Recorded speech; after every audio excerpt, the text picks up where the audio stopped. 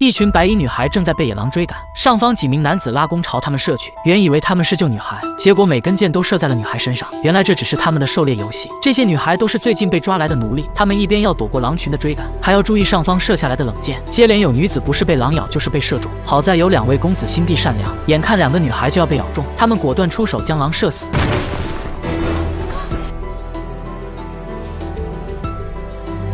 此时，一头狼又来到两人眼前。小六叫另一名女子躲起来，准备自己单独应付野狼。他掉头将狼引开。此时，上方烟巡世子又射出一箭，暂时救下了他。可宇文怀又瞄准了小六，幸好被他躲了过去。燕世子，这个有意思啊！宇文怀又射出一箭，可被烟巡的箭矢在空中拦下。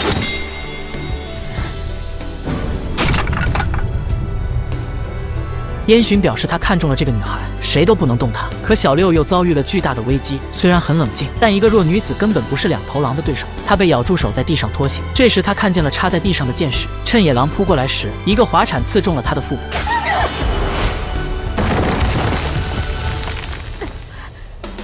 解决完一只，还有一只。烟巡刚想帮忙，可银宝竟然自己解决了。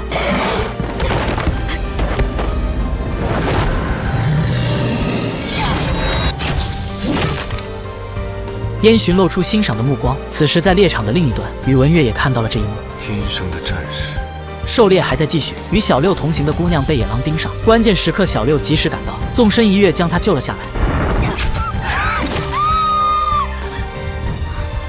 可他越顽强，宇文怀等人就越兴奋。他们开始驾马主动追赶女孩们，一个个女孩相继倒下，很快只剩下了小六两人。这时，身旁的女孩也被箭射中，小六愣住了。这是他失忆醒来认识的第一个人。就在刚才，他们还被关押在囚车上。小六在梦中不断出现一些记忆碎片，有人叫他楚乔，有人叫他金小六。梦里的他似乎武功高强，可在与人打斗中不慎跌入悬崖。等醒来时，就已经在囚车上了。身旁一个女孩自称叫卷毛头，听到小六的肚子咕咕叫，还主动给了他馒头吃。小六也对这个善良的女孩产生了好感。从囚车下来后，他们被迫换上了统一的白衣服，衣服后面还刻了几位公子的名字。小六身后刻的是宇文玥，如果他能活下来，以后就是宇文玥的人。小六悲伤地抱着卷毛头，现在只剩下他一个人了。可公子哥们没有半点怜悯之心。宇文怀再度拉弓，燕洵也随时准备救人。远处的宇文玥也射出一箭，三把箭同时朝小六袭来。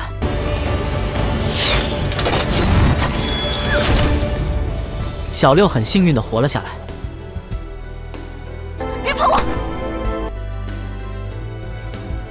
果然是他宇文玥啊！燕洵对他很是欣赏，问他叫什么名字。等我有一天不用再仰视你的时候，我再告诉你。小六被送进了宇文玥府中柴房里休息，回想起今天发生的一切，不禁感叹这是什么世道，人命犹如草芥。他在心中暗暗发誓，早晚要让这些贵族们血债血偿。这时，一个下人走了进来。小六，是我，五哥。可惜小六已经没了以前的记忆。五哥看见他一身的伤，不禁责怪自己没有本事保护妹妹。随后从篮子里拿出一碗热腾腾的饭菜递给小六。可白天的经历已经让他对所有人都有了防范。他冷冷地说自己不饿，直到五哥知道他不爱吃肥肉，还帮他咬了下来。小六这才相信了他，一边吃着饭菜一边流下眼泪。没想到这个世道还能感受到亲情的温暖。五哥在一旁跟他回忆小时候的事情，并告诉他知香姐姐和小八也在这里，他们都是奴隶身份。小六似乎也想起了他们，他冰冷的内心有了一丝温暖。次日，姐姐和小八来给他送疗伤药，这时女管家。宋大娘闯了进来，以两人偷懒为由，将他们一顿毒打。小六见状，用弹弓将他射倒，随后又出言恐吓说他这是身体有大病的前兆，得赶紧去看大夫。宋大娘被吓得立刻离开了。姐姐知道是小六的小把戏，她立刻劝他以后不能再这样做了。这是以下犯上，被人发现随时会人头落地。这就是那个时候奴隶的悲哀，随时都可能性命不保。几天后是燕洵世子的寿辰，朱管家特意来叮嘱他们要好好张罗，随后又开始调戏知香姐姐。小六站出来替他解围。兰花放哪儿了？我不知道。啊。放那儿，那你快带我去。这也让朱管家对他怀恨在心。寿辰这天，宋大娘让小六去当人肉马墩，小六一步步爬到纯儿公主的轿子下面。公主为燕洵精心带来了礼物，看得出来她很喜欢他。可燕洵的目光却总是在小六身上。这时他无意中听到宇文怀和朱管家的对话：“这是广寒散，把这个放就在这时，宇文玥终于来了。没想到九亿少女的梦在微博和电视剧里完全判若两人。小六在一旁暗暗观察朱管家，想看他们到底想谋害谁。只见他借机和芝香说话，却趁他不注意将药放进了宇文玥的酒杯中。如果宇文玥真喝了，那芝香姐姐一定会被误认为是凶手。宇文玥一闻便察觉到不对劲，犹豫了一会儿，最终放下了酒杯。可纯儿公主却在一旁下命令，说这是她从皇宫里带来的珍藏了许多年的佳酿，不喝就是不给她面子。宇文玥只好回应说自己身体抱恙。宇文怀却在一旁煽风点火，提议美人劝酒，若不喝就杀美人。知香姐姐顿时被吓着了，她立刻端起酒杯，请月公子饮下这杯酒。可宇文玥依旧不为所动。这些人互相算计，却要我姐姐为他们送命。求月公子饮酒。再不饮杀美人了。这样下去，知香必死无疑。小六终于忍不住出手了。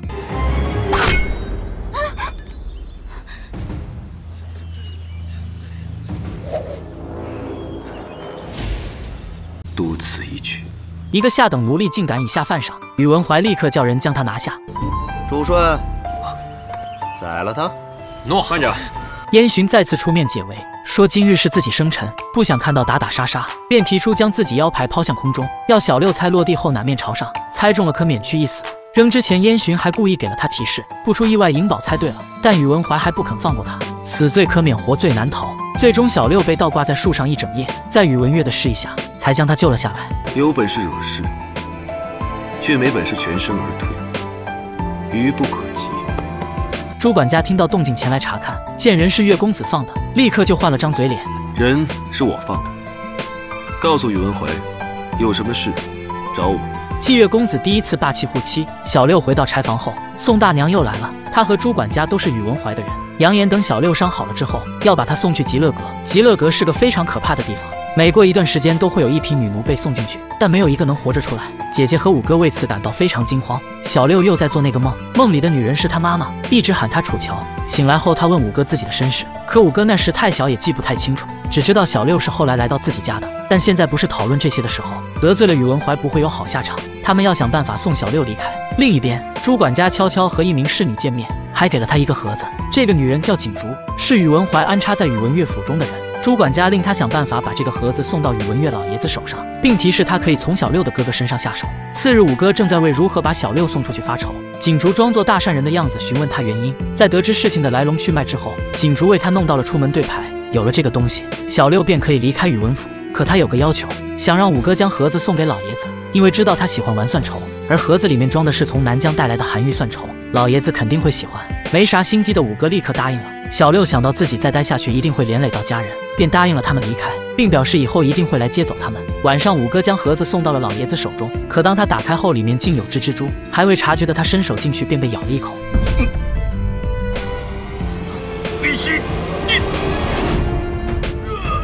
老太爷中毒身亡。此时，锦竹出来汇报情况，他们的对话正好被逃出门的小六听见，担心五哥的安危，小六决定折返回去。此时，宇文府已经乱作一团。你下毒害死我祖父，我要亲手杀了你！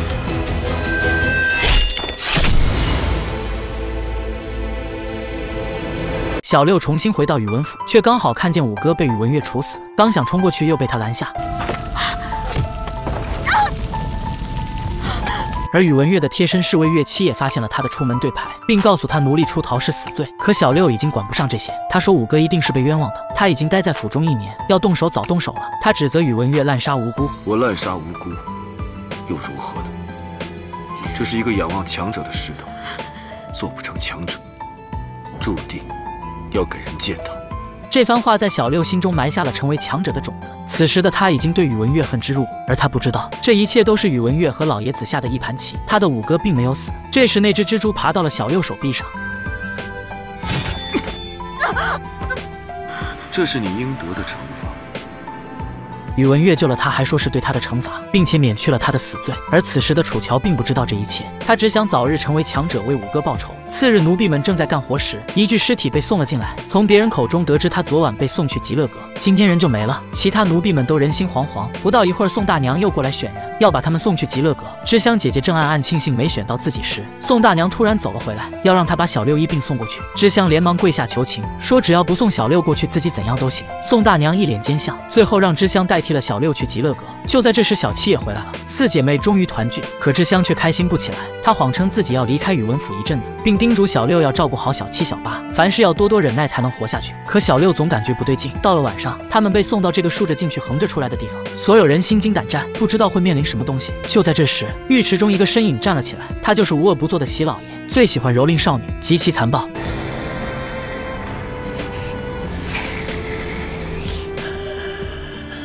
知香无助的连连后退，最后结果可想而知。此时三姐妹也知道了姐姐去极乐阁的消息，她们守在门外等待。一大批尸体被运了出来，她们的姐姐也躺在上面，手中还拽着小六临走前送给她防身的弹弓。三姐妹呆住了，小七差点喊出声，幸亏被小六拦住。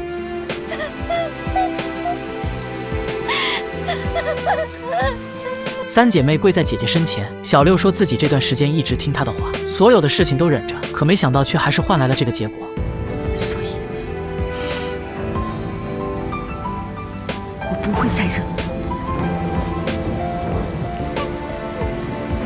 这就是当时的世道，奴隶们就像没有生命的萝卜白菜一样被埋在一堆。小六的任务很艰巨，他不仅要成为强者，还想要改变这个世道的现状。他是如何步步为营走向强者之路呢？在恢复记忆后，又是如何叱咤风云，让整个江湖乃至天下听到“楚乔”二字都为之震动呢？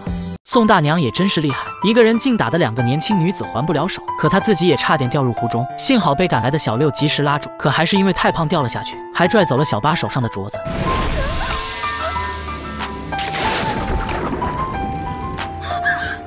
小七、小八都很害怕。小六冷静地说：“是他先动的手，咎由自取。”原来就在刚才三姐妹祭拜姐姐的时候，宋大娘突然发现了他们，以他们私自烧纸钱为由，拿起鞭子就要抽他们，还把姐姐的墓碑给踢了。小七暴脾气一点也不惯着她，用尽全力将她撞到一边。在后面的追赶中，他们来到了宇文府中的石桥上。宋大娘也是在这里意外落水，一个大活人就这样不见了，一定会引来怀疑。小六却毫不在乎地说：“如果以后被发现了，就说我干的。他必须要保护好两个妹妹。”次日，燕洵来找宇文月，两人平时关系甚好。燕洵一眼就看出他祖父的死不简单。从宇文玥表面悲伤的状态，他看出了破绽，知道他祖父是假死。宇文玥劝他不要掺和宇文家族的内斗。燕洵突然话锋一转，开口闭口就是小野猫。他从狩猎那天就盯上了小六，还偷偷拿走了宇文玥的一瓶疗伤药。世子，这药很名贵的，我们家公子都舍不得用。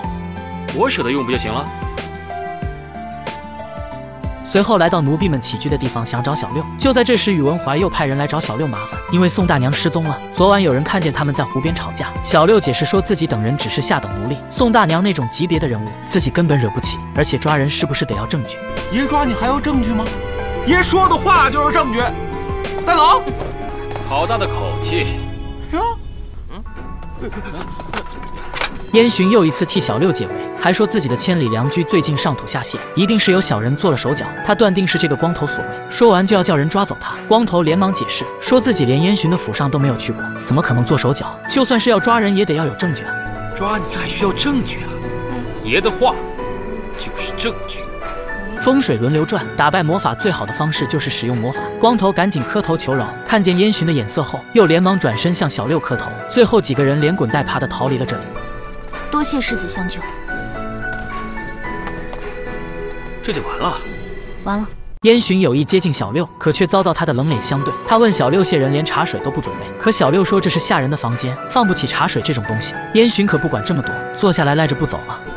世子稍等片刻，奴婢这就去沏茶。走啊！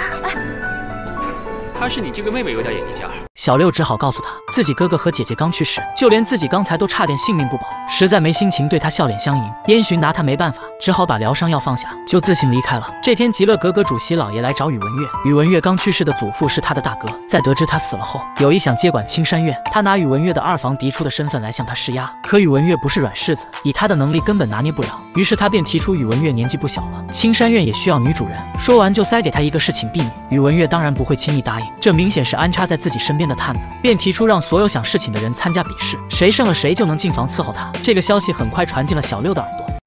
唯有进入青山院，才能躲避宇文怀的爪牙。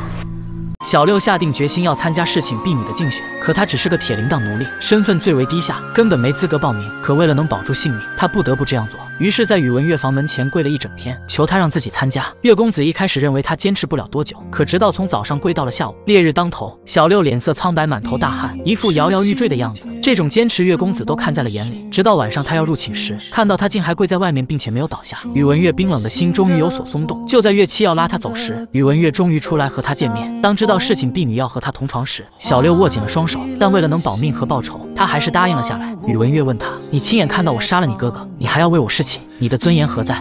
奴婢没资格谈尊严，只求公子给条活路。虽然是在求人，可他面无表情，眼神坚定，没有半点低三下气的感觉。但宇文玥依然感受到他强烈的求生欲望。他从未见过这种奴隶，对他也越来越欣赏，便答应他以铁铃铛的身份参加竞选。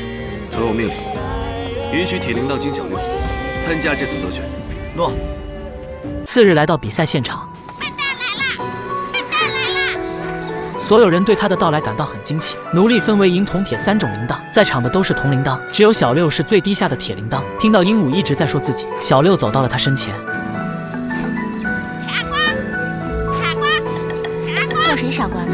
虽然你这链子是金的，但是你跟我一样没有自由，一定很温暖。说完，他竟把鹦鹉给放了，现场顿时炸开了锅。这可是月公子的宠物，他一个铁铃铛就这样把他给放了。这胆子也太大了吧！锦竹看他成了全场的焦点，顿时不爽了，上前故意将他绊倒，并趁机抓破了他的衣服。小六自然不会惯着他。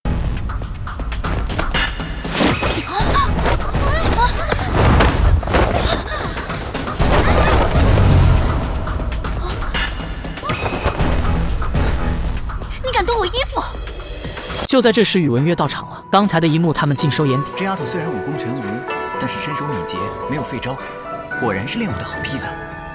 两人换完衣服后，比试正式开始。总共三局，输两局者淘汰，赢到最后的加试一场。第一场比的是出葡棋，小六示意对方先来，可人家说白棋先下。原来他完全不会。黑棋也可以先下，下呀！对方立刻被他的气势唬住，于是先摇头子走了起来。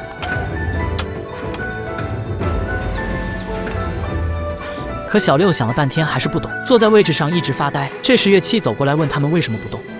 我不太懂，不懂，不懂你就出场了。不是还有两局吗？第一局小六就输了，引得月七和公子纷纷摇头。接下来小六又是如何逆袭的呢？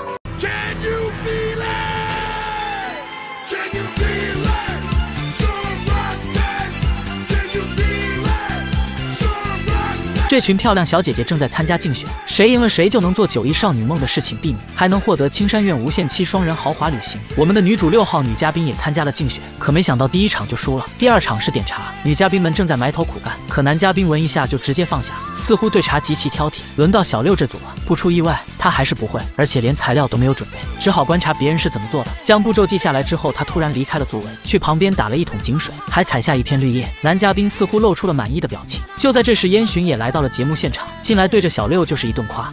好，茶道首先是水道，饮茶先择水。这丫头懂得用新鲜的井水，颇有竹林隐士的气质。给男嘉宾耳朵都听红了。小六倒是懒得理他，学着别人有模有样的煮起茶来。待大家都煮完后，男嘉宾闻过还是接连放下，只对其中的一杯情有独钟。在品尝过后，他问这杯是谁煮的，用什么方式煮的？奴婢以井水泡茶，但日中之水火气过于旺盛。所以奴婢就用银丹草过滤了一下，去除了过于旺盛的正午火气。气氛组拍桌称赞，好。男嘉宾暗暗称奇，胆大心细，见学献外。不出意外，六号女嘉宾获得了第二场的胜利。第三场是要一炷香的时间记下梵文佛经，再用一炷香的时间将其默写出来。这下难办了，小六根本不识字，更别说梵文了。大家都露出难为的表情。一炷香之后，女嘉宾们开始默写，可小六连笔都不会拿。烟熏忍不住为她着急，但别忘记了，人家是女主，虽然不认识字，但可以记下字的样子。公子，他明显不会写字，也不知如何握笔运笔，但现在他显然已经开窍了。一炷香又过去，只有小六全部默写了出来。这不可能啊！他刚才一直偷窥别人，最后才落笔。想必通篇都是抄袭而来的。抄袭？抄袭谁的？为什么他一字不差？而你们却漏洞百出。锦竹又说可能是他事先偷看了这段范文，乐七顿时怒了。你说他作弊，可是说我青山院保管不力吗？偷鸡不成蚀把米。可岳公子又问小六为什么没有署名，说不定他压根儿就不识字。要是不识字的话，怎么伺候公子啊？妖怪真多，但小六也不是吃素的。他说规则里只说了默写出来就行，并没有要求署名，他只是按照规矩行事。可月公子不是那么好糊弄的，便说再给他一次机会，如果他能把署名添上，就算他胜出。公子说话算话。当然，只见小六摘下自己的铃铛，在旁边沾了点墨汁，然后大步走到自己的作品前。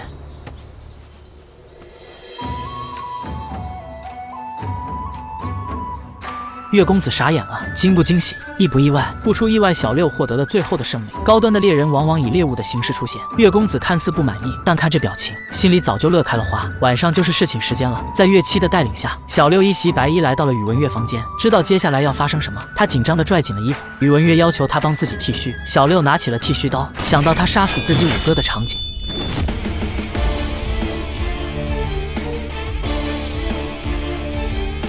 宇文玥问他为什么不动手，奴婢不敢。小六明白过来，刚才他是在试探自己。随后宇文玥开始教他，只有一种情况下可以把刀柄交给别人，那就是掌握了这个人的软肋。说完，打开窗户让他看外面。小六的两位妹妹已经被他接到了青山院，可宇文玥万万没想到，不久后金小六竟会成为他的软肋。他觉得金小六这个名字不好听，本公子赐你一个名字，星儿。一个月儿，一个星儿，公子真是好心机。星儿多谢公子赐名。不好听吗？好听。公子问他好听为什么不笑？在强大的对手面前，就算再害怕、再恐惧，也不要颤抖，要笑。说完还直接上手，灿烂的笑。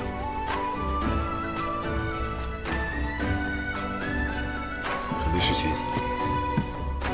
星儿很紧张，不过还是老老实实的开始解衣服。但人家宇文玥一心在看书，根本没打算对他咋样。星儿沉浸在自己的世界中无法自拔。床上有本竹简。接过竹简后，他让星儿明天去领一次责罚。虽然不知道犯了啥错，但还是老老实实的趴在地上。不久后，竟然传来打呼的声音。明天领双倍责罚。诺。准备夜宵。吃夜宵时，月公子提出要梅花。星儿原本想恶作剧为难他一下。公子是要吃梅花吗？那您是要油炸的还是水煮的？是包馄饨还是和点心呢？我是要带梅花的餐随后，月公子在他手上划开了一个口子。好痛啊！好痛，好痛！不久后，星儿闻着羹香睡去。这种羹香都经受不住，一看就从未经历过江湖。他还不知道睡在他面前的是风云令主，江湖第一人。看着面前的睡美人，宇文玥贴心的帮他盖上了被子。这到底是谁服侍谁？鹦鹉鸟不停模仿星儿刚才说的好痛，但在别人听来，这个好痛又是另一层意思了。而刚才月公子划开他的手，是要用他的血糊弄别人，因为他根本不打算动星儿。趁星儿睡着时，宇文玥来到密室，打开一封信，是他祖父寄来的。此女有兽性，桀骜不驯，用之不善，恐伤己身。这是给他的忠告，宇文玥没当回事，可没想到后来真的成为了他最大的羁绊。次日，星儿在他旁边醒来，迷迷糊糊看到一个男人，他被吓得大声尖叫。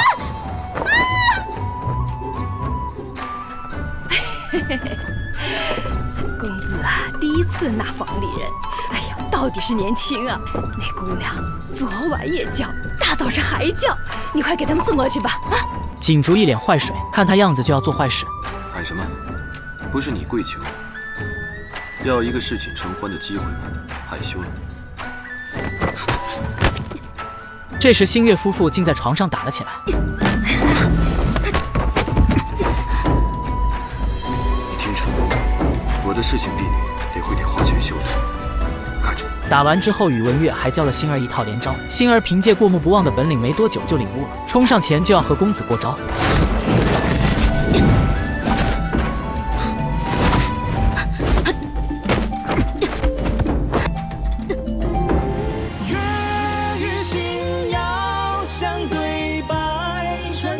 画面太美，不敢看。打着打着，竟然跳起了双人舞。这时，锦竹端着早餐进屋，看着他两秀恩爱的样子，恨不得打电话叫白子画过来。宇文玥当他面为星儿喝莲子羹降火。这时，锦竹也看到了床上的一抹烟火，这眼神恨不得连手机前的观众一起打。星儿洗好被褥后，锦竹果然带人出来作妖了。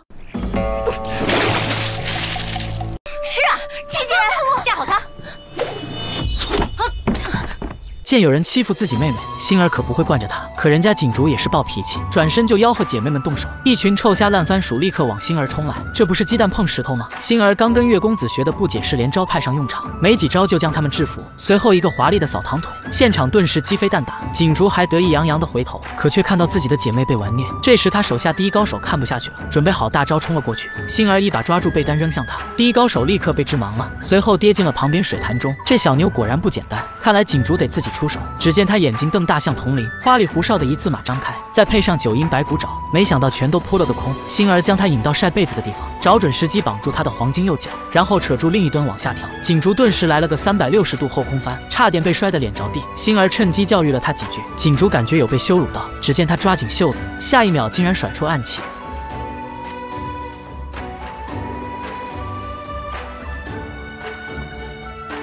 月公子闪亮登场，所有奴婢顿时变成小迷妹膜拜。锦竹立刻装出一副受了委屈的样子，说是星儿出手在先，他作为银铃铛只是想教教他们规矩。月公子怎么会不明白发生了什么？星儿在他心中的地位可跟别人不一样。宇文玥借着罚星儿的借口，将他带到了一个密室，实则是要训练他。这哪里是处罚，明明是奖励。月公子给了他一篮子石头，随后一掌将他推进了机关中。墙角的四个爆头会不断的射出没有箭头的飞箭，他需要不停的躲避或者用石头反击。这不仅锻炼反应能力，还锻炼听力和眼力。星儿勉强能躲过，但还是时不时会被打中。一炷香过后，机关解除。就在星儿以为惩罚结束时，宇文月竟命令月七打开六个爆头。说完自己就先开溜了，得罪了老婆赶紧撤。真聪明，六个爆头已开启，可星儿只能用石头打掉两个，其他的都打在了他身上。月七教他一定要快准狠，不然这可就真的变成受罚了。可怜的星儿一个人被关在这里训练，已经被打得起了一身的包。但是为了报仇，他必须得忍下去。月公子这边就潇洒了，躺在床上呼呼大睡。就在这时，烟巡世子又来找他。这个时候的世子阳光灿烂，所有公子里面最开心自由的就属他了，成天露着两排洁白的大板牙，一副玩世不恭的样子。可是现在有多开心，后面就有多悲惨。见宇文玥在睡觉，他直接跳到人家床上。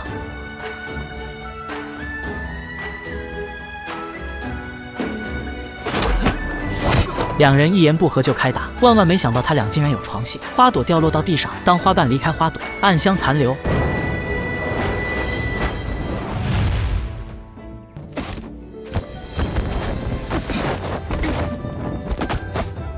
看这打斗场面，简直比星月夫妇还甜，感觉他俩才是真正的一对。燕洵来的目的很明显，想见他口中的小野猫，也就是星儿。宇文玥当然不肯答应，在他眼里，星月才是一对。这时手下来通知，三个时辰已到。他们来到密室一看，星儿已经能轻松自如地应付六个爆头。他将所有剑矢聚在一起，来了个超帅的漫天飞舞。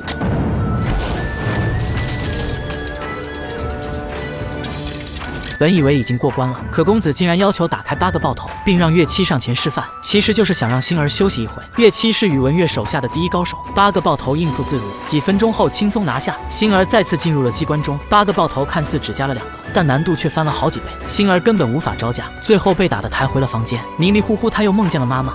孩子，你记住，你唯一能靠的只有你自己。跌倒了就自己爬起来。次日，他主动来到密室，可还是无法应付。这时，他突然回忆起小时候妈妈训练自己的场景，这些对以前的他来说其实很简单。果然，星儿就像觉醒了一般，终于可以应付八个方向射出来的飞剑。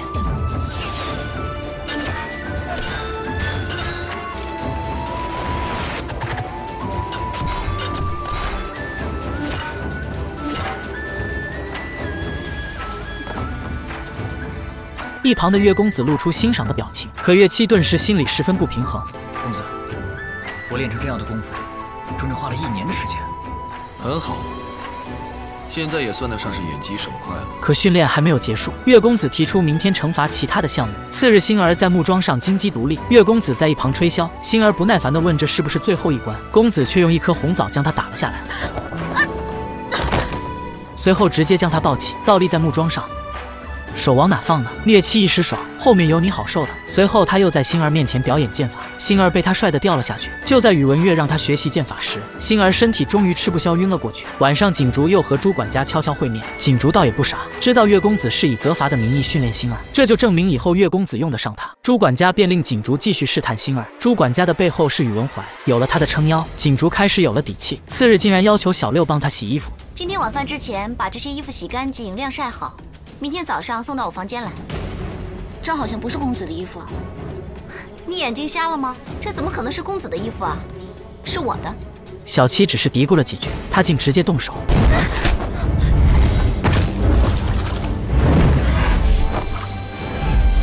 真想不到星儿竟然会太极。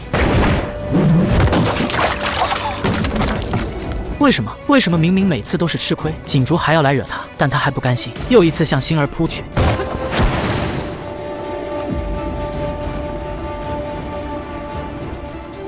眼看就要亲上了。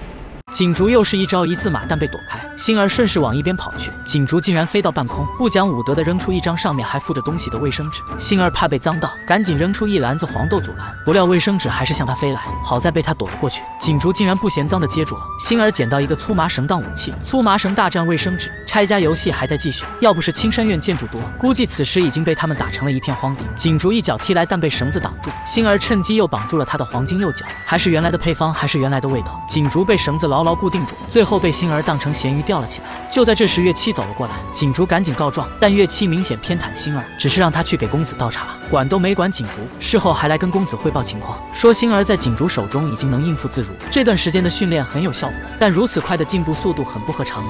除非他从小受过极为严苛的训练，并且根基打得非常牢固。他们已经对星儿的身份产生了怀疑，并且让越位开始调查他的底细，而月公子却不是很在意，认为他没有威胁。为了能激发星儿更多的潜力，他决定加点猛料。次日，月公子召集所有员工集合，当大家的面摘下了星儿的铁铃铛，随后打开一个盒子，里面是个银铃铛，并且亲手为他插上。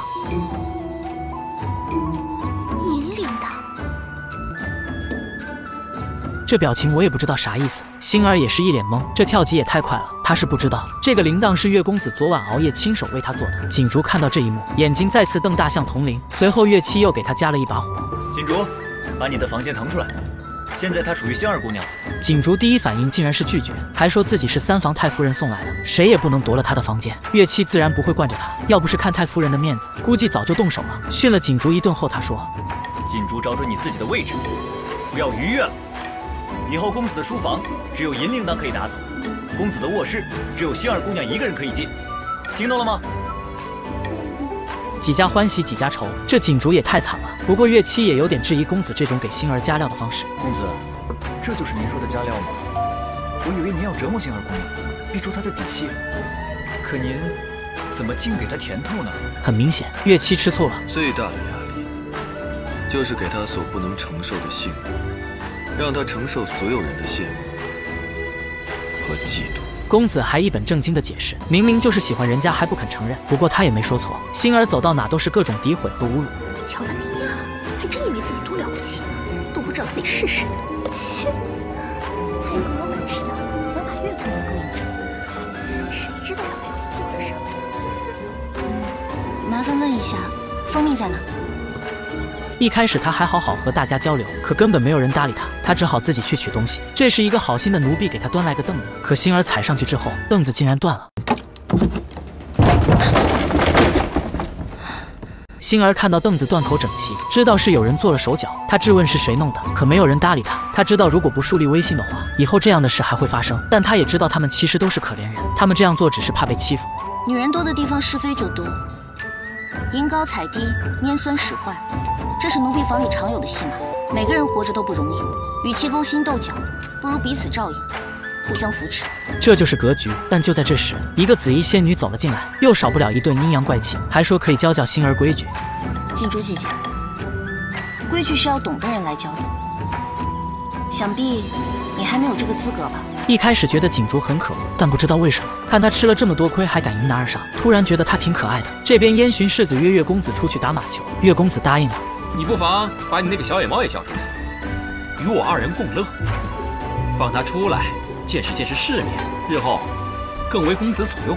看样子月公子只是个工具人，他一脸不善地看着燕洵，为啥总是惦记我媳妇？燕洵看他一脸小气的样，只好说把自己的汗血宝马送给他，让他把星儿借给自己助阵。人不带，不记，马我不要，不收。好你个不熟！长安城里我视你为最好的朋友，不熟。训练无处不在，好好走路也有人搞偷袭。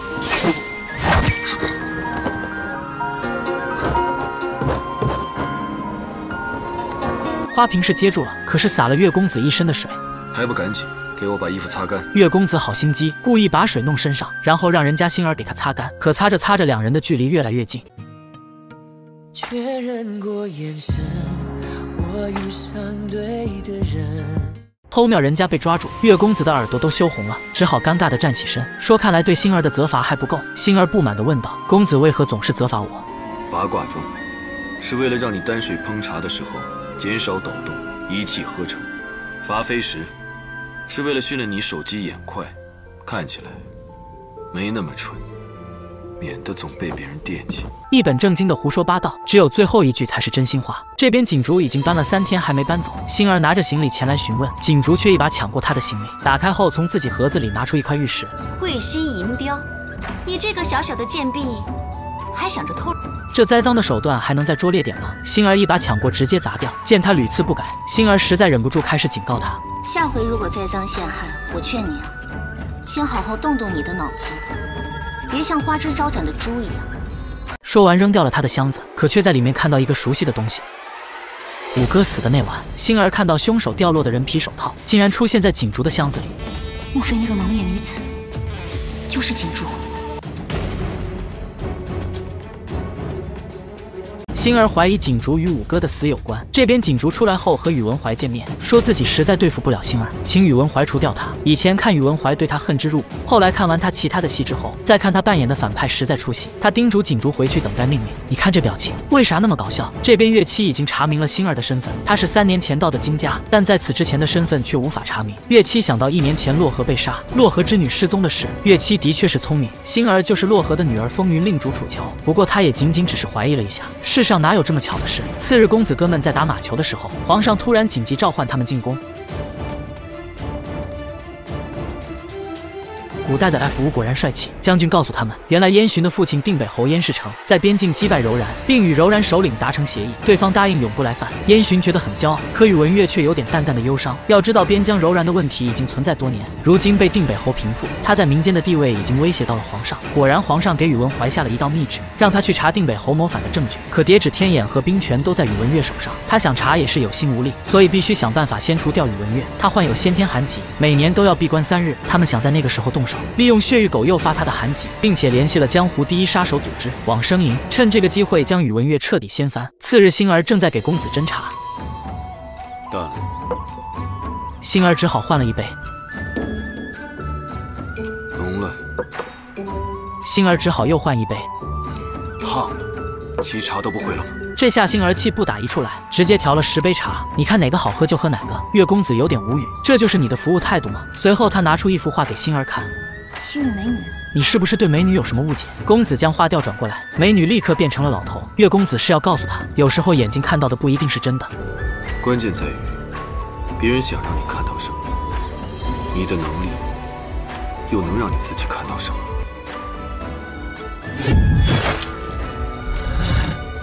月公子是在给星儿解释他五哥的死，而聪明的他也猜到了，再联想到那个人皮手套，他觉得五哥的死不像自己看到的那么简单，或许宇文玥杀他是有苦衷。次日，宇文玥正在练习弩箭，察觉到星儿就在身后，他立刻换成了寒冰剑。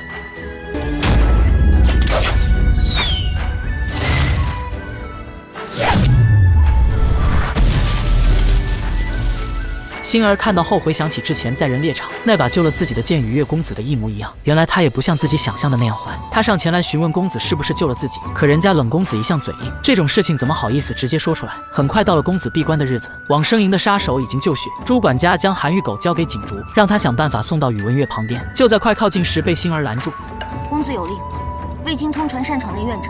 立杀无赦。锦竹解释，这是三房太夫人送来的，说这个东西对月公子闭关有帮助。星儿对他还是有所提防，便决定自己送进去。没内功的人抱着这雪玉狗，寒气透入五脏六腑，必然暴毙。要说内功，在场的没有一个有星儿高。星儿抱着寒玉狗走了一会儿后，突然感觉全身发冷，但是体内又有一团火在与之对抗。就在这时，宇文月叠指天眼的人被往生营的杀手包围，他立刻打出信号弹，报，阜爱五里现黑晶石信号剑。谍者必救，岳十三在，保护公子。诺，火速召集人马，跟我走。他们中了调虎离山计。此时的青山院防守空虚，这时小七竟在院子中放了一大批毒蛇，他想为五哥报仇。这边岳七赶到现场时，发现谍者已经死了。坏了，中计了。他们立刻火速返回青山院。而此时杀手们已经混了进来，轻易解决了两个巡逻的越位。星儿越来越痛苦，似乎有股强大的力量即将爆发。小时候的场景又在脑海中浮现，而月公子对外面发生的事还全然不知。这时有几条毒蛇已经爬到了他的房间。原来锦竹早就知道了小七放毒蛇的计划，便在公子房间布置了一些吸引蛇虫的植物。这时杀手快来到了月公子房前，月十三听到动静，连忙带人去阻拦。此时的星儿已经处在爆发的边缘，而毒蛇已经爬到了月公子床上。星儿听到声音醒了过来，宇文玥也被苍梧鸟惊醒。可此时的他实在太虚弱，连挥剑都费劲。星儿连忙冲进了房间，体内的力量已经到了爆发的边缘。杀手们也来到了门口，他们悄悄地往房间靠近。可还不等他们动手，星儿终于彻底爆发。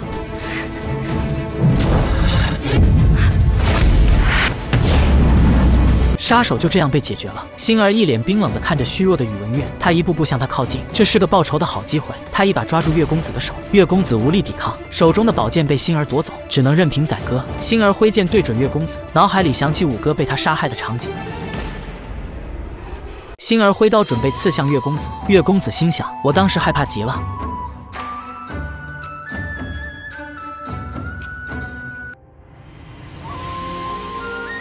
或许是已经有了感情下不了手，又或许是被月公子前几天的话说动，星儿也无力的倒了下去，割开公子的手腕，放出毒血。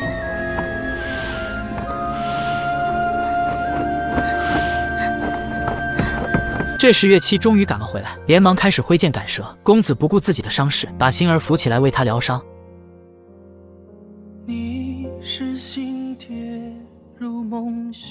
看着倒在怀里的星儿，月公子已经对他放下了所有戒备。深夜大夫为他看完后，告诉他并无大碍，涂上去蛇毒的药即可痊愈。随后大夫又告诉了他们寒玉狗的作用。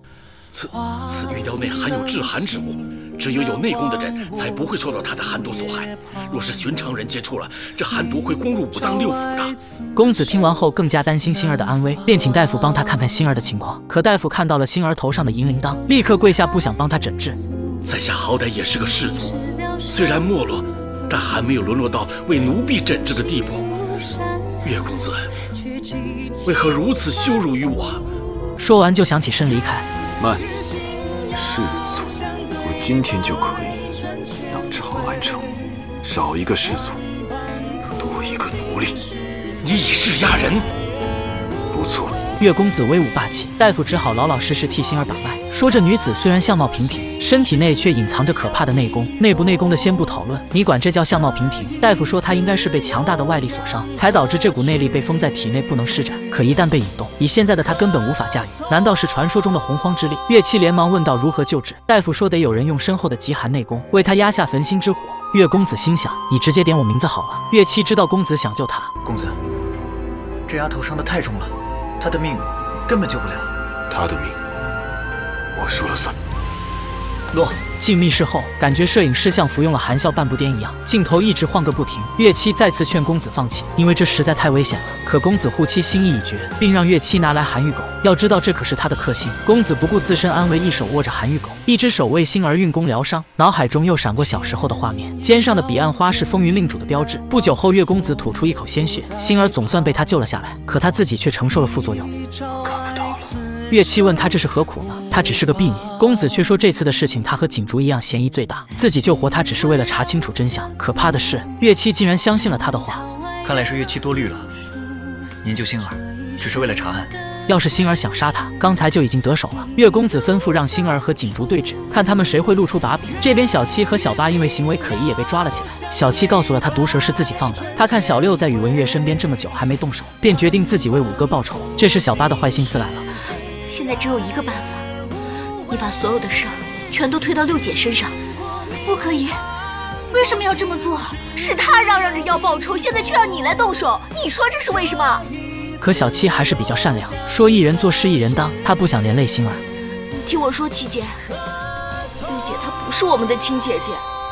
只有我们两个才是亲姐妹。要不是星儿，他俩估计早没了。小八，我劝你善良。这边星儿已经醒了过来，他连忙向公子请罪，说自己是为了救他才割开他的手腕。我看你是想要杀我，但见到月七来了，改变了主意，反过来救我，是吗？可公子并不听他的解释，先冷落他，让他没有依靠，他才能靠自己的能力解决锦竹。我现在看不透你。来人，把星儿带去审问。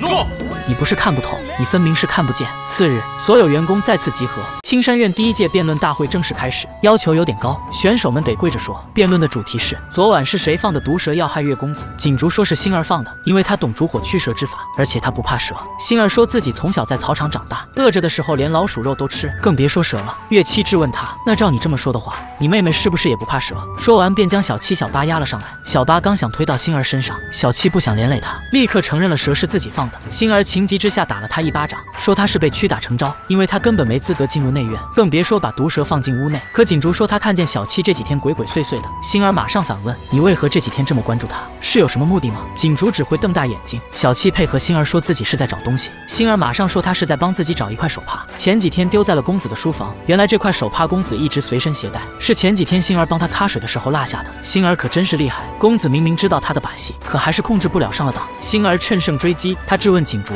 公子的房间里为何多出了几盆火烧藤角？”这又如何？星儿解释，青山院因为地理特殊，蛇虫鼠蚁比较多，而火烧藤角是吸引蛇虫的植物。可火烧藤角的气味就算独特，也绝不会引来这么多蛇。那这么说，锦竹姐姐是知道火烧藤角会吸引蛇虫吗？那姐姐去购买四盆火烧藤角，你居心何在？锦竹第一次自曝，星儿说锦竹每个月都还要收其他奴婢的保护费，加起来有三十两，已经够买三个星儿了。锦竹慌忙解释：“你胡说，这次火烧藤角我真的没收钱。这么说，其他的地方收钱了？”锦竹第二次自曝，可公子说这也不能证明锦竹要害自己。星儿说昨晚的血玉狗正是锦竹交给自己的，让他带进公子房间。锦竹准备来个死不认账，反正血玉狗已碎，我死不认账，他们又能如何？什么血玉狗？公子，我不知道他在说什么。这时，星儿走到他身边，捡起了一块血玉狗的碎片。锦竹连忙假惺惺地将它拍落。公子小心！星儿，公子眼睛已经盲了，你还想拿血玉狗伤他，真是狼子野心！这下全暴露了吧？来人，给锦竹上重铐！你看穿的是他！锦竹第三次自爆。你不是不知道血玉狗为何物吗？那你为何知道他会伤害公子？这次辩论会，星儿胜出，锦竹被玩虐。月七质问他血玉狗哪里来的，锦竹知道事情败露，只好将朱管家和宇文怀交代了出来，希望能有条活路。星儿，就由你亲手惩罚锦竹。锦竹被吓傻了，他跟星儿这么大的仇，认为星儿一定会打死他，可星儿却放下了鞭子，说把人打死太过于残忍。公子说，如果是锦竹拿着鞭子，他未必会觉得残忍。他是他，我是我。最后，锦竹的结局是被重打二十鞭。晚上，朱管家和锦竹见面，说怀公子对他很不满意，让他以后不要再去招惹星儿。可锦竹吃了这么大的亏，怎么肯罢休？几分钟之后，又开始了愚蠢的计划。然而，就是这个计划，让锦竹结束了他吃亏的一生。锦竹带着第一高手往星儿房间放了个坛子，里面是一窝毒蛇。次日故意带着一群奴婢来搜索，想找出毒蛇来陷害星儿。可尴尬的是，他们没找到。原来昨晚两人作案的时候，刚好被星儿看见了。小七看他们在房间肆意妄为，气得骂了锦竹几句。锦竹上来就是两个大嘴巴子。可每次这个时候，总会有人出来破坏他的好事，又是一桶水下去。锦竹打又打不过，说又说不过，只好带着第一高手溜之大吉。晚上，三姐妹从床底拿出了那个坛子，原来已经被星儿藏了起来。星儿准备利用这个坛子将计就计。将锦竹摆平，顺便查清楚害死五哥的真凶。小猫盖世，公子又在说奇奇怪怪的话了，星儿听不懂。当真听不懂吗？锦竹固然愚蠢，但和他相比，你也高明不到哪儿去。你别以为我不知道蛇从何而来。其实月公子知道之前的毒蛇是小七放的，不过他也要警告星儿，千万不要心存侥幸。你走吧，别在这里碍眼。我碍眼？你看得见吗？你以为我眼盲？耳朵也听不见吗？星儿明显有点飘了。这天，小七抱着那个坛子，一副鬼鬼祟祟的样子，刚好被锦竹看见。锦竹喜上眉梢，终于等到机会了。他马上让第一高手去叫朱管家，说金家姐妹谋害月公子的证据已经找到了。叮嘱完之后，他就去追上了小七，问他罐子里是什么。小七一副慌张的样子，想离开，但锦竹怎么会放他走？在争抢中，坛子掉落，可却没有锦竹期待看到的毒蛇。锦竹反应过来中计了，说不定真的毒蛇已经被他们扔了。他立刻跑去找星儿，而星儿此时正在后山中，抱着坛子走到了悬崖边。锦竹以为他是想扔掉，殊不知自己已经中计了。就在这时，朱管家带人过来了。星儿一把将坛子放到锦竹手上，然后故意装作被他推下了悬崖。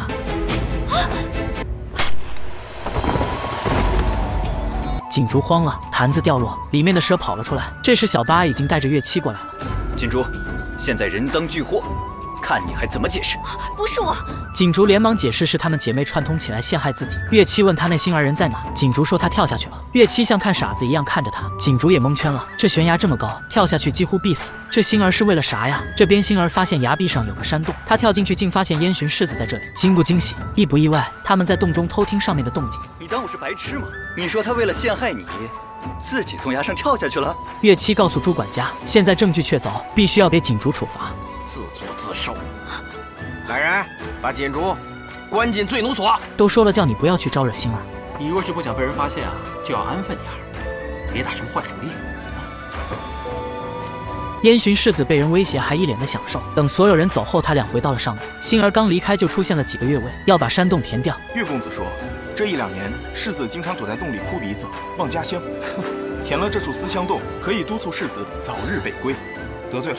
月公子是在提醒他早日回燕北，不然会有大祸。这边朱管家回来向宇文怀汇报情况，宇文怀早就知道锦竹对付不了他，看样子要自己动手把他妹妹抓来。星儿得知小八被抓，只身来到醉奴所，可早已经有人埋伏在此地。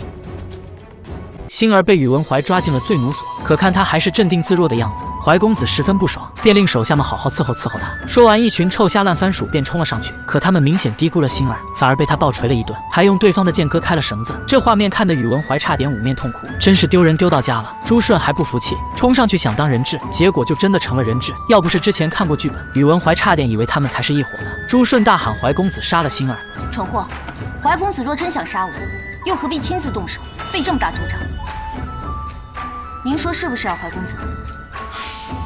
宇文怀情不自禁地鼓起了掌，虽然是敌人，但还是忍不住的欣赏他。星儿说自己没有要和怀公子作对的意思，只是锦竹嫉妒他得到月公子的恩宠，处处针对他，他才反击。宇文怀顿时脸色变了。你是说锦竹嫉妒宇文月对你的恩宠？不愧是赵小刀，还要接着补刀，说锦竹爱慕月公子，在青山院人尽皆知，好一招挑拨离间。可怀公子不是那么好糊弄的，他拿出一张纸，是月公子将星儿逐出青山院的证明。星儿内心有所动摇，难道宇文月真的会这样做吗？可又想到他之前说的话，关键在于别人想让你看到什么，你的能力又能让你自己看到什么。星儿马上坚定了起来。怀公子问星儿是怎么知道锦竹是自己的人，星儿说叫锦竹出来对质就知道了。带锦竹。星儿提出要跟锦竹单独聊，这正好合了宇文怀的意，可以偷听他们说话，也正好合了星儿的意，可以让宇文怀偷听自己说话。星儿问锦竹，月公子把他逐出青山院是不是他捣的鬼？此时两个大可爱正在隔壁偷听，星儿的套路开始了，先是假装可怜的说，原来公子真的放弃了我，然后又告诉锦竹不要太得意，不要以为我走了，你就能如愿以偿的留在月公子身边，脚踏两条船可不会有好结果。锦竹被他说懵了，这边的话已经全被怀公子听见，虽然星儿说的不一定是真的，但也不一定是假的呀。锦竹突然捡起剑就要砍向星儿，住手！公子，你让我杀了他吧，他一直胡说八道。相不相信他用你教我？这么急把他杀了，怕他说出对你不利的话吗？果然怀公子也中套了，他让星儿继续说。接下来星儿开始无中生有，说看到锦竹跟宇文月说，他受怀公子的指引害死了宇文卓老太爷，心怀愧疚夜不能寐，心里爱慕月公子，却害死了月公子的至亲。宇文怀顿时一脸杀意，因为他觉得星儿不可能知道是他主使的，那就证明星儿说的话都是对的。锦竹连忙跑过来说星儿诬陷他，星儿说要不是月公子听信你的谗言，怎么会将我逐出青山院？他根本就没有把你赶出府，也没有信任过我，那个手令是怀公子伪造的。都是套路，全都是套路。原来是怀公子伪造的。你个蠢猪！锦竹赶紧跪到宇文怀身边认错。埋到妓院去。人家锦竹有什么错吗？他只是想害死星儿而已。锦竹已经被解决，可星儿还是没有脱困，他必须得搞定宇文怀才行。怀公子，这种又蠢又有二心的奴才，用的还顺手吗？是不太顺手。那要不要换一个又聪明又值得信任的呢？可宇文怀想起他刚才对付锦竹的手段，觉得自己不一定能吃得住星儿，还是早点解决，以免夜长梦多。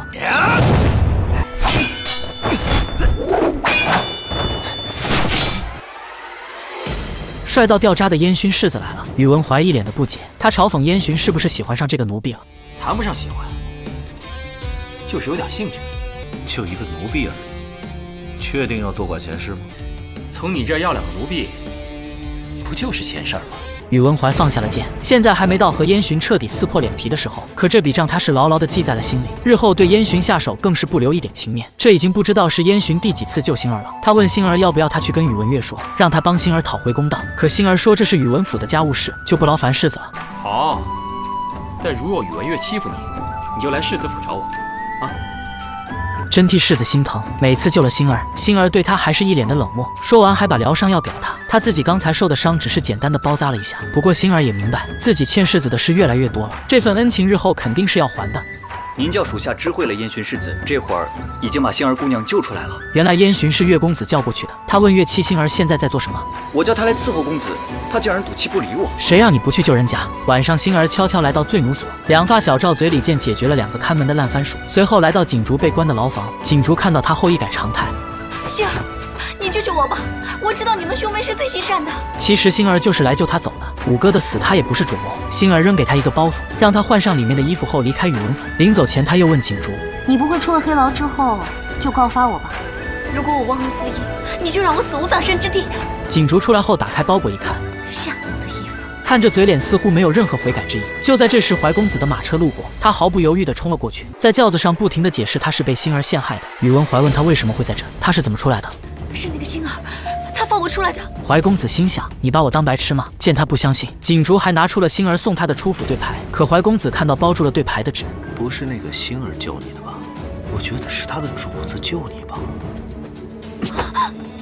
锦竹打开一看，竟然是通关文牒。这种东西只有经过岳公子的同意才能盖上印章。可怀公子忽略了，这种东西也能作假。锦竹慌忙的解释是星儿陷害他，可宇文怀哪里还会相信他？这时朱大管家又开始补刀了。学玉狗事发。宇文玥就打了你二十几个板子，早就让人生疑了。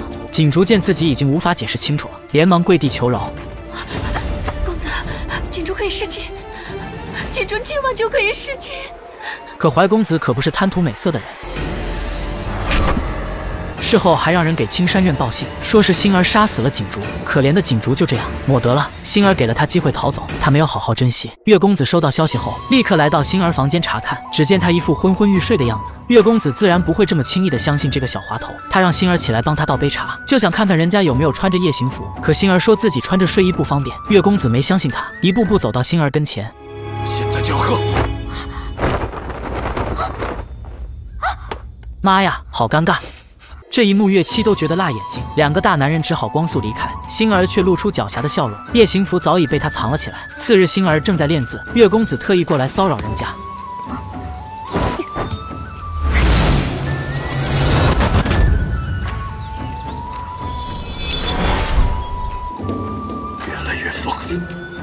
不愧是叠纸天眼的继承人，果然开了天眼。今天月公子要训练星儿的嗅觉，让他在花园里找到开的最茂盛的一朵花。星儿蒙着眼睛找啊找，这时眼前出现了一个傻子，以为星儿在玩捉迷藏，还要一起加入。可他身上的火锅味太重，走到哪星儿都能闻到。被抓住后还想还手，在星儿手脚的劝说下，去臭水沟游了会儿泳。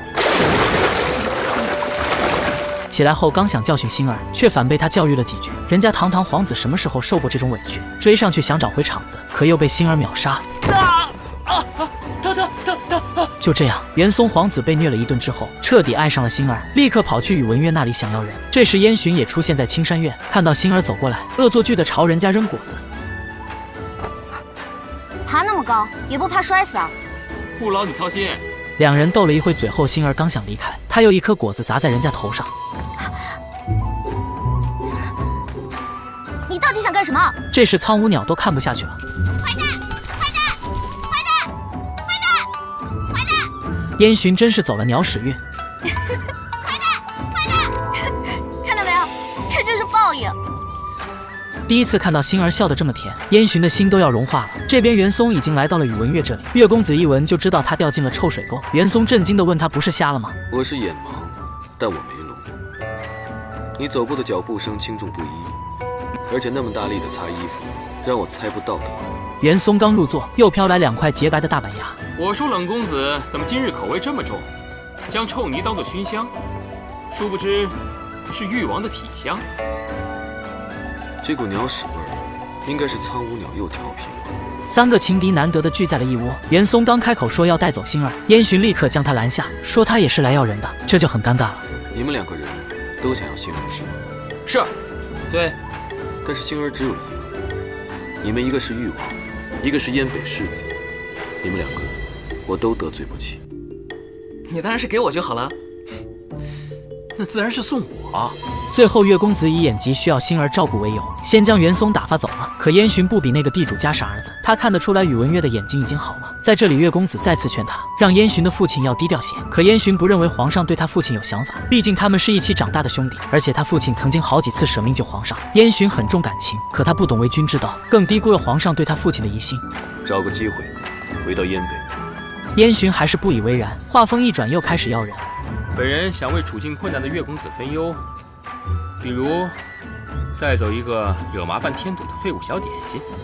你我兄弟之情，送什么也不能送废物。这时候两兄弟感情是真的好，可到后面燕洵围杀宇文玥的时候也是真的狠。这天宇文怀又召开茶会，邀请了纯儿公主到场。纯儿时不时望向燕洵，可燕洵的目光却一直在星儿身上。我爱你，你却爱着他，隔着屏幕都闻到酸味。纯儿气得来到湖边散心。这时宇文怀来到了他身边，说会帮他清除一切障碍。前段时间宋大娘的死，他们知道是星儿做的，利用这个机会正好除掉他。这时他已经派人来到了青山院。星儿得知后知道这件事瞒不过去，因为宋大娘死的时候摘下了小七的手镯，他准备趁晚上月光公子赏花灯时，带着两个妹妹远离青山院。爱要怎么说出口？看怀公子是怎样表演的。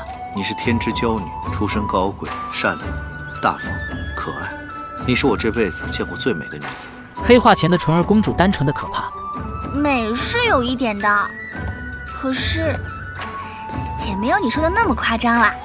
不过我警告你啊，你千万不要痴心妄想，我是不会喜欢你的。我知道，我这辈子都靠近不了你。只能在远处注视你。宇文怀这种卑微的爱让纯儿觉得很同情他。其实吧，我觉得每个人都是应该有优点的，比如说你，比如说。比尴尬吗？怀公子都尴尬的笑了。宇文怀不停的点头缓解尴尬。怀公子说自己的优点就是能帮公主清除一切障碍，而星儿就是他和燕洵在一起的障碍。纯儿以为他是只想简单教训一顿星儿，还叮嘱他不要太过分就行。这边星儿得知消息后，准备带着妹妹们逃走。万一宋大娘的尸体真的被捞了出来，她们三姐妹就得玩完。星儿给了他们出府对牌，让他们先去茶馆等自己。她要去公子房间偷到印章，为自己三人写下是奴文书，随后会趁晚上和公子赏花灯的时候，找机会溜走，再跟他们会合。小七、小八走后。星儿已经写好了是奴文书，也顺利偷到了印章。可就在这时，月公子回来了。星儿连忙装作在打扫卫生，宇文玥立刻起了疑心。虽然星儿是奴婢，但这么久没见她主动伺候过自己，更别说打扫房间。回头又看见柜子被打开过。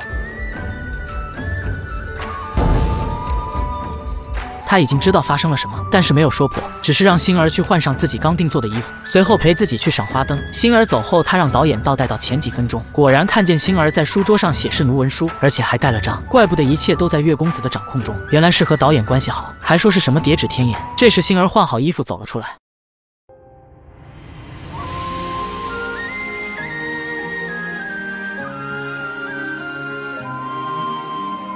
月七都看呆了，月公子也沦陷了。这么漂亮，还管他什么是奴文书，盖什么章？先赏花灯再说。于是两人穿着情侣服走出了青山院。月七已经哭晕在厕所，给人家取个情侣名就算了，光天化日还要穿情侣服。月公子真矫情。晚上看花灯时，星儿完全没有心思，离他和妹妹约定的时间还差两小时。这时月公子给星儿买了个兔子，好可爱啊！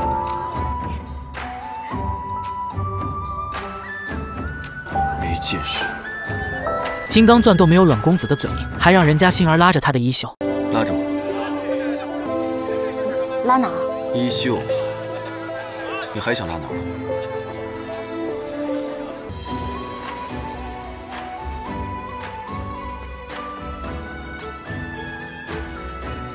星儿说想玩猜灯谜，月公子二话不说就将她带进了人群中。一个小伙子夸赞星儿漂亮，还把自己迎来的糖葫芦送给她。你问过冷公子的意见吗？你是一个人来的吗？这醋坛子打翻了一地，真酸。你想要的话，我们自己买。走吧。去哪儿？买冰糖葫芦。我不吃。我要玩那个。月公子拿起一个谜调，上面写着“早不说，晚不说”，猜一个字。晚说不如早说。自以为能瞒天过海，早不说，晚也不说。只会死得很难看。这是在暗示星儿，你心里的小九九我全都知道。星儿懒得理他，说出了谜底，是个许字，猜中了就有奖品。星儿刚想去拿，却被拦住。人那么多，都是男人，一身臭汗，在这等我，我帮你拿。然后冷公子就自己去了，星儿趁机直接开溜。可怜的冷公子还拿着两串糖葫芦，等他回来时，媳妇已经不见了。明知道人家要走，还不看景点，星儿牵着马已经开溜了。这时，两个大梁谍者跟他擦肩而过。这个男人突然觉得星儿很眼熟。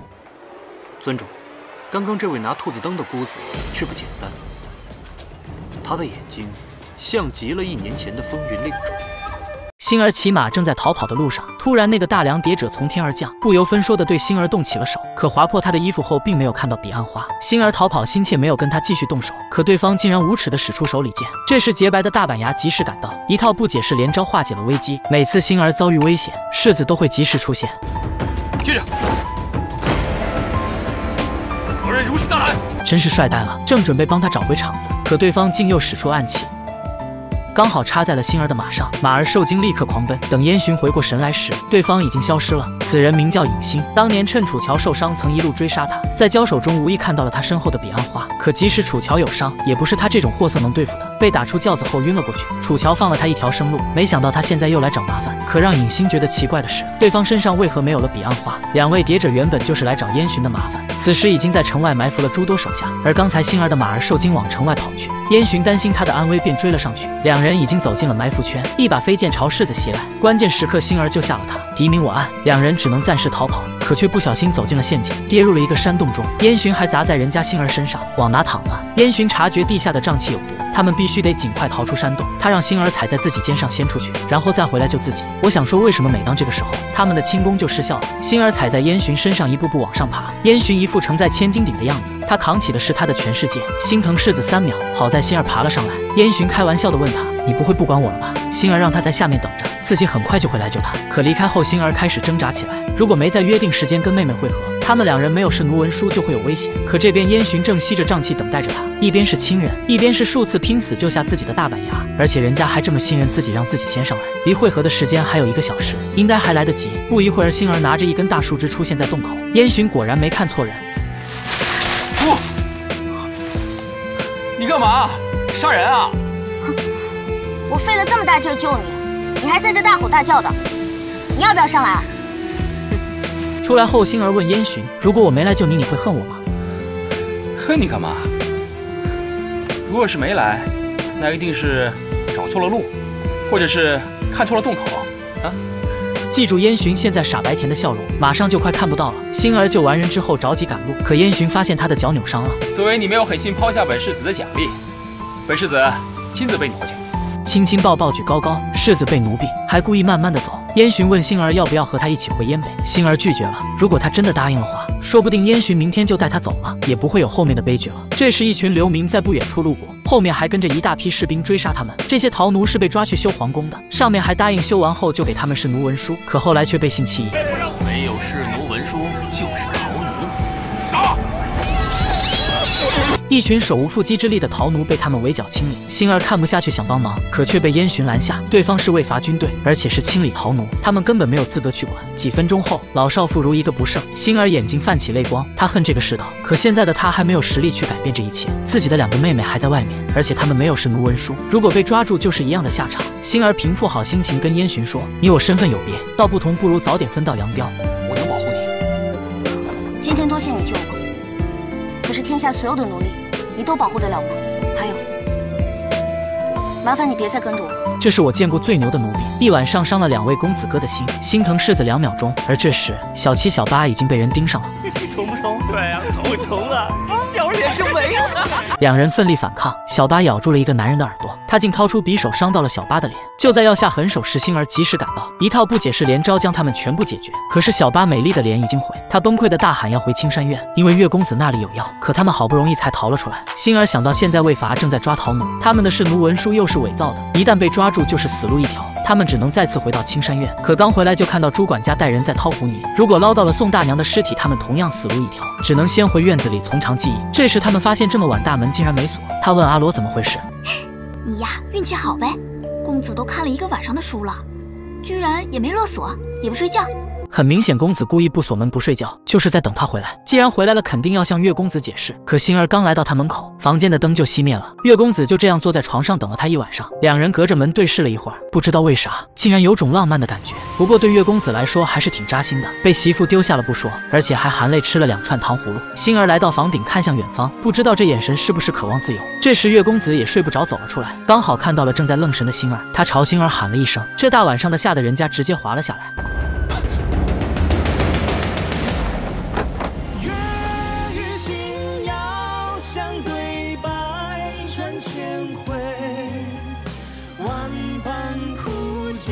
这就是心动的感觉吗？月公子将星儿带回了房间，也不问她去哪里了，就自己在那看书，让星儿在前面站着。终于，月公子沉不住气了，骗我的瞎话别好了。星儿告诉了他灯市之后的事情。星儿在灯市被人群冲散，没能找到你。之后不知道遇到什么人追杀我，幸得燕洵世子相助，后来又遇到魏书游追杀流民，耽误了回府的时间。这样一说，星儿也没有撒谎。这时，外面的水塘已经快被捞干。星儿着急说自己困了，想回去睡觉。月公子却让他点上熏香提提神。可就在星儿准备材料的时候，月公子突然问他为什么不用毒鼠膏。原来之前在茶会上，星儿偷偷对宇文怀使用过，被月公子看见了。说完，月公子竟将毒鼠膏抹在了熏香上，然后让星儿去热一壶热酒。星儿不肯，可公子执意要他热，星儿只好照做。热完后，他拿起酒杯就要喝下去，星儿连忙拦住他。原来这么点毒鼠膏不足以致命，但如果吸入者再喝了热酒，就会毒发身亡。可宇文月竟然喝了下去。不过他没有发生什么，他只是想告诉星儿，宇文府是谍者世家，识毒认毒都是一流的，他的那些小伎俩根本杀不了宇文怀。随后他又直接说出了星儿想带着两个妹妹逃走的事，并且他们被几个男人调戏都说了出来。看样子月公子真是无所不知，真是上帝视觉。星儿只好承认了自己是想杀了宇文怀，因为他才是杀害自己五哥的罪魁祸首。宇文月问他：“你是亲眼看到我杀了你哥哥的，难道你就不想找我复仇？”公子收留我，教导我，公子您是我的恩人。此话当真？星儿说的句句都是内心所想。以情动人，什么时候都很管用。月公子即使知道他巧舌如簧，但还是很吃这一套。他说：“马上湖里的尸体就会被打捞出来，即使是我出面也保不住你。”星儿听完，眼泪像黄豆一般掉落下来。公子，星儿扪心自问，自打我进府以来，从来没有做过对公子不利的事情。公子也一定舍不得星儿。只要公子想，以公子公子您的智慧，一定能保住星儿的。当他哭了，他就输了。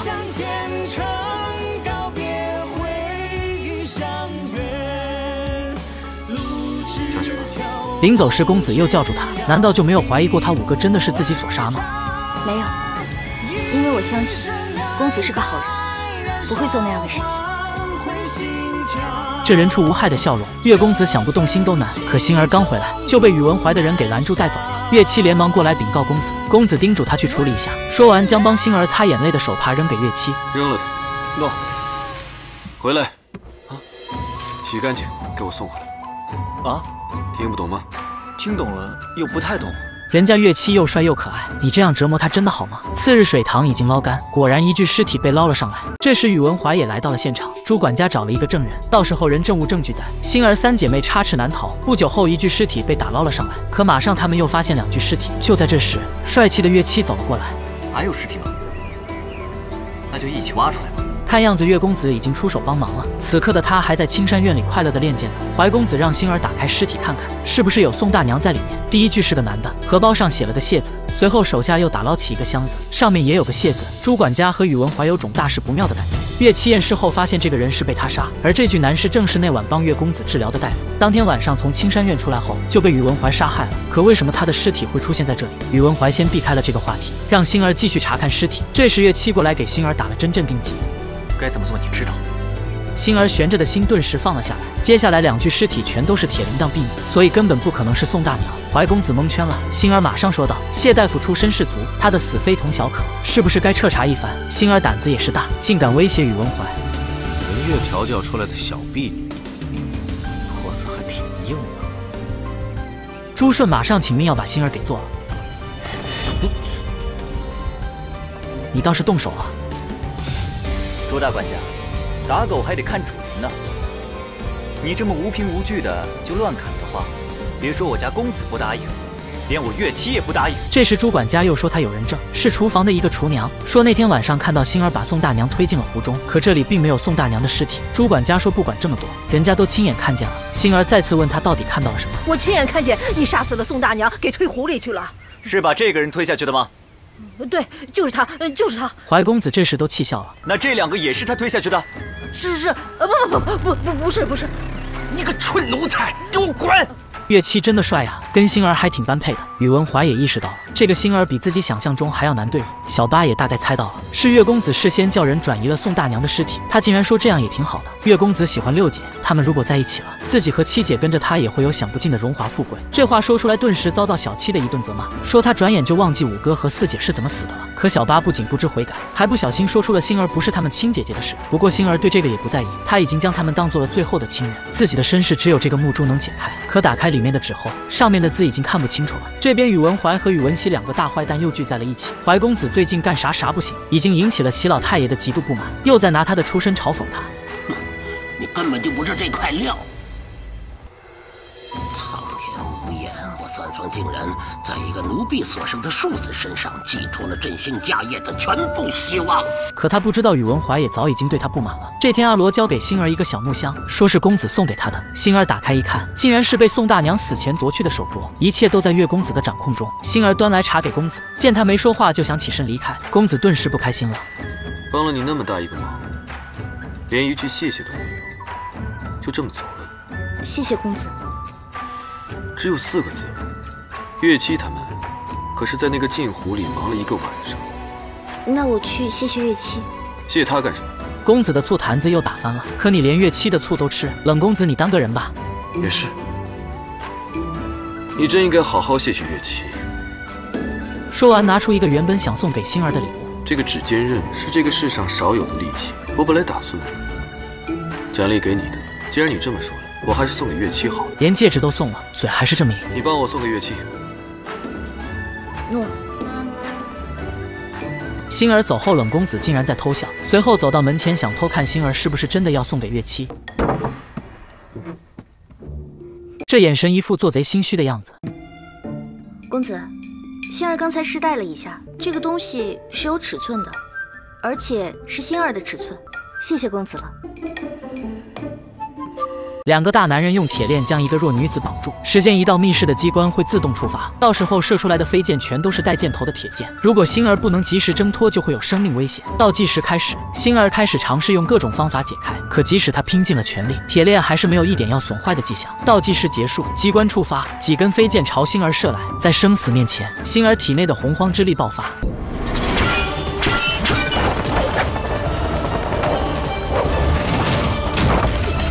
可他已经没有力气躲避第二波飞剑。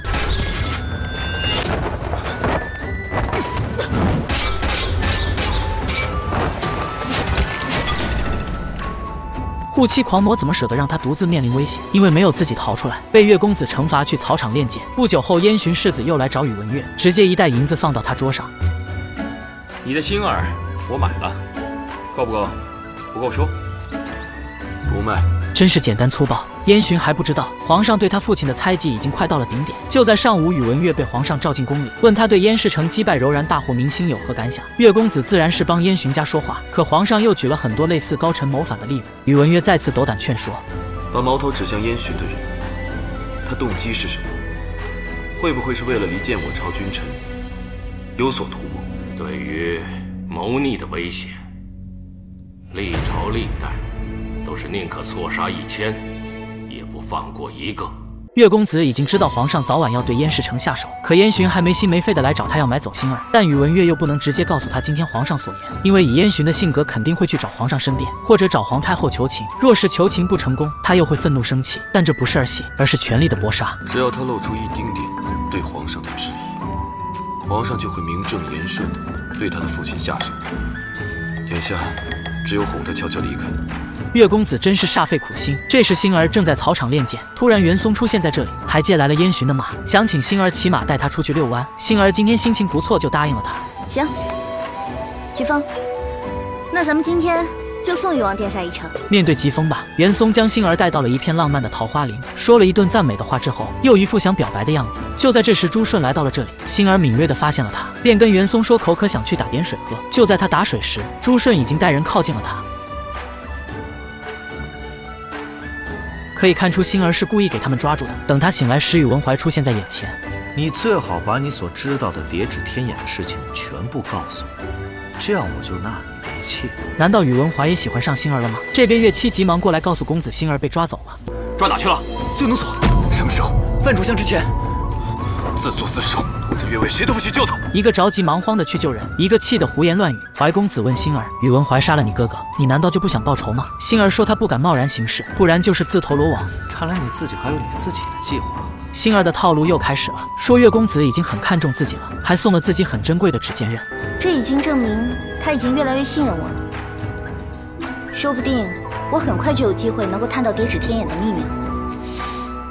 真是最毒妇人心呐！怀公子已经有了一丝心动。星儿接着说：“我们现在共同的敌人是宇文玥，而且杀我姐姐的人是席老太爷，说不准到时候我们还能继续做同路人呢。”要说他对宇文玥动手不一定会是真的，那他对宇文熙肯定是恨之入骨。这番话说到宇文怀心坎里去了。宇文玥把你这个小妖精养在身边，还真不要命。而星儿故意被他抓的目的，就是想通过宇文怀了解宇文席的事。他的最终目的是要杀掉宇文席，为姐姐报仇。可这时燕洵世子闯进来救人了。看来能力真不小啊！是啊，怀公子刚刚不是也想纳我为妾吗？这么多选择，我也是很苦恼的。看来你在演戏。面对星儿的嘲讽，宇文怀反应过来了，他是在演戏。不出意外，燕洵顺利救走了星儿。临走前还警告宇文怀：宇文怀。我已经是第二次来这里了，但绝对不会有第三次。他们走后，怀公子的肺都要气炸了。冲之往生营，公子，您可千万想清楚了，那贱婢真的能为您所用？废话了，他一直在跟我演戏呢，难道你就没看明白？再跟我废话，我就把你也杀掉！诺。为什么这段有种搞笑的感觉？星儿出来后对燕洵没有一点好脸色，因为燕洵打断了他的计划。就在星儿气急败坏的要离开时，袁松又来了。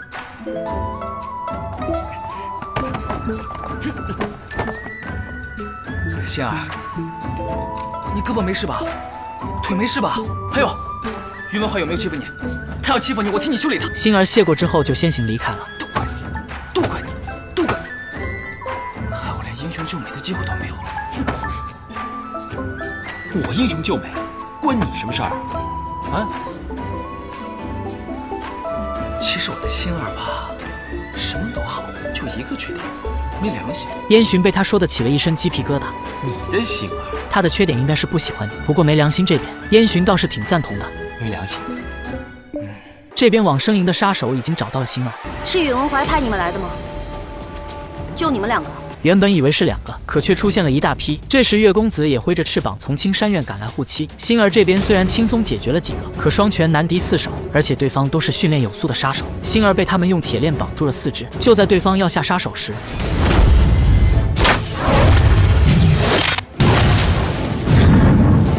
请问这是剑还是火箭炮？这 ADC 的攻击力有点离谱了。星儿被公子救下后，公子又借着教武功的名义来和他跳舞。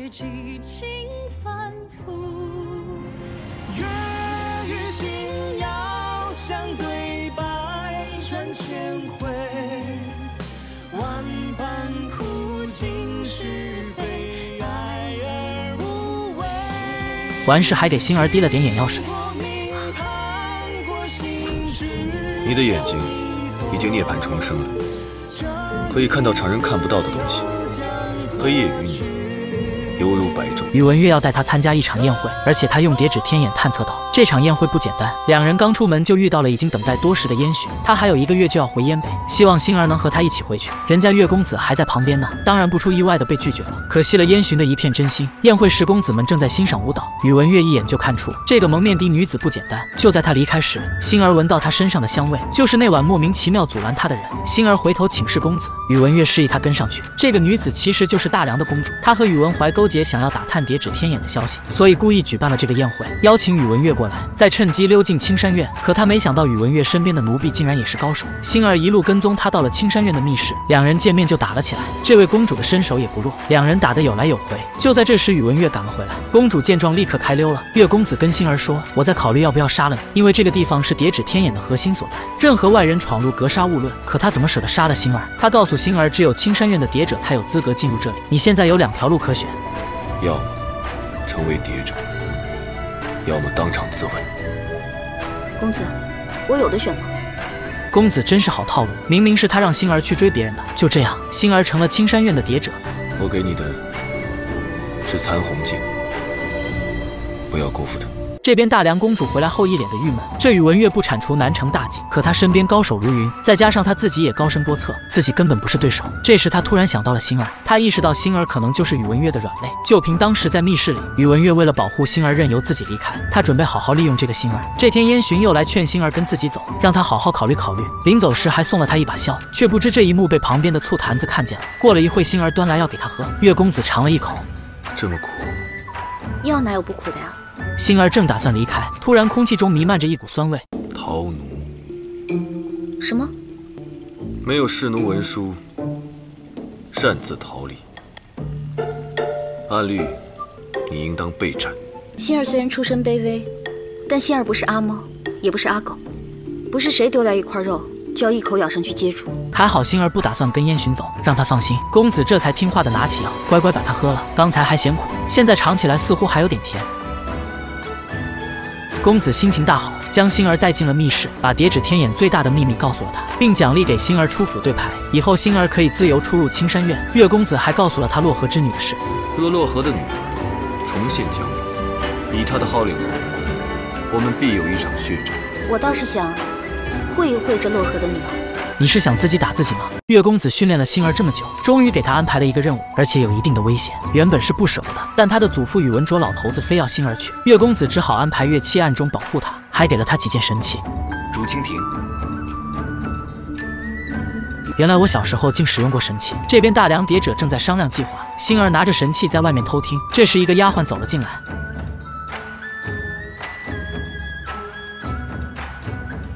他们已经发现了隔墙有耳，立刻话锋一转，还故意放大音量说出了他们的假计划。他们要去左宝仓的店里购买武器。星儿彻底上当了。两人出来后，星儿一路跟踪他们。这时左宝仓的店内出现一个黄衣女子，她正是燕北女子第一高手仲女。紧接着大梁公主和她的婢女也走了进来。也不知为啥，两人见面就开打。星儿听到里面有打斗的动静，突然一把扇子把她打进了屋内。这个影星搞偷袭真有一套。保护星儿的乐器立刻和他打了起来。星儿进门后发现大梁公主正在里面等他，两人也一言不合的打了起来。三个地方三场战斗，星儿对付公主很是吃力。就在这时，左宝仓打开了一个暗门，几人立即跟了进去。月七这边不敌影星，被一脚踹倒在地。就在对方要下狠手时，月公子拔剑赶到，一招将影星打飞。影星知道不是对手，立刻逃跑。这边仲宇不知道为啥没进来，星儿被两人夹击，逐渐招架不住。还好月公子及时赶到。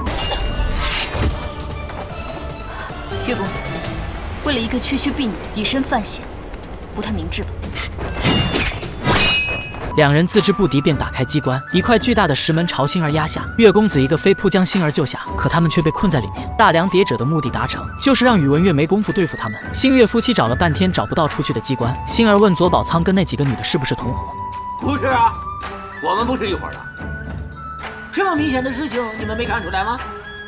他们分明是想借我的地方，利用你把他骗来，困死在这。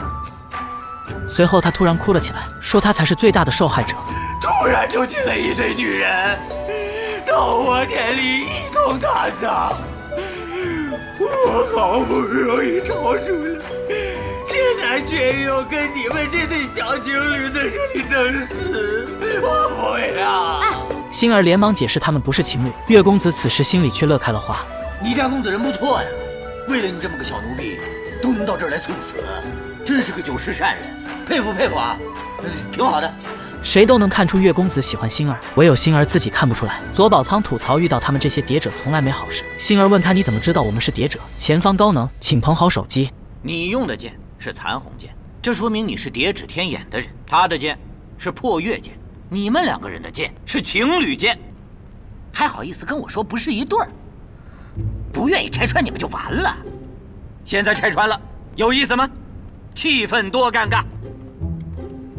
左宝仓往旁边一躺竟然睡了起来。他告诉两人这里没有出口。公子听完竟默默的走到一旁坐了下去。星儿问他难道不想出去吗？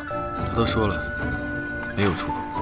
明明就是想和星儿独处，出不出去后面再说。星儿倒是很着急，公子却也不管不顾，直接睡了起来。这时月期待着月未来救公子了，却不想人家公子正开心着呢。可星儿发现叫了他半天叫不醒，替他把了脉后才知道他寒疾又犯了。星儿问左宝仓有没有办法救他，老头替他把了把脉，说他几个时辰之后就能醒。就在这时，他看见了星儿身上的木珠。左宝仓一脸震惊的神色，难道他和风云令主有关？这时星儿想起左宝仓这里什么都能卖，奇门遁甲的破解之术，各大豪门的府刑地图。星儿将他拉到一边，想跟他要极乐阁的地图。老头很爽快地答应了，但条件是要用他的木珠交换。果然没看错，这跟当年洛河身上佩戴的木珠一模一样。星儿不肯答应，毕竟这个东西和自己的身世有关。你可知一个女谍者叫洛河的？你跟她是什么关系？难道我的身世与洛河有关？那十二人杰你认识吗？我应该认识他们吗？那风云令你总应该知道了吧？我倒是有点印象。左宝仓问他能不能告诉自己风云令的下落，并表示愿意用任何神器宝物交换这个信息，而且告诉他一个自己知道的任意消息。看他那猴急样，应该多套些话术。星儿谎称在十二人杰手里，老头问他怎么落入他们手中的，星儿说被洛河硬抢过去的。开玩笑，十二人杰是洛河的手下，若是被洛河抢去，怎么可能交给十二人杰？左宝仓反应过来星儿在耍自己，见他不愿意和自己做买卖了，星儿安慰道：“我答应了，一旦等我恢复记忆。”想起任何关于风云令的事情，我马上就回来告诉你。左宝仓突然两眼放光，如果眼前的女孩失忆了，身上又有着木珠，那她极有可能就是风云令主楚乔，而左宝仓本人就是十二人杰之一。他立刻提出要帮星儿治好失忆症。星儿提出了一个条件：我想进入极乐阁，你有没有地图？星儿始终没忘记帮姐姐报仇。为了能让星儿恢复记忆、确定身份，左宝仓答应了，将极乐阁的地图交给了他。星儿接受了他的治疗。只见他拿着一盏烛火在星儿面前转圈圈，一段尘封的记忆出现在星儿脑海。洛河传给了楚乔一套极为霸道的功法——寒冰诀。他自己要去执行一个很危险的任务，临走前将一张地图和一个木珠交给他，说让他去找一个姓金的男人。等寒冰诀大成之后，再打开木珠，会指引他接下来该怎么做。画面一转，楚乔来到了金家，和他几姐妹一起长大成人。可这天，金父接到消息，楚乔的母母亲洛河即将被问斩。楚乔决定去救他，在进入监狱时却中了埋伏。不过这些臭虾烂番薯显然不是他对手。可来到关押母亲的牢房时，发现对方竟不是自己母亲，很明显楚乔中计了。此时外面大批人马包围了过来，楚乔独自一人杀出重围，可却被一个蒙面高手拦下。但在这里可以看出，这个人明显不是楚乔，他其实是往生营的高级杀手夏虫。受洛河的嘱托，假扮楚乔，以免他进入圈套。夏虫用秘术将对方的腿打断。刚好月公子的祖父宇文卓天天坐在轮椅上，这时洛河的手下蛇女出现，将他救走。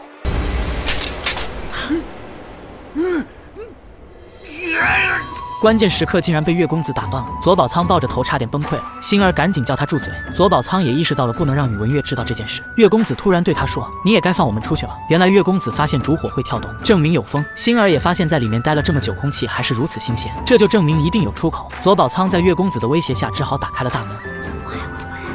我告诉你，永远都别回来。可两人刚出来就遭遇了埋伏。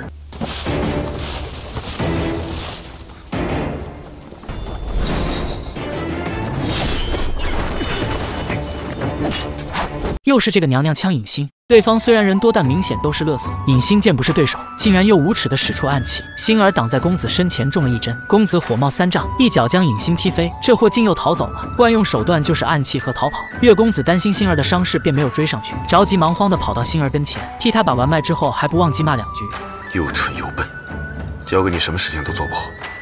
出去以后，不要说是我徒弟。对对对，别说是你徒弟，出去后跟别人说你是我老婆。回青山院后，星儿躺在床上休息，她终于知道了自己的名字叫楚乔，母亲洛河被人害死，凶手是谁至今是个谜。次日，月公子准备教星儿一个绝招，教之前两夫妻必须得拌几句嘴。你一个姑娘家，如此争强好胜，因为星儿是谍者，如果不多学一些真本事，那不说明公子没有这个能力吗？星儿的胆子是越来越大了。你最近。胆子很大，星儿只是逐渐敢对公子说出一些肺腑之言。公子不想听真话吗？收起你的肺腑之言。既然你不愿意听，星儿只好说假话了。那公子真是英明睿智。见斗嘴斗不过媳妇，月公子只好进入主题。本公子今天教你如何在百步以外杀人于无形。如何才能在百米外杀人于无形？就是一定要转圈圈。没错，就是在发射之前先原地转一圈，然后瞄准单位，就能所向披靡。双人舞时间又到了。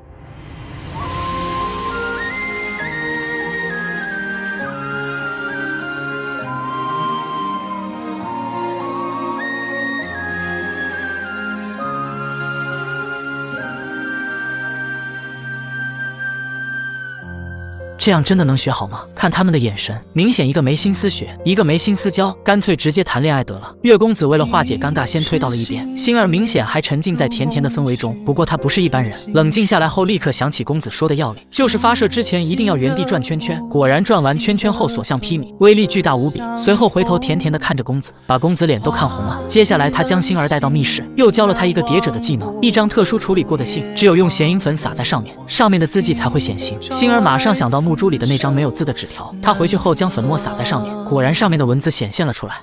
如遇危险，赴燕北寻呼先生，他会庇护你，亦会为你解疑惑。看来星儿跟燕北也有很大的联系。就在他出来找公子时，看到月七也进了公子房间，可等他进去时，却发现月七消失了。原来公子的房间也有密室，在摸索了一番后，一扇暗门被打开，星儿走了进去，却发现宇文卓竟然没死。而这个坏老头子也发现了星儿在旁边偷听，老头子说会派星儿去大梁做死监，生死不论。月七都很于心不忍。主公，那岂不是要了星儿的命吗？月儿训练他，就是为了让他在关键的时刻做一把杀敌的利刃。完了，星儿以为这原本就是月公子的计划，他甚至已经相信了月公子是真的对自己好，星儿心都要碎了。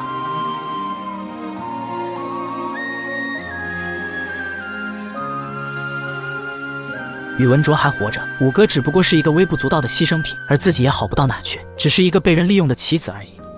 在他眼里，我不过是一个死谏而已。可是宇文玥，你知不知道？我几乎相信了你。星儿感觉万念俱灰，她找到左宝仓，告诉他自己要去刺杀宇文喜，而且就一个人。你根本不是去刺杀，你是去自杀。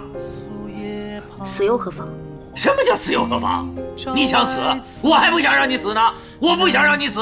星儿眼泪在眼眶打转，想不到一个才认识不久的人会如此关心自己。星儿很有可能是他的少主，他当然不舍得他死。可他这次行动确实太危险了。左宝仓见劝不了，只好送了他几件神器。次日，世子来找星儿，问他有没有考虑好跟自己回燕北。星儿这次答应了，可他的表情却没有一点开心。晚上，星儿装成下等奴婢被送到了极乐阁。宇文熙老头子的命要走到头了，星月两人的虐恋也即将开始，而皇上也下令对燕世成一家动手。燕洵的悲惨人生与黑化即将上演。房间内的熏香有迷惑心智的作用，但对叠者的星儿来说却没有任何效果。他躲在帘子后面换上了衣服。这时宇文熙风度翩翩地走了出来，抓住池内的女子就是一番虐待。突然一把发簪扎在了他身上，宇文熙回头一看，正是星儿下的手，这眼神真是帅到炸裂。大胆奴婢！来人呐！这时一群侍卫冲了进来，星儿摆好架势准备开始屠杀。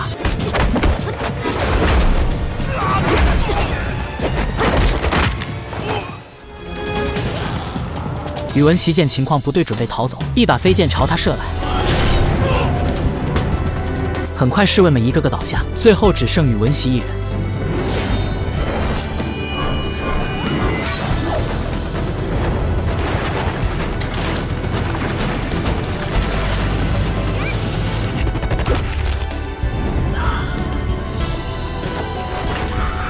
星儿不会让他这么轻易死去，必须得好好折磨一番方能解气。想起姐姐曾经在这里遭受的折磨，星儿没有丝毫犹豫，带着指尖刃一拳一拳的砸在他脸上。即使对方已经死透了，星儿还是朝他多补了两百多拳。临走时，他告诉一个婢女，自己是青山院的星儿，是月公子派他来杀宇文喜的。月公子太惨了，被媳妇误会不说，还被他嫁祸。这时朱顺带人走了进来，连忙问刚才那个婢女发生了什么事。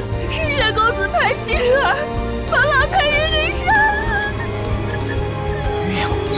这边燕洵准备连夜逃离长安，突然一个侍卫跑了进来汇报消息，说红山院宇文席在府内被人暗杀，杀人者是一个叫星儿的婢女。众羽劝世子别管，再不走就来不及了。可燕洵哪里放得下星儿，叮嘱他们先走，他救完星儿再去跟他们会合。另一边，月公子也收到了宇文喜被星儿暗杀的消息。就在星儿准备用左宝仓的神器逃跑时，宇文月突然赶了过来。你在干什么？看不出来吗？我宰了宇文席，现在要跑了。月公子难以置信地看着他，星儿现在就像变了个人，再不像之前在他身边那样唯唯诺诺。原来这才是你的真面目。我在虎狼穴中周旋，与狼共舞，与虎谋皮。若处处以真面目示人，我早就不知道死了多少回了。蛮好，连我都骗过。星儿也是嘴硬，明明是觉得自己被月公子给伤害了，而月公子却真的以为这是星儿的真实面目，误会越来越深。星儿直接朝公子动手，这次再也不是教武功，也没有大家期待看到的双人舞了。公子处处收招，星儿却招招致命。你到底想干什么？为灵犀报仇。灵犀之死，我已经解释过了。可星儿现在根本不相信他之前的解释，说他为了让宇文卓假死，不惜牺牲五哥的性命。星儿，你听我跟你说，别再叫我星儿了，我不是，不是星儿。这是月公子亲手为星儿做的铃铛，铃铛碎了，月公子的心也跟着碎了。而他听完星儿说的话之后，知道是他误会了自己，可他根本没有解释的机会。星儿再次对公子动手，但他根本不是对手。公子只想让他先冷静下来，谁知星儿直接下杀手。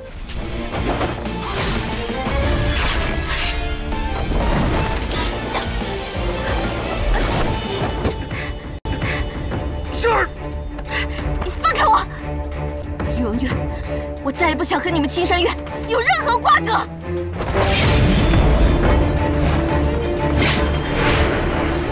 星儿。星儿利用左宝仓的滑翔翼逃跑，可不想上面却破了个洞。就在这时，烟巡世子骑马赶了过来，滑翔翼的纽扣松动，完全脱落。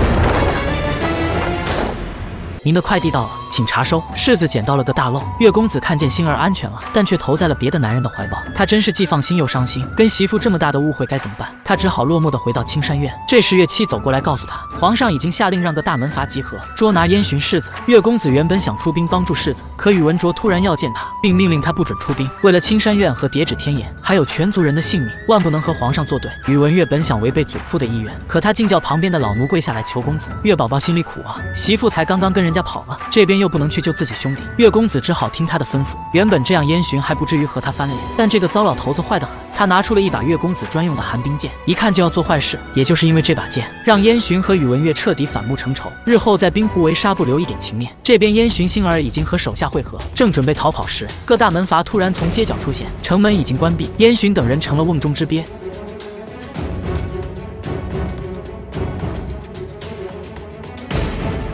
赵西风示意手下准备动手，星儿看准时机率先出手。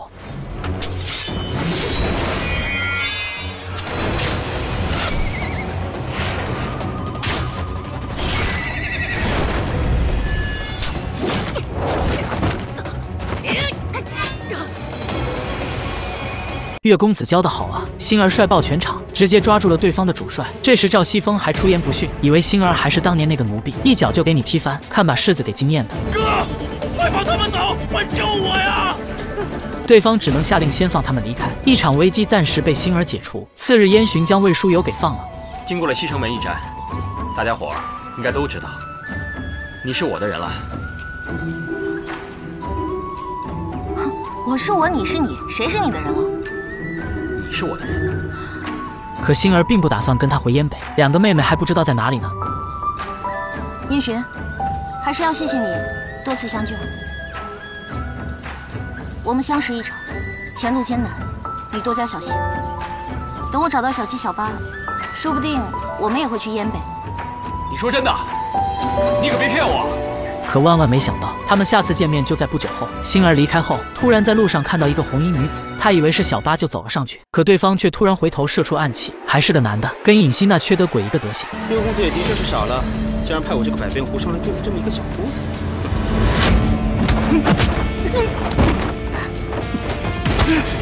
星儿制服他后，他竟然说是宇文玥派来杀他的。月宝宝最强背锅王，人家只是派他去找星儿。这时宇文玥也赶了过来，看到红衣人旁边躺着的人，他还以为星儿被他杀了。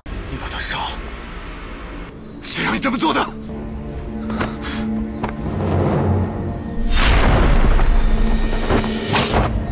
月公子被星儿用刀架着，脸上却露出笑容。媳妇没死，他很开心。可现在自己的性命却在他手上。真的会杀我吗？你可以试一试。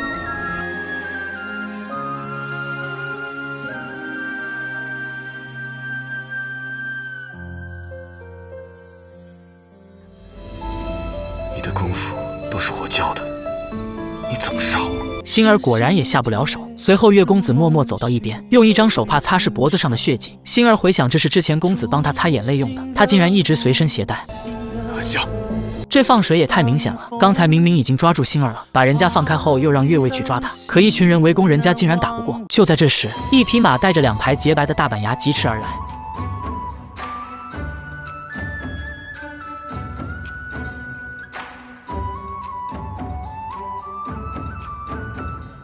世子又一次不顾性命救下了星儿。要知道他现在是逃亡之人，被抓住将万劫不复。月公子刚好找不到理由放星儿走，这下刚好，他连忙叮嘱月卫不要追。两人逃到了树林中和手下会合。风眠想为世子助攻一波。星儿姑娘，你是不知道，刚才我们世子感觉到你有危险，不顾后面的追兵，非要回头找你，害我们担心了好一阵子。但星儿好像不太领情，还责怪燕洵太冲动了。你是长了狗鼻子吗？居然能找到我在哪？哎，我就是狗了，我就是能闻到你在哪。万一把自己塞进去怎么办？你这是对救命恩人的态度吗？我又没让你救我，真是养不熟的小野猫啊！不过烟巡早就习惯了。好心当成驴肝肺。哎，我舍了命的救你，都换不来你一声谢谢。啊？行吧，我谢谢你，我谢谢谢谢谢谢谢谢谢谢你，够了吗？大板牙是真的白，不知道平时用的是啥牙膏。而就在这时，宇文怀已经带人包围了过来，几名手下中箭倒地。燕洵赶紧护住星儿，可自己却不幸中了一箭。燕洵的手下很快被杀得寥寥无几，他连忙冲出去引开对方的注意，而星儿却缓缓走了出来。他盯上了不远处的宇文怀。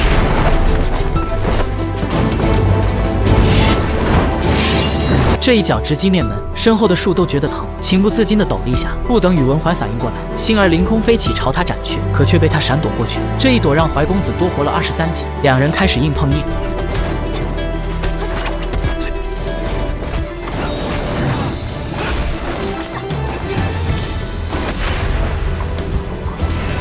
摆了会 pose 耍帅后，星儿再次主动出击。怀公子虽然不是普通的臭鸡蛋烂番薯，不过还是被星儿虐了一顿。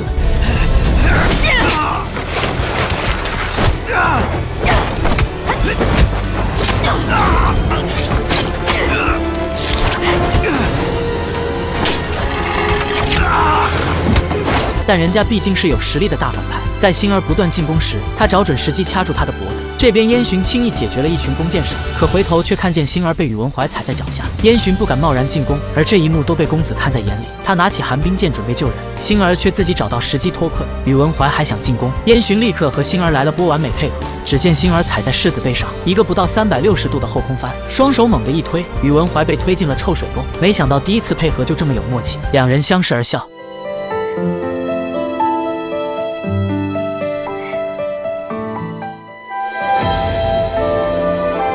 月公子看到这一幕，不知道心里啥滋味。下面两个人好甜，月宝宝心里好酸，好难受，好想哭。就在两人骑马逃跑时，月公子专用的寒冰剑瞄准了他们。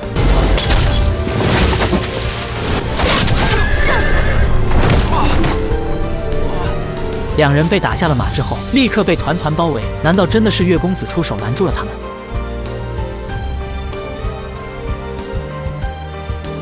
竟然是这个老奴！完了，这下公子跳进黄河都洗不清了。最强背锅王被实锤，他只好怒气冲冲地走到老奴身前。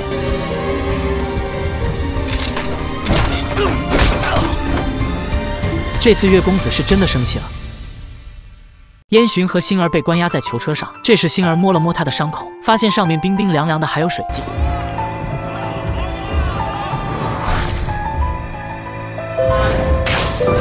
完了，月公子彻底没法解释了。这边大批侍卫手捧盒子走进皇宫，里面装的正是燕洵家人的尸首。可此刻的他还完全不知情，两人被关在两个牢房中，只能靠墙上的洞交流。星儿，你别怕，当我父亲知道我们被囚禁在此，一定会去向皇上解释清楚。到时真相大白，我们就可以离开这边了。烟巡让星儿出去以后跟着自己，以后由自己来保护她。星儿点头答应了。好啊，那出去之后，你要带我去吃好吃的。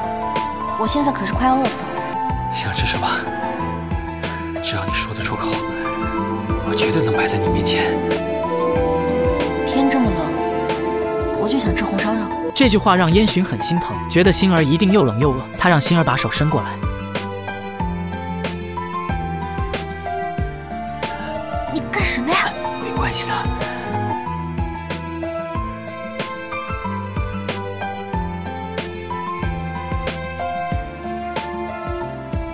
燕洵问他：“星儿是你的本名吗我本名叫楚乔，？”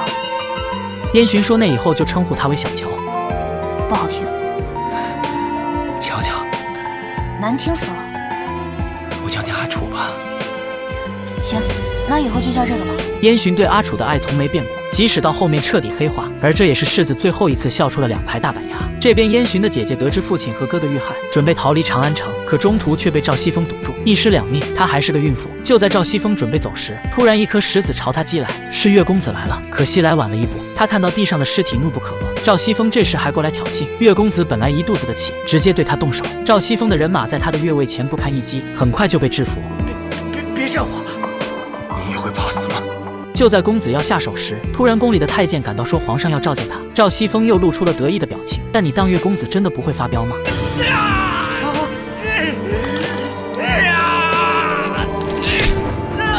随后，他将自己的衣服披在了燕洵姐姐的身上。月公子背后为燕洵一家做了很多事，可都没有告诉过别人，一直这样默默无闻，还要背锅。皇上知道宇文玥和燕洵是多年的好兄弟，于是让他明日在九幽台做副长官，协助宇文怀斩杀燕北逆贼燕洵。这个皇上真是杀人诛心。月公子久久没有开口答应，皇上便出言警告他：明日九幽台上，你若有丁点袒护燕洵之意，朕就视你为燕贼同党，让你的青山院不复存在。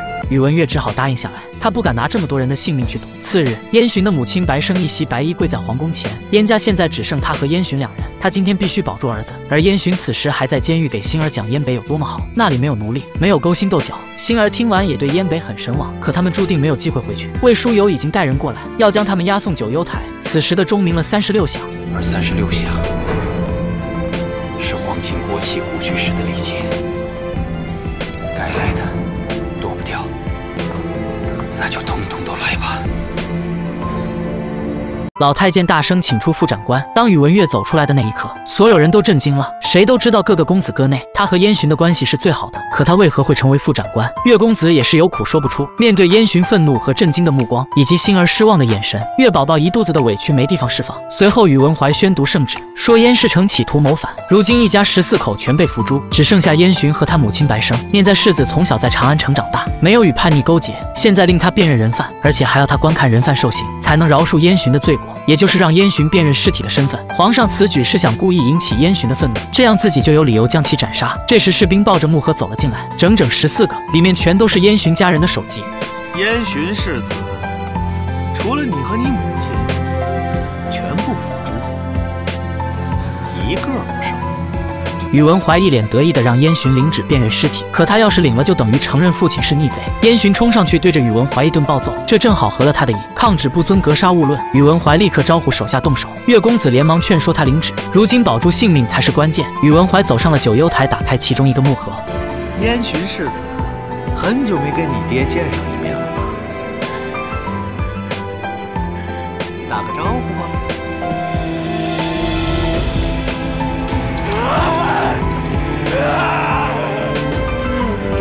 看这表情，怪不得他妈妈不让他进家门。燕洵再也控制不住，直接崩开了手铐，开始反抗。一人面对千军万马，杀出一条血路，可他自己也被打得浑身是伤。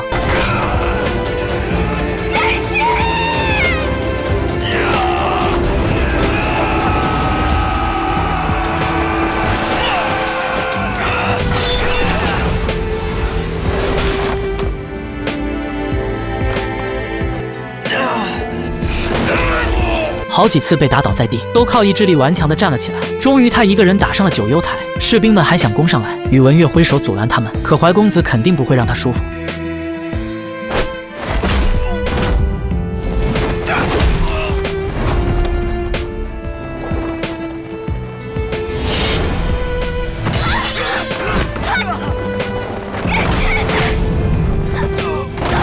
燕洵差点被打进了断头台，幸亏被星儿救下，他的体力已经快到了极限，可还是缓缓地站起了身。月公子虽然很不忍，但依然不敢出手相助。宇文怀是一弓箭手，放箭。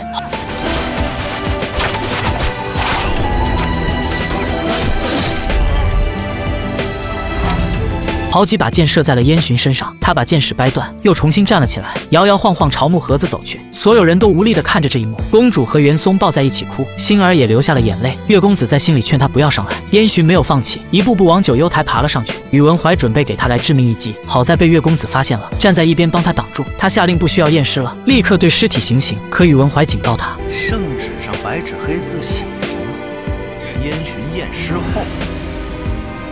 方可行刑。即刻行刑，一切后果一力承担。宇文怀说，如果燕洵不接旨，他现在就可以斩了他。我再提醒你一下，你的星儿可就在下面呢。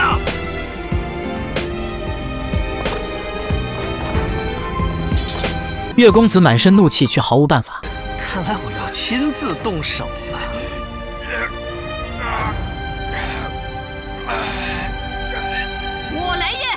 就在这时，燕洵的母亲白生来了。她已经得到了皇上旨意，木盒里的人是她的丈夫、她的儿子和女儿，没有人比她更有资格验尸。燕洵看到母亲，再也忍不住哭了起来。母亲告诉她要相信父亲，这个世道就是这样，不是所有事情都有道理可讲。就像狼吃兔子，兔子吃草一般，是没有道理可言的。白生打开了第一个盒子，里面是她丈夫燕世成。当年贼兵火烧皇宫，世成带人用性命杀进去救驾，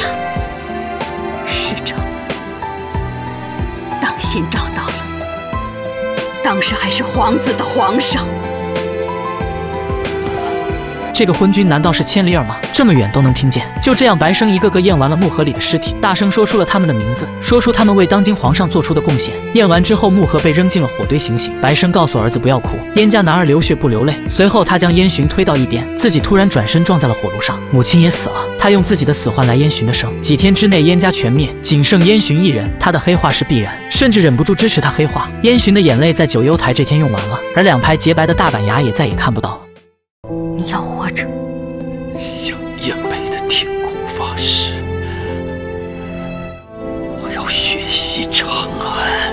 燕洵和星儿被重新关进了牢房，可惦记他性命的人很多。毕竟谁都知道放虎归山后患无穷的道理。若是有一天让他重新回到燕北，那还真的会有大麻烦。宇文怀立刻书信一封给大梁公主，当晚他们就派人准备刺杀燕洵。但星儿可不是好欺负的，将人宰了不说，还获得武器一把。可没过多久，赵西风又带人过来了。他前几天被星儿切断了手指，今天是来报仇的。他抓住燕洵，威胁星儿自断手指。你要手指，断我的，我还给你。赵西风答应了他，要求燕洵自己动手。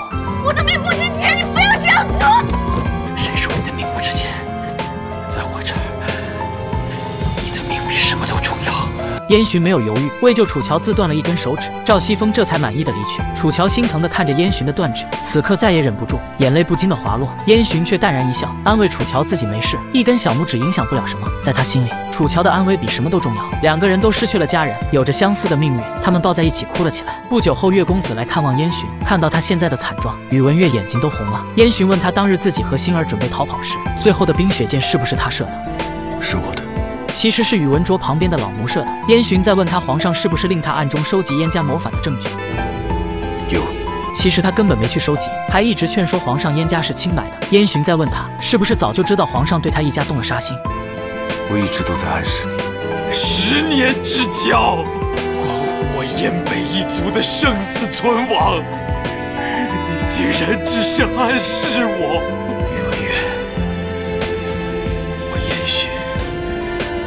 起你这样的朋友。月公子头也不回的走了。出来后吩咐牢头要时刻注意世子的安全，药物和饮食都要最干净的。为啥公子刚才不解释？我也不知道，或许是牢房内耳目众多，只有博主我来帮他解释一遍了。并且月公子每天晚上都会来到大楼外，保护燕洵和星儿的安全，而燕北也成了无主之地，成为了几大门阀口中的香馍馍。可如果被他们掌握了燕北，皇权就会受到威胁。就在皇上不知道该咋办时，身边的王太监出了主意，让燕洵做定北侯。他说燕北的秀丽军叛变，精英部队也被打散，就算燕洵继承了定北侯的爵位，也不足为惧。加上皇上刚杀了他一家，让百姓心寒，现在赦免燕洵，再给他官位，可以让百姓觉得皇上仁德圣明。而且燕洵就在长安城内，翻不出皇上的手掌心。皇上思考片刻，觉得太监说的有理，便听取他的意见。来人啊，给太监涨工资！皇上还不知道，就是他的这个决定，奠定了燕洵谋反的基础。而王太监的主意，其实是来自岳公子的暗示。宇文玥早就知道了皇上心中所想，他料定皇上一定不会将燕北送给几个门阀，这个人一定得是没有背景、没有实力，而且得有功名，能够被皇上所掌控的人。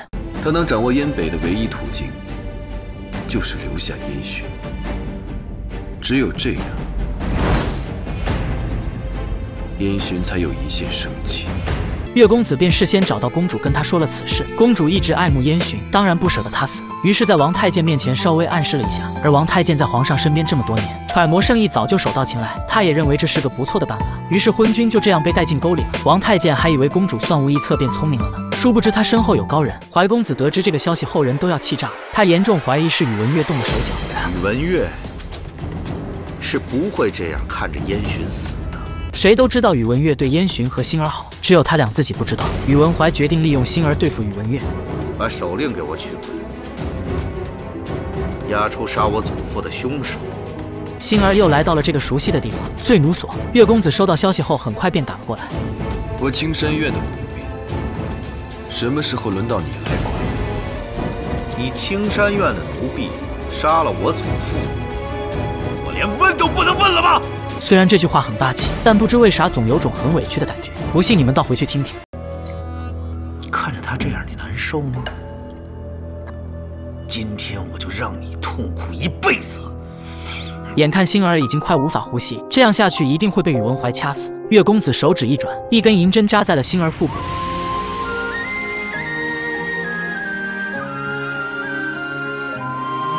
星儿难以置信地看着他，就连宇文怀都蒙圈了。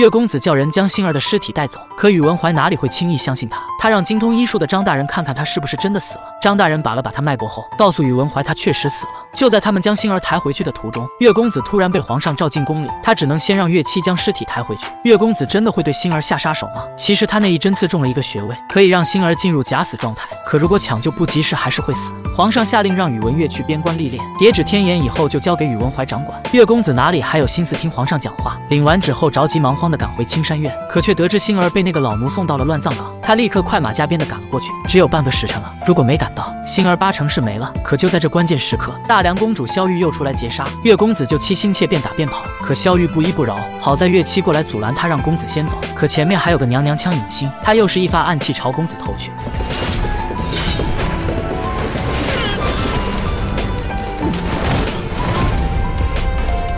这就抹得了，看他每次出场都那么帅，没想到月公子一招就将他解决了。也是因为月公子现在着急赶去救星儿，谁挡杀谁。可等他来到乱葬岗时，却没看到星儿的踪迹。刚送来一具女尸，穿着囚服，她在哪儿？呃，几位爷，近来城中瘟疫爆发，凡是送来的女尸都被立即焚烧。你说什么？呃，她已经被烧了。公子立刻命令越位灭火。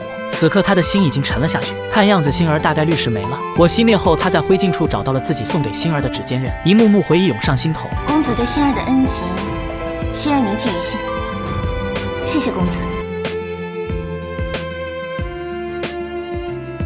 回去后，他成天以酒度日，难以想象这是以前的那个冷公子。就在这时，宇文怀过来找他，他受皇上的命令来接管叠纸天眼。怀公子现在高兴得很。花了这么多心思，终于将叠纸天眼收入囊中。他以为有了叠纸天眼，就会有至高无上的权利。可接下来发生的事情让他几乎崩溃。叠纸天眼收藏了许多见不得光的秘密，一旦暴露出去，知晓秘密的人将会有大祸。第一件案子说出来，宇文怀就忍不住咽了咽口水，眼睛瞪得比锦竹还大。可这还没完，还有一些关于先帝的丑闻也被收录在叠纸中。宇文怀傻眼了。月公子接着说：“魏光和他的长嫂同奸，害死了兄长。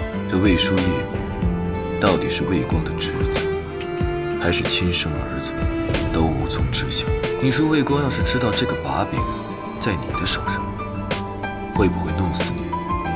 怀公子又咽了咽口水，他是真的害怕了。我要的是掌握天下的权力，不是这些催命符。月公子又说，江湖门派中所有不可告人的秘密都在这里，你要接手的话，就要做好与天下为敌的准备。随后，月公子给他看了叠纸天眼的自毁装置，说自己曾经无数次想按下这个按钮。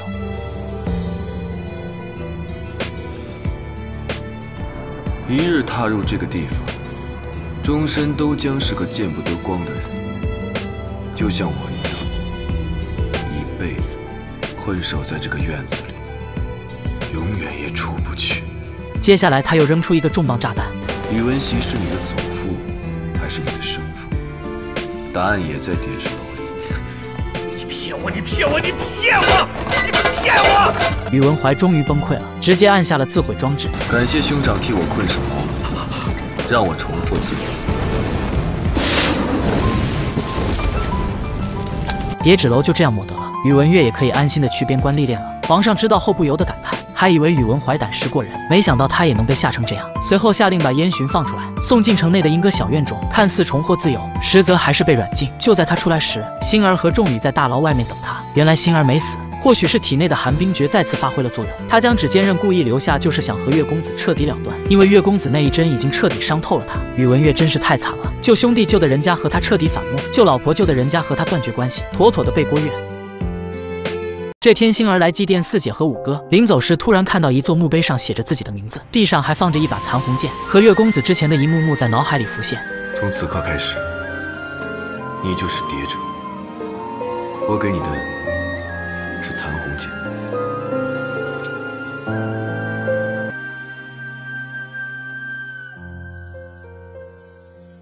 果然，星儿还是想念和公子跳双人舞的日子。他将残红剑带了回去，世子一看就认了出来。残红剑，说不介意那是不可能的。这次回来，你就不要再出去了。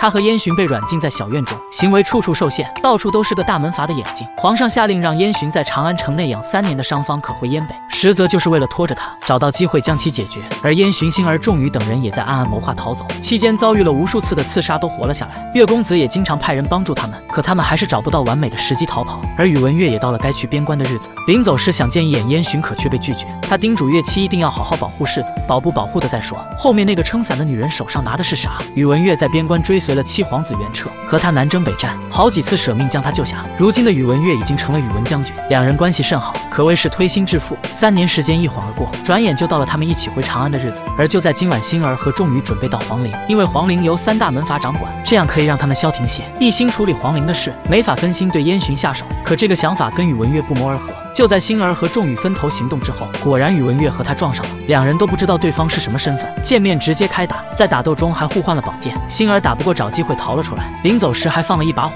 而月公子出来后，月七发现了端倪，残红剑是星儿。这天皇上召见燕洵，这么多年他一直低调隐忍，让皇上找不到理由对他动手。皇上告诉他们，几天之后柔然使者会来朝，他要在郊外举行一个围猎迎宾活动。而就是在这次围猎中，燕洵使计一石二鸟，解决了赵西风，并嫁祸给魏书友。星儿更是大放异彩，惊艳全场。宇文玥和燕洵三年未见面，他问燕洵这些年有没有收到自己写的信。这些年一直被圈禁在那一方院子里，整日闲得发慌，可也不是什么东西都值得拿出来打发时间的。燕洵的话字字扎心。岳公子解释说自己当年别无选择。当我得到消息的时候，定北侯已死。我为了保住你，我将军原本的坦白局却被世子打乱。我虽贵为长安城里头号贤人，那也不代表我有心情愿意坐在这里听你说这些。你莫不如就如赵西风、宇文怀一样，站定立场，翻脸无情，也好过。你现在的假仁假义，扎心了岳公子。很快到了狩猎这天，袁松向燕洵借走了星儿，将他带到树林中，想跟他表白，但星儿只把他当朋友，趁他转身时溜走了。这时星儿看见地上有只受伤的野兔，他走上前为兔子包扎，突然一把剑朝他射来。嚯！你是谁家的家奴？凭什么动我们的猎物？这个嚣张跋扈的女人便是柔然的扎马郡主，她把星儿当成了家奴，扔了一袋银子给她，让她逃跑。她和手下比赛，看谁能射中星儿。星儿捡起银子便跑了起来，两人在后面一路追赶，可却一箭都没射中。星儿突然停了下来，能射中奔跑中的奴才。不知道能不能射中奔跑中的骏马呢？扎马不屑地说：“当然可以。”于是让手下将马给他。星儿坐上去后，直接一刀刺在马屁股上，马儿吃痛，一路狂奔，只留下两人在风中凌乱。晚上晚宴时，赵西风等人计划明天对燕洵下手，当然少不了一顿挑衅。而就是这顿嘲讽，奠定了他们明天归西的基础。就在这时，扎马突然向皇上请示，要向一个人挑战。这个人自然是星儿。白天在他手上吃了亏，晚上想找回场子，还说先让他过了自己手下那关，才有资格挑战自己。一个壮硕的肌肉男走了出来，一看就武艺高强。星儿却淡定地看着他。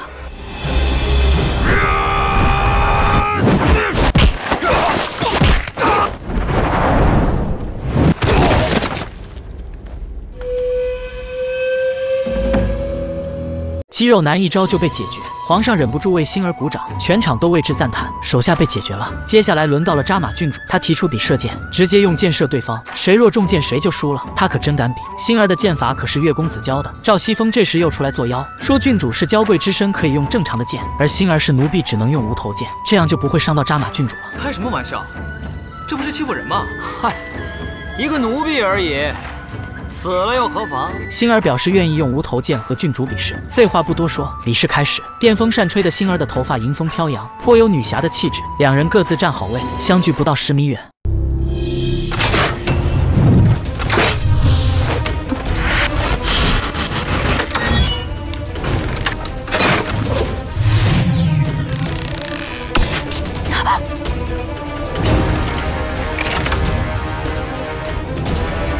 赢得敢敢单单，老昏君开心的像个一米四的小胖子，自己为国的婢女轻松战胜了柔然的郡主，他怎能不开心？可赵西风还不打算放过他，说星儿原本是青山院的婢女，奴籍未解，却另投他主，按律当斩。袁松立刻站出来为星儿说话，说他虽是奴婢身，但今日为大魏争光，这个时候如果罚他，实在欠妥。岳公子也站了出来护妻，启禀皇上，此女曾是我府中的奴婢不假，但她已经是自由之身，侍奴文书。我早已拟好。岳公子说，当年副边关比较匆忙，没来得及将侍奴文书给他。那你改日去青山院取侍奴文书便是。老昏君终于干了件正事。散场后，赵西风和魏书游正在计划明天的事。他们想趁打猎时将燕洵置之死地，可没想到这个计划让他俩自己送了命。次日狩猎开始，燕洵故意单独往林中赶去，赵魏两人紧随其后。可赵西风杀敌心切冲得太快，不知不觉和魏书游等人拉开了距离。突然，一棵大树折断，拦在了路上。魏书游只好带人原路返回。而赵西风还一路驾马狂奔，不出意外，三个手下死在了星儿手上。等他来到燕洵身边，招呼手下动手时，可却没有动静。他终于意识到中计了，刚想掉头逃跑，可星儿堵在了他身后，逃不了，只能拼了。只见他凌空飞起几米高，朝燕洵袭来。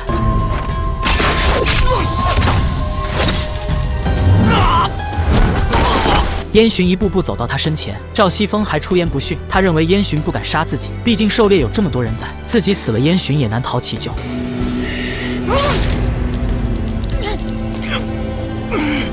赵西风就这样抹得了。燕洵将皇上赐给自己的玉佩扔在他身边，这只是复仇的开始。很快，赵西风的死被发现。皇上问燕洵，为何他玉佩会在赵西风的尸体旁边？燕洵解释，昨天不小心将玉佩遗失，自己也不知道为什么会出现在那里。魏书游说，燕洵和赵西风向来不和，他一定是凶手，不然怎么解释玉佩刚好在尸体旁边？燕洵说，有可能是魏书游将其杀害，再嫁祸给自己。因为就在昨晚，他们两人一起来到自己身边挑衅，想必魏书游就是那个时候将自己的玉佩偷走的，用来嫁祸自己。而且当时很多人都看见了。袁松立刻站出来说，昨晚确实看见他们和燕洵发生了争执，目前各有各的说法，无法定夺。皇上将此案交给袁彻去查。不久后，他们找到了赵西风的三名随从，并且在他们的尸体上发现了螺旋剑，这种剑是魏书游专用的，天下独此一家。魏书游马上被叫来谈话，看到自己的螺旋剑之后，他也慌了神。昨日有人看见你和赵西风还有他的三名随从一块儿出去，你们去哪儿了？我们去打猎。但为何只有你一个人回来，他们却整日未归？你为何不上报？我没注意啊。可可赵西风的事跟我无关呢。袁彻下令去为书游的营帐搜查，果然在一个箱子里找到了一张地图。燕北兵备图。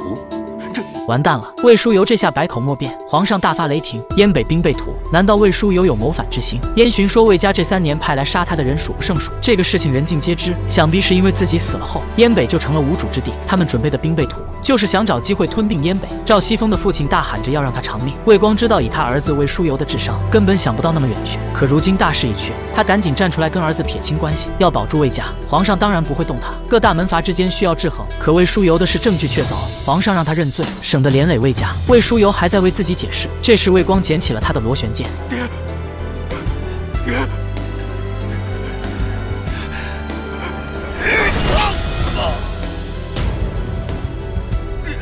为保魏家，亲手弑子，扎心了老爹。这天，星儿接到皇上召唤入宫，可进宫后却碰见宇文玥。夫妻相见，先打一顿再说。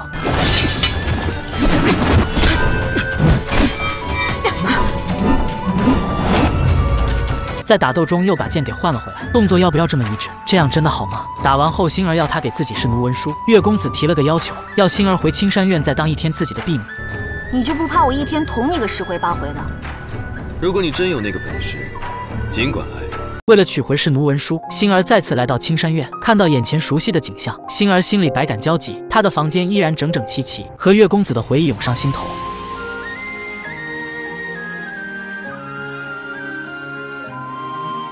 月七告诉他，自从他走后，他的房间公子一直会找人定期打理。星儿来到月公子身边，月公子问他，是不是在燕洵身边待了几年后，已经忘记了青山院的规矩？星儿翻了个大白眼，月公子往旁边指了一下，示意让他去倒茶。虽然不愿意，但说好是来当奴婢了。倒完茶后，往公子桌上一扔，一副你爱喝不喝的样子。不过公子还是喝了下去。随后他将星儿带到外面，说要试试他的武功有没有长进。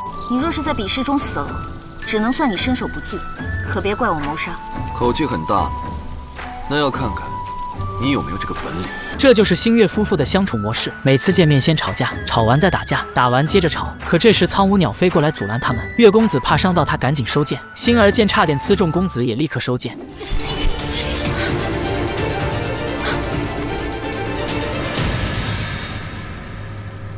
月公子为了救他，不顾手掌被划伤，两人四目相对，过往跳舞的画面又出现在星儿脑海。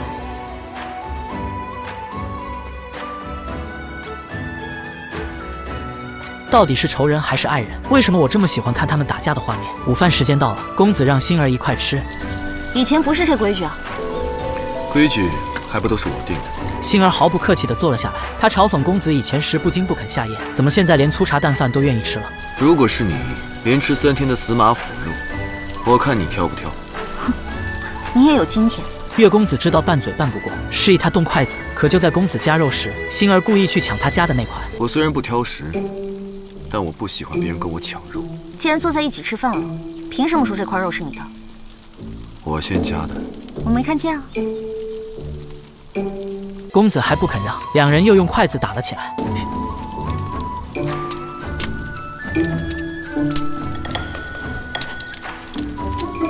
这块红烧肉到底做错了什么？你们要这样对他？你不是连死马的腐肉都吃吗？沾点灰应该不要紧吧？月公子又想去夹肉，星儿伸出筷子拦住了他。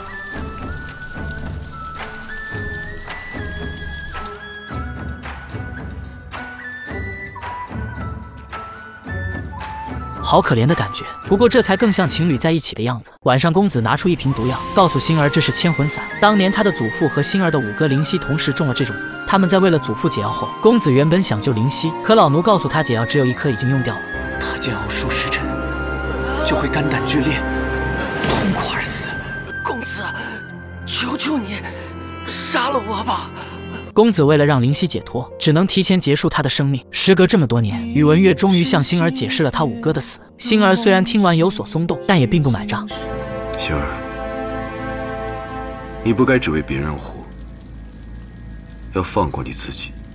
月公子才是最懂星儿的人。星儿这么多年确实都是为别人而活，在青山院时是为了保护妹妹，和燕洵在一起是为了帮他回燕北，可他却从没为自己想过。公子很心疼他，希望他能做自己。这句话其实已经说到了星儿的心坎里，可他还是嘴硬。道不同不相为谋，你无需再多说。燕洵那边确实离不开他，他让月公子给自己试奴文书。月七，带好试奴文书。备马车，送星儿离开。宇文玥的爱太深沉，他只希望星儿能过得开心，但他也知道星儿在燕洵身边并不开心，而且时刻面临危险，他只能穷极一切去保护她。出来十月七将士奴文书交给了星儿。当年，公子以贞子之法让你假死，他急着赶去救你，遇上刺客劫杀，这才绊住了脚。我们到的时候，你已经不见了。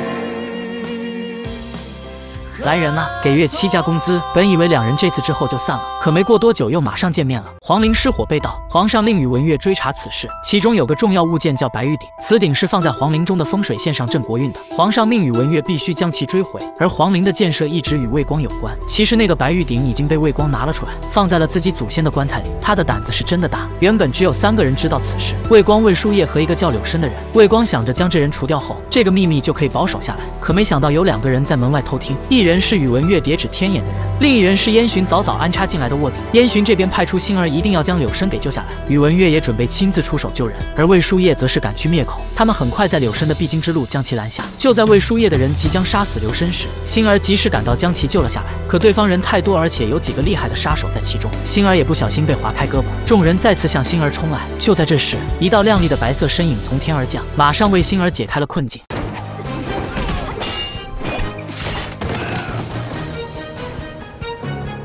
星儿回头一看，两人不需要语言，默契的配合拈手而来。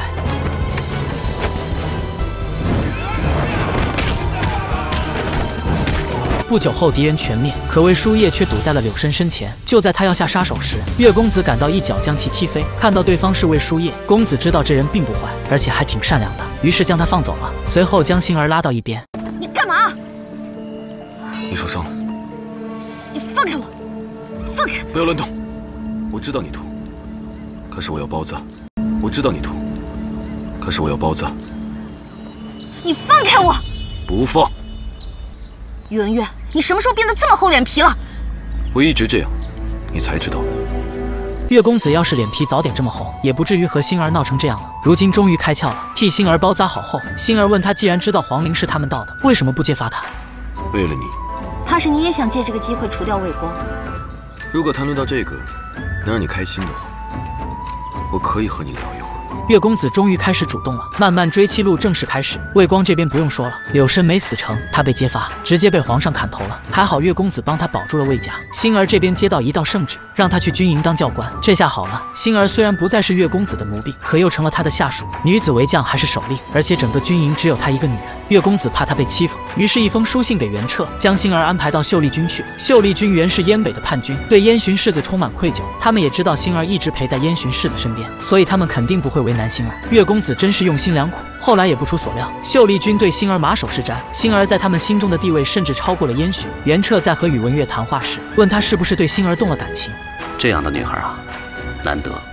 不过人家那份情谊，不是对你的。袁彻说：“这个女子当年在九幽台与燕洵生死与共，更是陪他度过了最难熬的日子。这份情谊，你比得了吗？夏花再美，不在你手中又有何用啊？我看着便好。”岳公子的爱好卑微，你可是堂堂大将军。袁彻劝他放弃，可宇文越懒得理他，直接走了。去哪儿呢？当然是找星儿。此时星儿正在教秀丽君射箭，岳公子直接过去将他的箭拿来，在众人面前表演了波绝火。好，太棒，好啊！太棒你的剑法还不错。将军的剑法更是出神入化。我当然知道。没别的意思，反正现在脸皮厚了，不得在星儿和他的手下面前炫耀炫耀。几天后，大梁太子萧贺要来魏国采风，皇上有意想将元纯公主嫁给他联姻，可听说此人风评极差，后宫佳丽无数，皇后当然不舍得纯儿嫁过去，于是提前给他安排了一场相亲。相亲对象大家都很熟悉，不错，就是这个冰驼子。他也没办法，皇后安排的。皇后让纯儿去给冰驼子敬酒。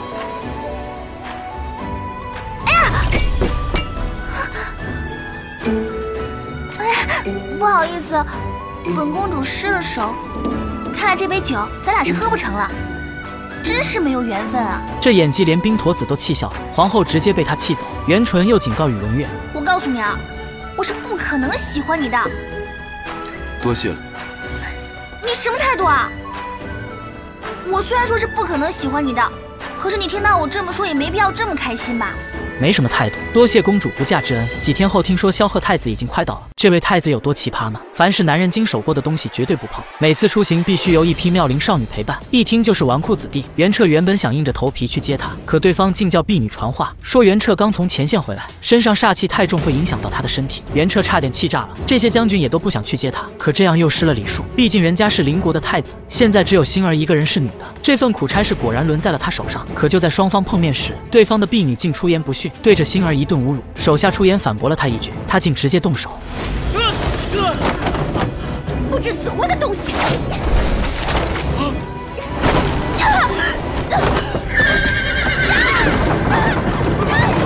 太子的队伍就这样被一匹马带走了，星儿也懒得伺候了，正准备离开，可就在这时，身后突然传来一阵骚气。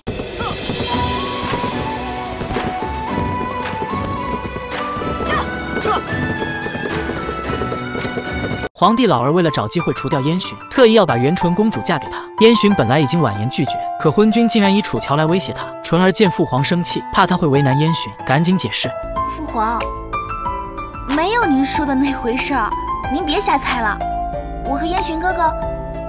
早就私定终身了。此时燕洵心里有一万只羊驼奔腾而过，但他为了保住楚乔，只能默认了元纯的说法。而这桩婚事就这样定了下来，并且婚期定在十天之后。晚上，燕洵约楚乔出来，想跟他解释，可楚乔却很淡然。他知道燕洵不喜欢纯儿，只是这是皇上的赐婚。他们也猜到了皇上要借这个机会动手，这一下打乱了他们之前私下逃跑的计划。为今之计，只能强攻长安城。可虽然已安排了燕北的兵马潜伏在城内，可还是远远不够。而就在这晚，大梁公主萧玉约燕洵见面，愿意帮助他强攻。他的人马已经渗透了长安城的东门。他之所以帮助燕洵，是因为他知道燕洵一旦安全回到燕北，势必会和魏国开战。到时候大梁坐山观虎斗，坐收渔翁之利。燕洵即使知道他的想法，也还是答应了跟他合作。这天，萧策约星儿出去城外走走，还说城外驻扎了好多人马，场面很壮观。星儿马上想到了燕洵需要城外的驻防图，便答应了和他一起出去。你以为萧策是无意中说出来的吗？他可是大梁太子，跟萧玉一样，希望燕洵能逃回燕北，而且还能顺便帮助乔乔。可在中途却遇到刺客劫杀，正是萧玉派来的人。他们虽然是姐弟，可关系却似如水火。楚乔为了保护他身受重伤，可还有几个刺客没有死。萧策为了让星儿安全，只能现身将他们引开。可还是有几个人发现了楚乔，他用最后一丝力气发出少子剑将他们解决，随后就昏倒了过去。等醒来时，发现宇文玥在旁边，月公子还贴心的给他打了一杯水。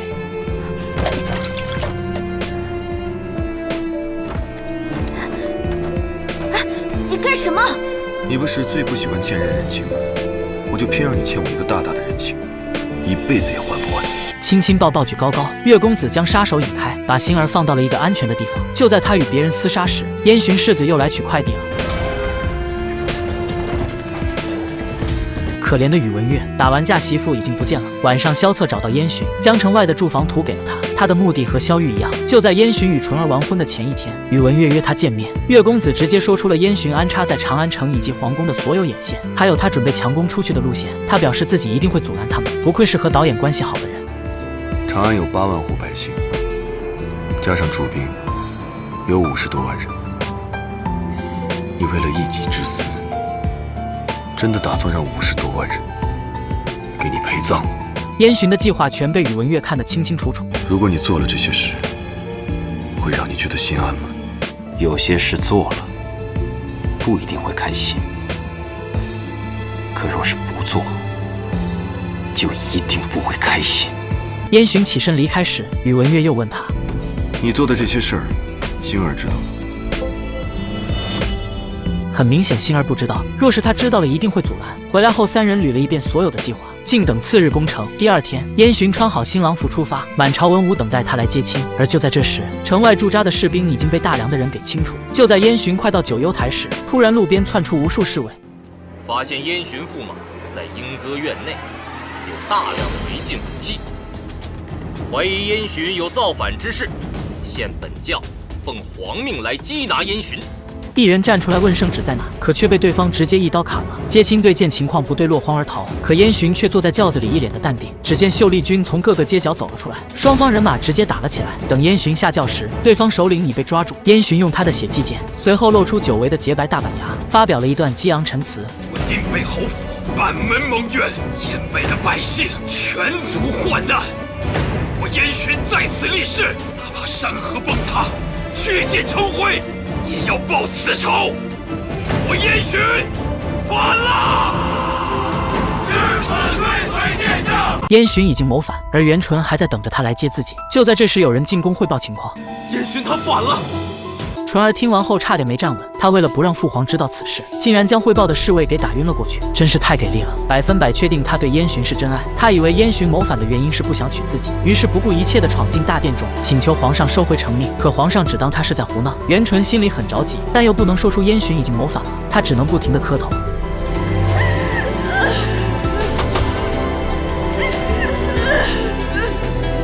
可皇上怎么可能会答应他？他只是想利用自己的女儿，并没有半点心疼之意。这时宇文玥突然发现星儿不见了，他马上意识到不对劲，而星儿早已经跑了出来。就在他要离开皇宫时，要跑了。冤家来了，不理他，继续跑。可月公子竟将人家给拉了下来，还趁机摸了摸星儿的皮裤。老规矩，打架之前先吵一架。为敌暴怒，燕洵全家都被他杀了。他要斩草除根，不惜以自己的女儿为诱饵。这样的人凭什么做一国之君？你是非不分，为虎作伥，跟赵西风和魏书友又有什么区别？说得好，宇文玥虽然背负了太多，但也确实是愚忠。星儿这番话对他起了一定的作用。架已经吵完，接下来是什么环节不用多说。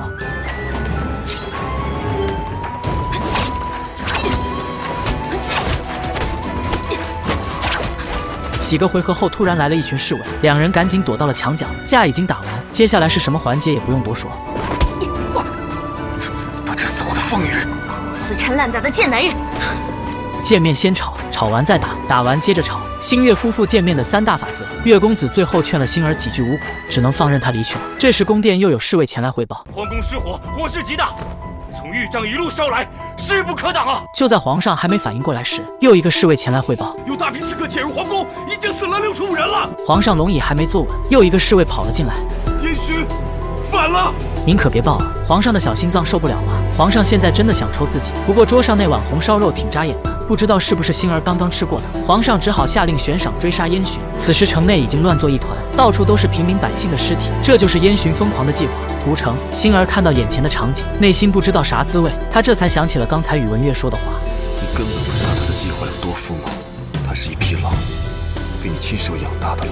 街上还有一些人在趁火打劫，星儿只能做最后的补救。还有人强抢民女，这些都不是星儿想看到的。他也不知道事情会是这种结果，可他也间接参与了其中。这时燕洵骑马过来要接他走，星儿这表情我也不知道在想啥。阿楚，上马，我们走。燕洵哥哥！纯儿公主竟然从宫里跑了出来，她还以为燕洵谋反是因为不想和自己成亲。燕洵哥哥，我不逼你了，你不要这么做，我不嫁给你了。而这时袁松也跑了出来，纯儿还双手护着燕洵。哥哥，你误会了，燕洵哥哥他不是造反，他只不过想要跟父皇，跟父皇提出抗议。纯儿，现在在你面前的这个人已经不是你的燕洵哥哥了，他是个谋逆的反贼。不是你想的那样的，他只是不想娶纯儿而已。他是在报仇。傻公主终于被点醒了，可她还是不愿意相信。燕洵也很难得的跟纯儿解释了一番。纯儿。父皇早已在太庙设下重兵，要取我的项上人头。今日我燕洵反与不反，这场大婚我都没有办法进行，因为他从未想过要将你许配给我。不是这样的，不是这样的，燕洵哥哥。袁纯已经开始癫狂，而袁松也是看不清楚局势。父皇视你为己出，不但让你世袭定北后，还将自己的掌上明珠许配给你。而你呢？背叛国家，屠杀百姓，狼子野心，其心当诛。这一集的燕洵是最帅的。九幽台上鲜血为凝，秀丽山上白骨为腐，定北侯府全府俱灭，燕北一世至今身首异处。黑化后的燕洵发言总是让人热血沸腾。你父亲屠我全家，杀我百姓。这就是你们的恩义。念在以往的旧情上，燕洵打算放过他们，而袁松也割袍与他们一刀两断。可纯儿还是不死心，她卑微的一步步爬到燕洵面前跪下。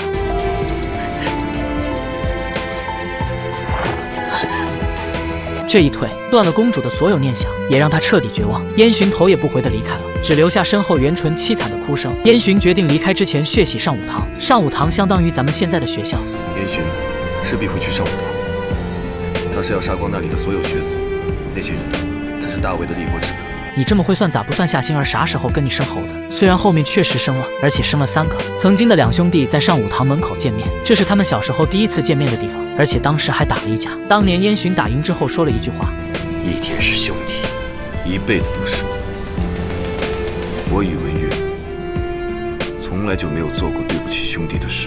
燕洵说自己查清楚了三年前的事，宇文玥当时确实帮助他许多，可世子已经黑化，两人没有和好的可能。我姑且放过他们，以报我三年前欠你的那个相互之情。你我他日再见，就是敌人，沙场相见，不必留守。燕洵说完就走了，在秀丽君的掩护下，成功突破了城门。可他们出去后，竟然又将城门关了起来，而此时秀丽君还在城内厮杀。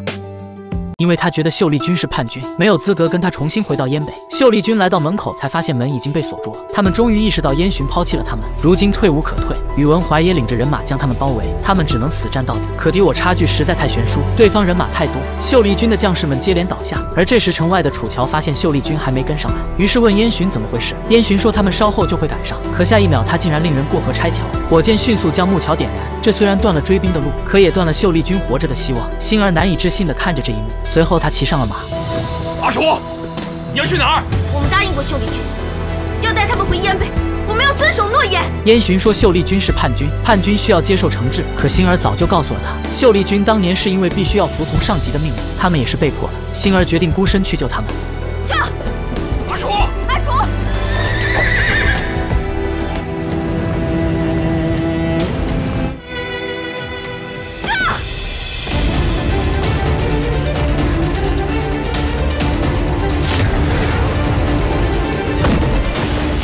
而此时，秀丽军已经快被击溃，人马也所剩不多。统领贺萧也身中数箭，可即使这样，他还是死死捏住秀丽军的军旗。就在这时，突然城门上的绳索被切断，大门缓缓打开，耀眼的光芒照在了将士们身上，他们纷纷抬头往门后看去。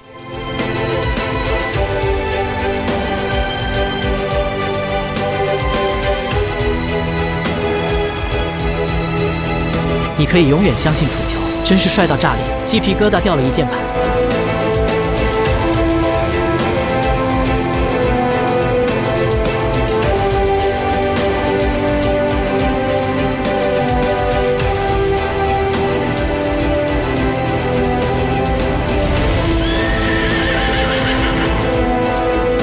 楚乔扛着旗帜挺在他们身前。燕北的战士们，燕北没有抛弃你们，听我的命令，跟随我，我要带你们回家。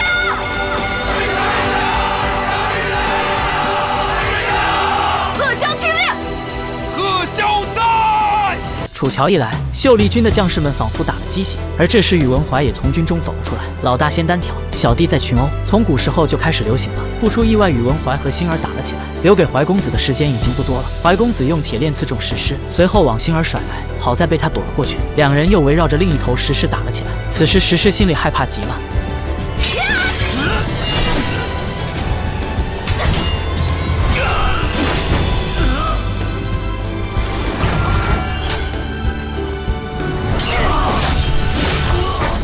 活了四十五集的大反派就这样没了，是不是有点太草率了？魏军见主将阵亡，军心已经动摇，很团结的开始撤退起来。要是宇文怀知道，估计会被气得活过来。星儿就这样将他们救了出来，而且为了前方世子的安全，他们没有着急赶路，而是悄悄的在路上埋伏，接连十次成功扫剿了追来的魏军。秀丽军的人马也急速扩充起来。楚乔决定带他们去和燕洵会合。此时，在不远处的树林中，元纯公主浑身脏兮兮的走在路上。燕洵哥哥，我已经是你的新娘子了。不管你走到哪里，我一定要跟你在一起。曾经高高在上的公主，为了追求所谓的爱情，沦落到比乞丐还卑微的地步。也不知道走了多久，她终于来到了燕巡营帐的不远处，可却看到了让她心碎的一幕：袁松不知何时竟然混了进来。他悄悄跟在燕巡身后，随后抽出了一把匕首。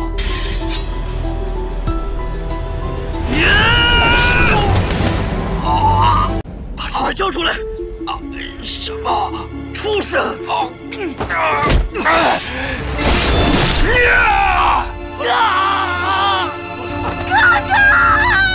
元淳公主虽然可怜，但不得不说元松就是被她给害的。手下见状就要将兄妹处死。即使差点被杀，燕洵依然放过了他们。可刚才刺中他的匕首有剧毒，很快便昏迷了过去。好在中毒不深，大夫告诉他们这片地带草药急缺，必须马上转移。而楚乔这边发现了几个鬼鬼祟祟的人，竟然是燕洵的部下。按道理来说，他们应该随燕洵撤离了，可现在却往长安城的方向折返。他们解释是世子让他们护送袁松兄妹回长安。袁松在这。可等楚乔走进去的时候，却看到了令他极为愤怒的一幕。你们在干什么？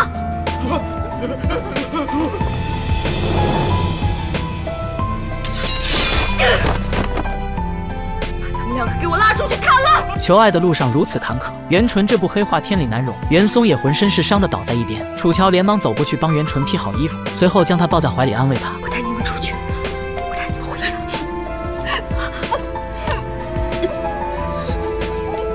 对不起，我。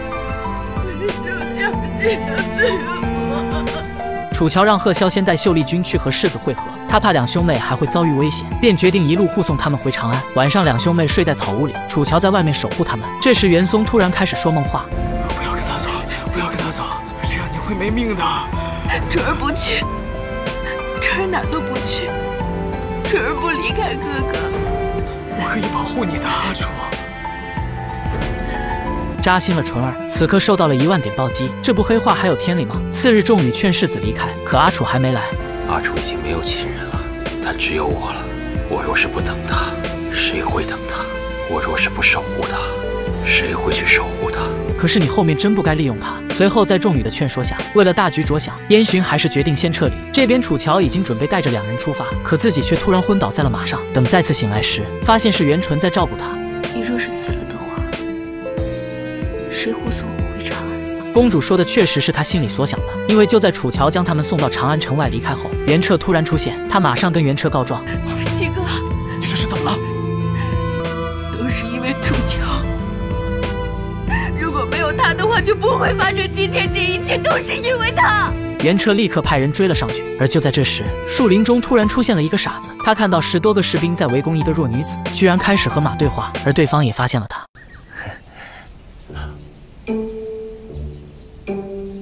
最怕空气突然安静，场面一度十分尴尬。呃，各位，在下梁少卿，呃，途经此处，不小心走错了路，呃，我我马上就走，马上就走。这个时候竟然自我介绍，能不能尊重一下打架的人？见马儿不愿意走，他只好继续说道：“一群大男人欺负一个弱女子，这不在理吧？这古人云，有理走遍天下，无理寸步难行。你们现在就是没有理在。”士兵们个个龇牙咧嘴，这货难道是唐僧转世？他们也不知道为什么要停下来听这傻子说话。终于有人忍不住了。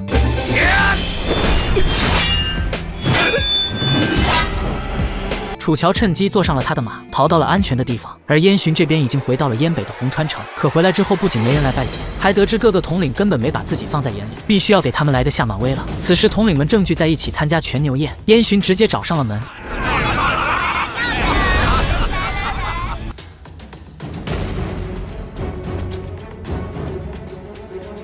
这气场连我都震慑到了，可坐在上座的老头还搞不清楚状况。什么人？只见他不慌不忙的直接走到燕洵身前。和你花的，你们都是我！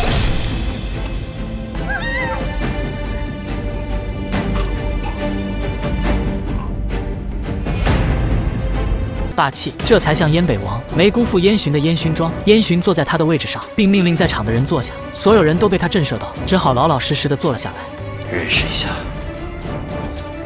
我是燕洵，心吧。人不狠，江山抓不稳，简直帅到炸裂。另一边，岳公子正全力赶往咸阳执行秘密任务，而楚乔也打扮成小伙子出现在咸阳。因为就在他将袁松兄妹送回长安后，他们竟然对楚乔颁发了追击令，他只能乔装打扮一番躲过去。只是这一容术实在太精湛，我还以为捡错了局。楚乔正好遇到那个傻书生被当成奴隶抓了起来，于是好心将他救了出来。晚上两人在庙里过夜，可这时外面突然出现一群追兵，楚乔为了救傻书生也身受重伤，并且还丢失了残红剑。两人刚逃出来，可又被那个奴隶贩子给抓住。次日，星儿也被当成奴隶抓了起来。另一边，月七突然手持残红剑找到公子，这剑原本应该在星儿手中。月公子连忙去街上寻找，正好在奴隶贩的摊子上看到一个侧影很熟悉，他立刻上前询问，可对方告诉他，那个女子已经被别人买走送去雾鹏城了。以星儿的身手，能被人贩子抓住，肯定是受了伤。我们马上赶去雾鹏城。你到底是来执行任务的，还是来找老婆的？此时楚乔出现在一艘船上，为什么要救我？有何目的？我也是受人所托，来寻找你的下落。你受何人所托？萧策皇子。萧策虽然没有露脸，可对乔乔也是够关心的。星儿和傻书生到了乌鹏城之后，两人就此别过。可几分钟之后，书生又被抓住。原来他身上有本账本，事关重大。宇文月正是为了这个账本而来，可书生自己并不知道，而且还放在了楚乔身上。楚乔见他被抓，于是一路跟了上去。可竟在城首府看见了宇文月，他连忙躲进了一个房间里，将里面的女人打晕之后，穿上了她的衣服。可他没想到的是，这个女子是田守诚用来讨好宇文月的。而这时，岳公子也走了进来，见他没有招呼自己，楚乔正准备开溜。听田城守说，你精通推拿，来，给本公子推拿一下。星儿一脸生气的样子，竟然背着我找其他女人，那必须得好好给他松松筋骨。星儿一步步走到他身后，先是听话的给他做推拿，可突然从后脑勺拿出一把小刀。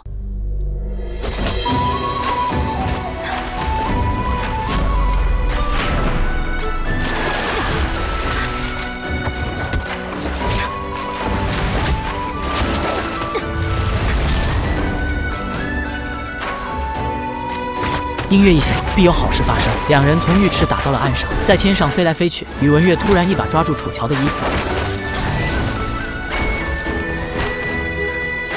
你以为这就完了？他竟又跳上前，将楚乔最后一件衣服给扒了。楚乔连忙用纱帐将自己遮起来。战斗还没结束，月公子不依不饶，两人从地板上打到了床上。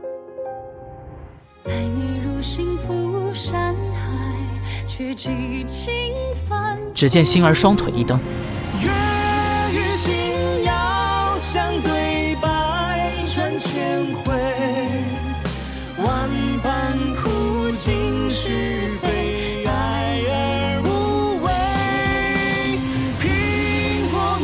战斗还在继续，人都看不见了，也要继续打。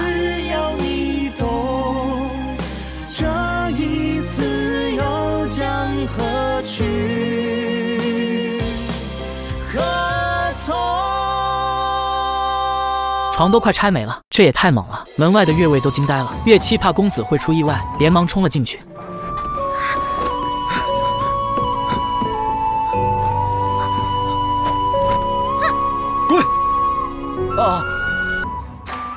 岳七要不要这么猛？其他的乐位也不敢相信。公子平时看起来挺严肃的呀，没想到喜欢这样的调调。谁说不是？搞那么大声，一下子从水池子扑腾到床上，场面好激烈呀！不对不对不对，公子肯定是被下药了，我得进去看看。你是想要进去再看一次吗？而房间里又开始吵架了。上梁不正下梁歪。你都爬上男人的床了，你正，你梁正。两人刚打完一架，又到了激情澎湃的斗嘴时刻。看什么？没尽兴啊？再来。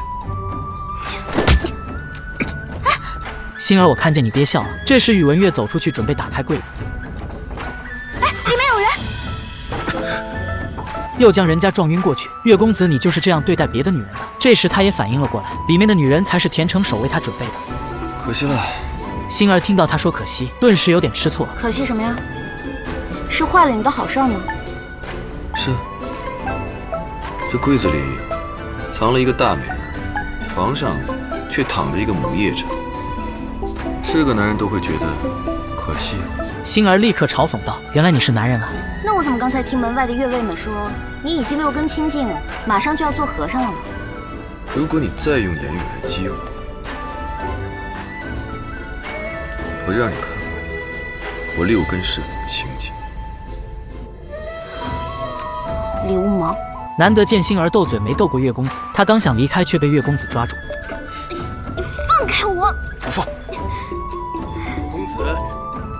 这时田城守来告诉宇文玥，魏书夜来了，想邀约他见面。月公子找理由推脱到了明天，随后告诉星儿，公主。回到长安以后，就下令要抓捕你。你应该知道，魏书叶自幼就爱慕公主，他是为了抓你而来。次日，魏书业又来找宇文月，得知他昨晚和一个女人共度良宵，便请月公子一会用餐时将她带来。魏书业已经怀疑里面的女人是星儿了，因为宇文月的性格他很熟悉，除了星儿，任何女人入不了他的眼。星儿告诉宇文月，天黑比较容易脱身，他准备晚上离开，可宇文月却说他不能走。外面魏书业估计已经设下了天罗地网，而且还有无数人等着拿星儿的人头领赏金。他的画像早就贴满了全国的大街小巷，出去就是自投罗网。可星儿去意已决，从我决定跟燕洵回燕北开始。我就知道，全天下都将成为我的敌人，但那又能怎么样呢？燕北是燕洵的家乡，也是我的家乡。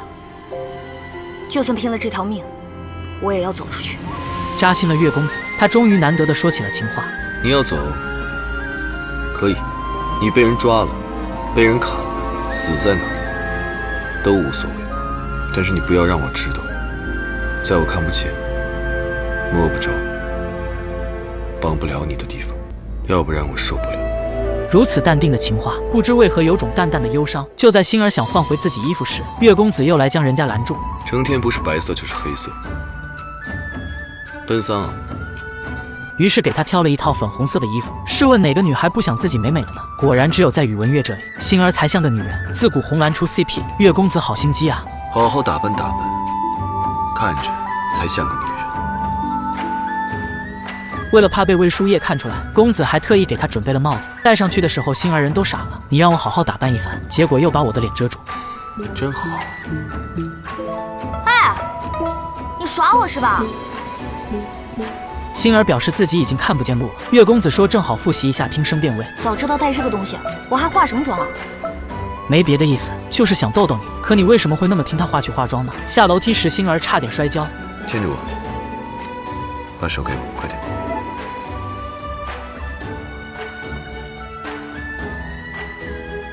你们考虑过旁边乐七的感受吗？我要是他，我就撂摊子不干了。宴席时，魏书游竟然无意中神助攻。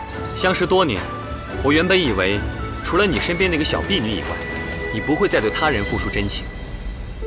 唉，现在看来可未必如此。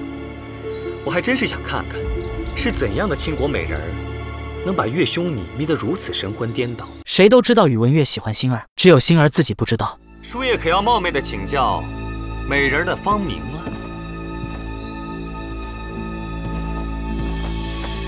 你动啊，你继续动啊，打得过吗？另一边，往生营的营主也收到委托，要取星儿的性命。上次他救星儿是因为萧策花了重金，而现在萧策的嘱托已经完成，谁会跟钱过不去呢？晚上星儿离开时，宇文月又追了上来。原来他逃走时大意偷错了马，竟然偷走了魏书叶的马，而此时马儿竟然想往回走，月公子只好带着星儿逃跑。这时魏书叶已经带人追了过来，好在两人躲在了隐蔽的竹林里。月公子将残红剑还给了星儿，而就在这时，往生营的杀手突然现身，星月两人直接站在了他们身前。大战一触即发，为首的女子看样子也是个高手。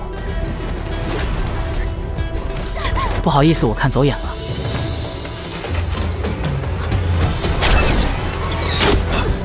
这女子见状赶紧逃跑，公子也无暇去追。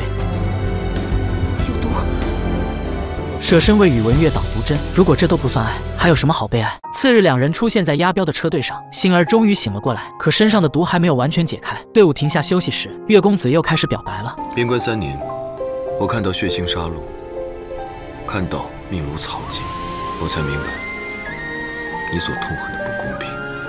宇文月是真的很懂星儿，而且他的梦也慢慢变得和星儿一样。我已经说服了我的祖父，让他把所有宇文家族的奴婢全都释放了。你知不知道我为什么给你取名叫星儿？因为我第一次见到你的时候，你的眼睛比星辰还要灿烂。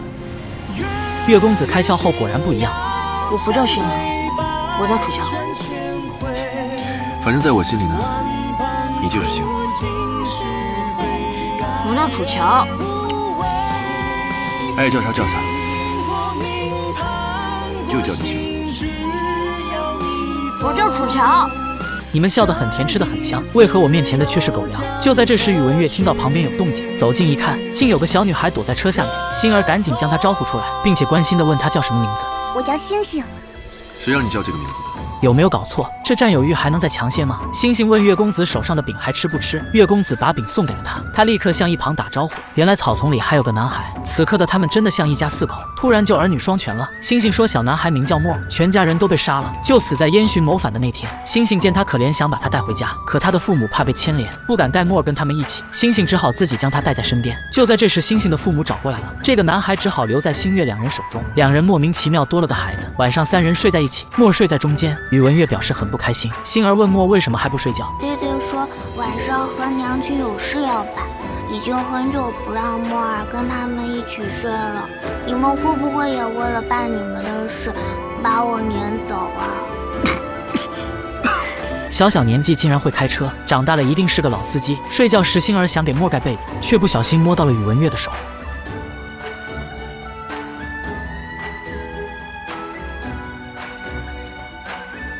月公子一脸无辜，我招谁惹谁了？真是憋屈。就在这时，外面传来一阵打斗声，他们走出去一看，只见一地的尸体，其中还有下午的那个女孩。他们抓到了其中一个人，询问，竟然是燕洵手下的人。此时星儿还不知道这一切都是燕洵下的命令，以为是他的手下乱杀无辜，于是两人一路跟踪他们来到了营帐外，准备清理门户。而此时燕洵就在营帐内，他们正在寻找墨，准备斩草除根，对方竟然送上门来了。刘希，你给我滚出来！燕洵听到外面竟然是阿楚的声音，他不想阿楚知道自己做的这些事情，于是让手下全都蒙着脸将他们包围，自己则裹在了一件大衣中。放他们走吧。两人并没有认出燕洵的身份，一脸蒙圈的离开了。我就站在你面前，你看我几分像从前？阿楚，你终于安然无恙的站在了我的面前，我却不敢在此时面对你。老天待我，竟是从未仁慈。两人找了个山洞休息。月公子说自己出去找些吃的。星儿突然站起来叮嘱他小心点。月公子也叮嘱他不要乱跑。其实星儿大概已经猜出刚才的人是烟巡了。他叮嘱莫好好跟着宇文月叔叔。星儿一路看着烟巡走过来，他能理解烟巡做的这些事，但他也必须得去阻止烟巡继续错下去。等月公子回来时，星儿果然已经跑了。而此时的星儿也遭遇了危机。魏书叶终于找到他了。星儿被他们逼到了悬崖处，他毫不犹豫地跳了下去，并用钩子勾住了崖壁。这时，一辆马车往悬崖下赶来。魏书叶命令手下对星儿放箭，星儿灵巧地躲了过去，而马车中也伸出一把剑朝崖上射去。魏书叶又令人砸石头。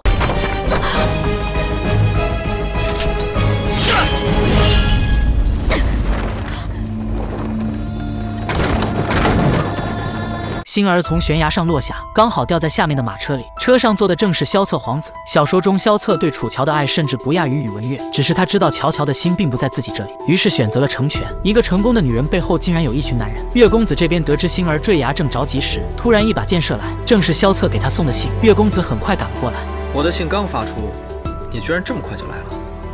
星儿呢？星儿，乔乔，还是这么叫更好听一点。金小六、星儿、阿楚、楚瞧瞧瞧，一人一个名字。可星儿醒来后马上又晕了过去，原来是之前中的毒发作。这种毒连月公子都毫无办法，可萧策却很清楚，这种毒是来自往生营。月公子准备去往生营找解药，星儿就暂时委托给萧策。往生营普通人很难找到，可在月公子这里却没费多大劲。很快他们便来到了往生营的基地。此时往生营的杀手们正在参加比赛，也就是自相残杀，最后三个活下来的人可以成为往生者。月公子带着月卫闯了进来，还遇到了给星儿放毒针的女子蒙风。从他口中得知，他们都被营主强迫服下了毒，不按照营主说的去做的话，就得不到解药。宇文玥问他营主的下落，你有两个选择，要么死，要么带我去找往生营的营主。这明明是一个选择，中途月公子还救了他一次。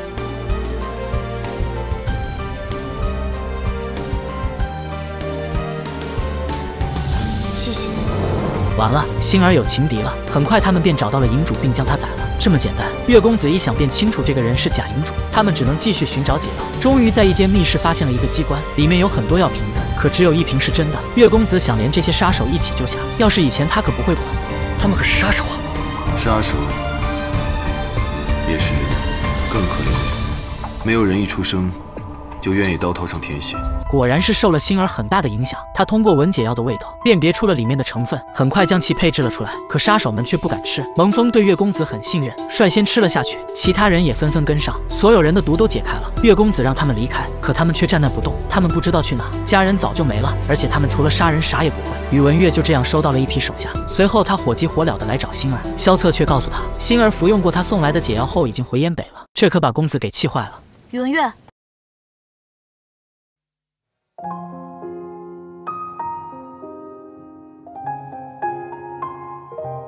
原来萧策是骗他的，刚才还以为爱人已经离开了自己，可现在却惊喜的出现在自己眼前。月公子看似平静，内心早已激动不已。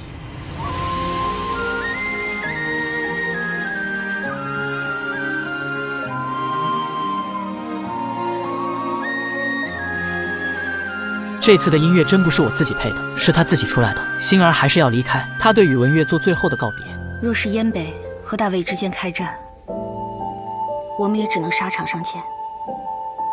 到时候，你也不必手下留情。这话还能说的再扎心一点吗？月公子问他，除了表明立场，你没别的话对我说吗？我们之间还能说什么？扎铁了，老心。也是。一切只是我一厢情愿。宇文月，星儿表示自己和燕洵好不容易走到这一天，她冲动不起，更任性不起，而且她也担心燕洵现在面临的局势，在爱你的人面前说担心别的男人，月公子的心被扎得千疮百孔了。我想他还是需要我的。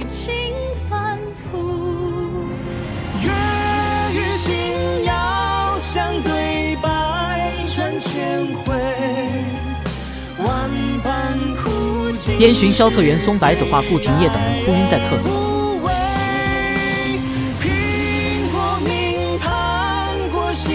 我也需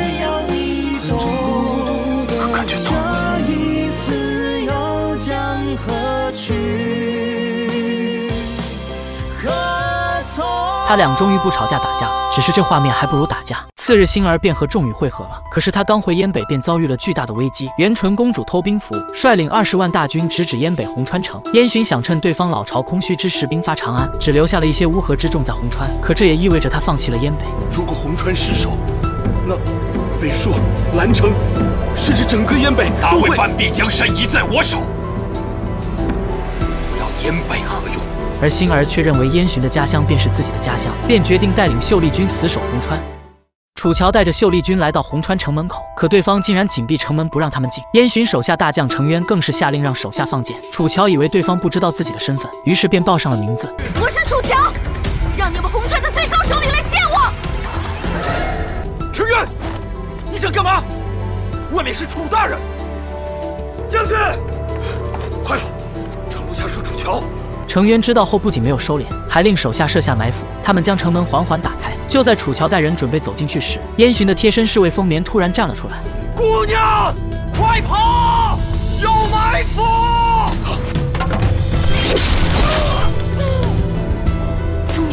从小陪世子一起长大的丰年就这样被杀了。楚乔立刻令手下撤退到了安全的距离。此时魏军距离红川城仅四十公里，程渊便立刻带着手下撤离了。楚乔终于带着秀丽军进入了城中。魏军抵达后直接放箭攻城，秀丽军只能苦苦防守。城里的百姓乱作一团。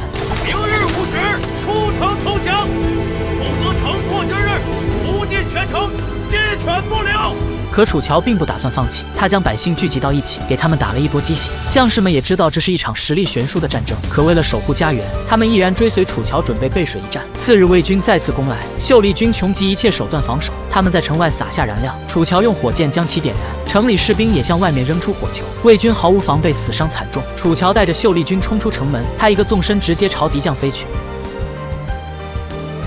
乔峰扛着音箱都没他嚣张，终于是守下了第二波。可秀丽军也损失了不少人马，城里防守的道具已经用得快差不多了。可魏军还有第三波、第四波，他们接下来该怎么防守？而燕洵这边还不知道楚乔现在所面临的险境。这时，一个侍卫前来汇报：楚大人收复秀丽军，带他们支援红川，已经在红川城打了两次仗。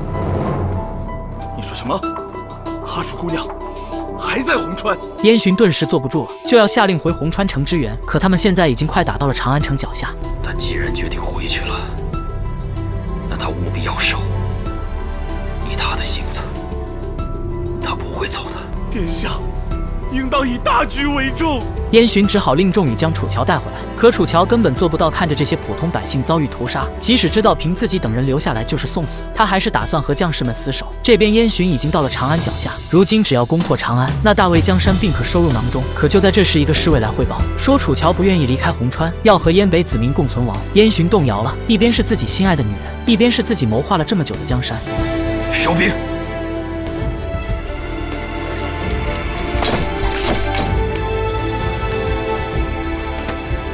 殿下，不必说了，传我令，回援燕北，红川城。因为一个人放弃唾手可得的江山。这时程渊刚刚赶了过来，得知燕洵要回红川支援，他立刻跪下劝阻：殿下，当年定北侯府，除你一人之外，满门抄斩，红川北朔两城二十万军民呐！他们现在全都在天上看着咱们呢。程渊试图以燕洵当年一家的惨案来劝解他。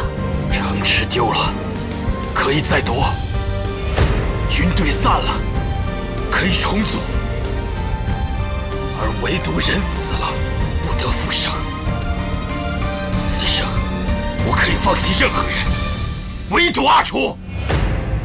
就这样，燕洵立刻率领人马启程。你们考虑过胯下马儿的感受吗？传令下去，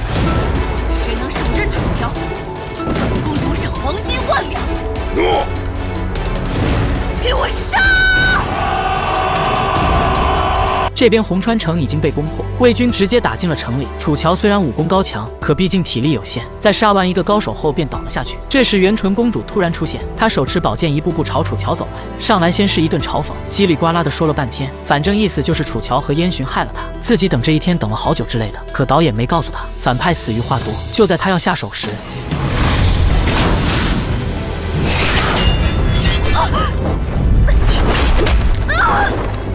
关键时刻还得是月宝宝啊！追求者多还是有好处的。这部剧应该叫楚乔和他的后宫们。此时燕洵也已经到达了红川城，月公子看到后便将星儿放到了路边。阿楚，阿楚，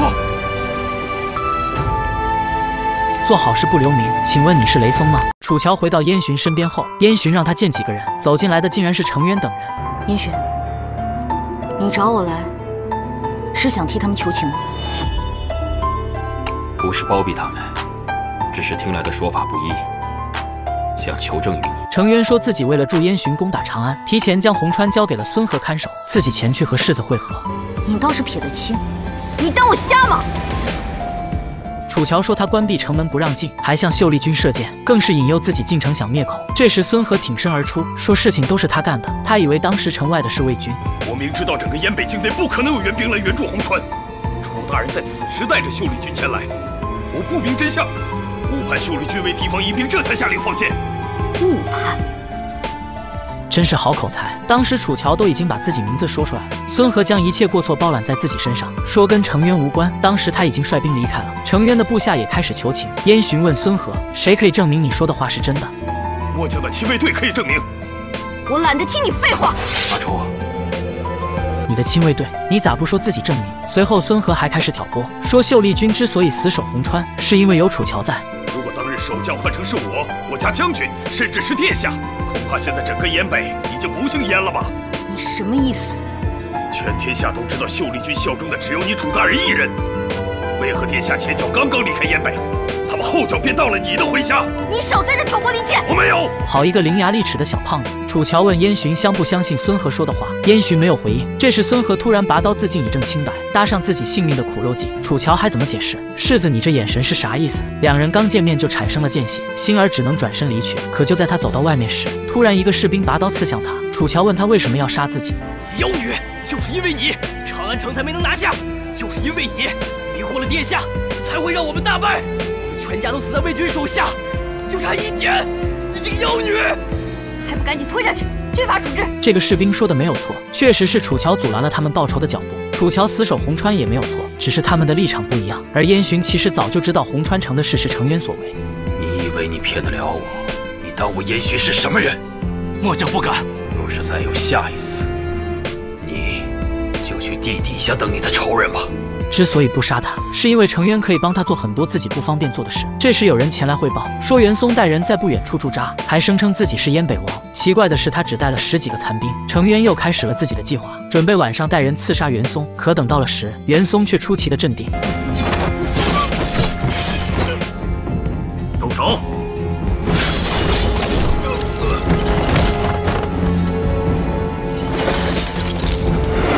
大晚上的蒙着面来送人头，你什么心态？原来是宇文悦在，可不知为何，月公子竟然放了他一条生路。打仗不一定要硬碰硬，不要忘记宇文悦可是叠纸天眼的继承人，红川城已经有了他的内应。次日，蒙风等人在这个叠者的带领下混进了城，他们准备将消息发出城给宇文悦，但不要忘记了，楚乔也是叠者呀。在看完对方的信之后，他将信的内容修改了一下。大人，他们如此狡猾，既然你知道，为何不当场揭发呢？既然如此。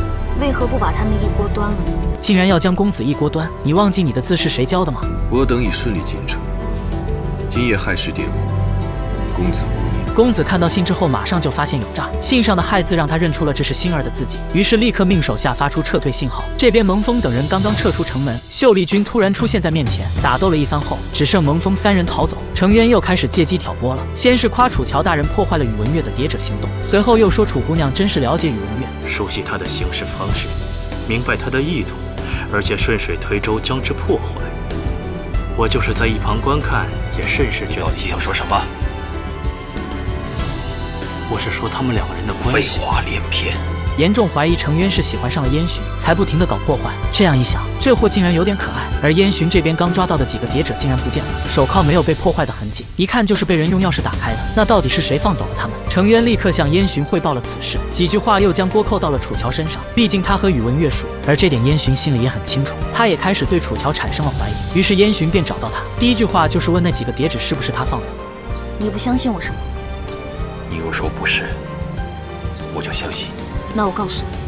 不是，如果真的相信，就不会问了。燕洵问完就想离开，星儿却喊住了他。燕北的百姓对你的归来翘首以待，我们就是用战争的方式来回报他们。任何事情都是要付出代价的，而真正的和平都是要通过战争的方式来获得。两人都没有错，道不同不相为谋，分开是迟早事。另一边，元纯公主因为偷兵符的事入狱，皇上原本要将她斩了，谁知元纯的母亲为贵妃以命换命，皇上只能放她一条生路。元纯又恢复了高贵的公主之身，可不想这一放，差点把自己放没了。老昏君自从燕洵叛变便染上了疾病，加上元松断臂，元纯偷兵符，这些事都让他感觉分分钟要和大卫说拜拜。而就在这晚，皇上的咳嗽犯了，呼唤了半天没人理他。此时要离他只有零点零一公分，可却像隔了几座山一样远。就在这时，一只手把药端了起来。皇上惊恐地看着对方，原来是心爱的女儿。他顿时放下心来，可他不知道更惊恐的事情还在后面。元纯告诉他，老太监等一众下人都已经被他撤走。当他提到燕洵哥哥时，皇上说他是反贼。若不是你猜测手足兄弟，屠其城，灭其族，逼得燕洵哥哥在九幽台上生不如死，痛不欲生，他又怎么会走上谋反之路？老昏君说：“燕洵和他爹一样心存二心，现在高举反旗，弄得生灵涂炭。弄得生灵涂炭的人是你，罪有应得的人是你，该死的人也是你。大胆！你竟然为了一个臣子，来污蔑你的父亲！现在知道自己是一位父亲了。当初将自己的女儿当妻子的时候，可曾这样想过？元纯将他做的冤孽的事情一件件数了出来。你冤杀定北侯，逼死白胜，残害忠良，这是其一。”你污蔑燕北造反，屠杀无辜百姓，这是其二。你为了不让天下人骂你是暴君，你故意赦免燕许哥哥性命，背地里却挑唆各大门阀去暗杀，让他们互相残杀。公主仿佛突然开窍了，只是她又忘记了反派死于话多。你还要我继续说下去吗？皇上被气得吐了口老血。为君不仁，为兄不义，为父不慈。天蝎多疑善结，犹如妇人，所以如今才会落得妻离子散的场面。说的太解气，总结的太全面了。纯儿跟您说一句，做事要么不做，要么就做绝。你既杀了定北侯，就应该杀了燕洵。你杀了我母妃，也应当杀了我。纯儿终于长大了，这都是被你给害的。以前不是这个样子，因为我知道，单纯善良只会被人践踏，天真的人活不了多久的。不是我变了，是纯儿长大了。袁纯说完，便拿出了一个药瓶，将里面的毒药撒进了皇上的药中。皇上此时已经被吓傻了。干什么？来老昏君被吓得在床上不停打滚，连纯端着药优雅的走过来，还告诉他：“你喊破喉咙，或许有人会来救你。”皇上只能不停的喊：“破喉咙，破喉咙。”纯儿，父皇知道错了，你要江山是吧？父皇给你好吗？我要江山又有何用？此时他已经被吓破胆了。说完，袁纯直接将药往他嘴里灌。可就在这时，袁松竟然回来了。看来喊破喉咙还是有用的。袁纯行刺失败，太惨了，他好像做啥事都没有成功过。这时，袁纯仅一个回头，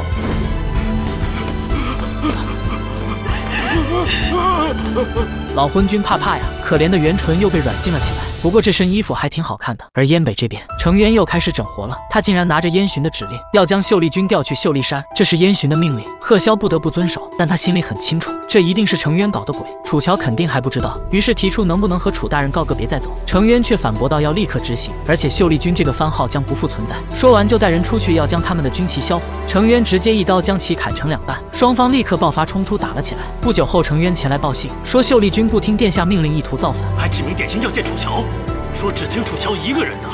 这货真是一天不搞活心里难受，突然有点想念宇文怀了。有意放他们一马，竟然得寸进尺，送他们上路。诺。燕洵下令将所有动过手的秀丽军军法处置。就在这时，楚乔赶了过来，上来先给了贺萧一个大嘴巴子。你就是这么带兵的吗？军旗和番号是军人的荣誉和生命，旗手在，士兵在，大旗就应该在。我是吩咐过你，要你们保住番号和军旗，但我有让你们跟自己人动手吗？你们不仅不认错，还敢在殿下面前出言不逊，你们想干什么？巧巧也会玩套路啊！随后他告诉燕洵，秀丽君保护军旗都是受了自己的命令，自己自愿请求军法处置。我没记错的话，你现在在军中并无实职。秀丽君什么时候成了你的部下了？闭嘴！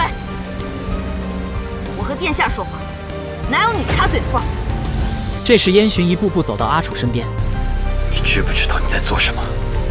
属下非常明白。你是要和我作对？殿下言重了。属下只是在为自己的军队负责任。你的军队？完了，楚乔好像说错话了，但好像又没错。楚大人因病谢职，早已不是秀丽军的将领。秀丽军所犯之罪，与他人无关。行刑！楚乔直接向燕洵下跪求情，这还是以前的他们吗？阿楚，你平心而论，现如今秀丽君效忠的是谁？楚乔说自己愿意用性命担保，秀丽君上下只忠于你燕洵一人。你愿意性命担保？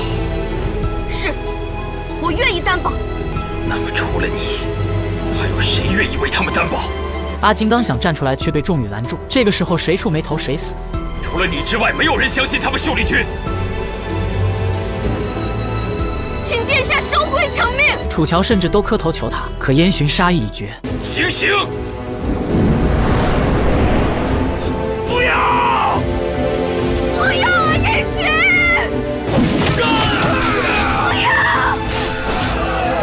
楚乔已经彻底心凉，而燕洵也即将失去他心爱的阿楚。晚上，他来到楚乔窗外跟他道歉，说这么久两人从来没有好好聊过，突然很怀念两人在长安城的日子。秀丽君的事情他也没办法，让他们离开已经是最大的慈悲，可他们竟然以下犯上。对不起，让你伤心了。可是我没办法，我发誓要给你最好的生活，所以我要把长安，把整个天下都送给你。也许这不是你想要的，却是我能给你的。最好的，燕洵只是想给楚乔最好的名分，可在这个过程中已经伤透了楚乔的心。任何人都可以离开我，你不可以；任何人都可以背叛我，你不可以。阿楚，我只有你。而楚乔心里也很明白，可惜你我已非同路之人。这边皇上准备赐死袁纯，不想却被魏书业救下，可魏书业也身中数刀，最后死在了袁纯怀里。唯一一个爱自己的人也死了。袁彻追过来后，还是放了袁纯一条生路。可这一放，差点将燕洵给放没了。自从红川一战后，他经常头痛。而阿金得知附近不远处有个女神医，便将她请了过来给燕洵看病。此人戴着蚊帐，一副很神秘的样子，说话的声音也像个八十岁的老人。燕洵问他嗓子是不是天生如此？我幼时家中遭逢大火，嗓子被烟熏坏了。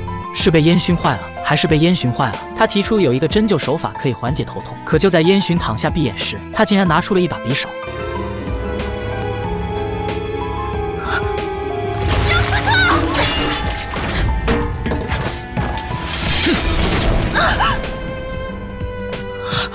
可怜的纯儿啊，就没做成功过一件事，而且每次失败还都没有丢性命。纯儿，不出意外，烟巡这次也放过了他。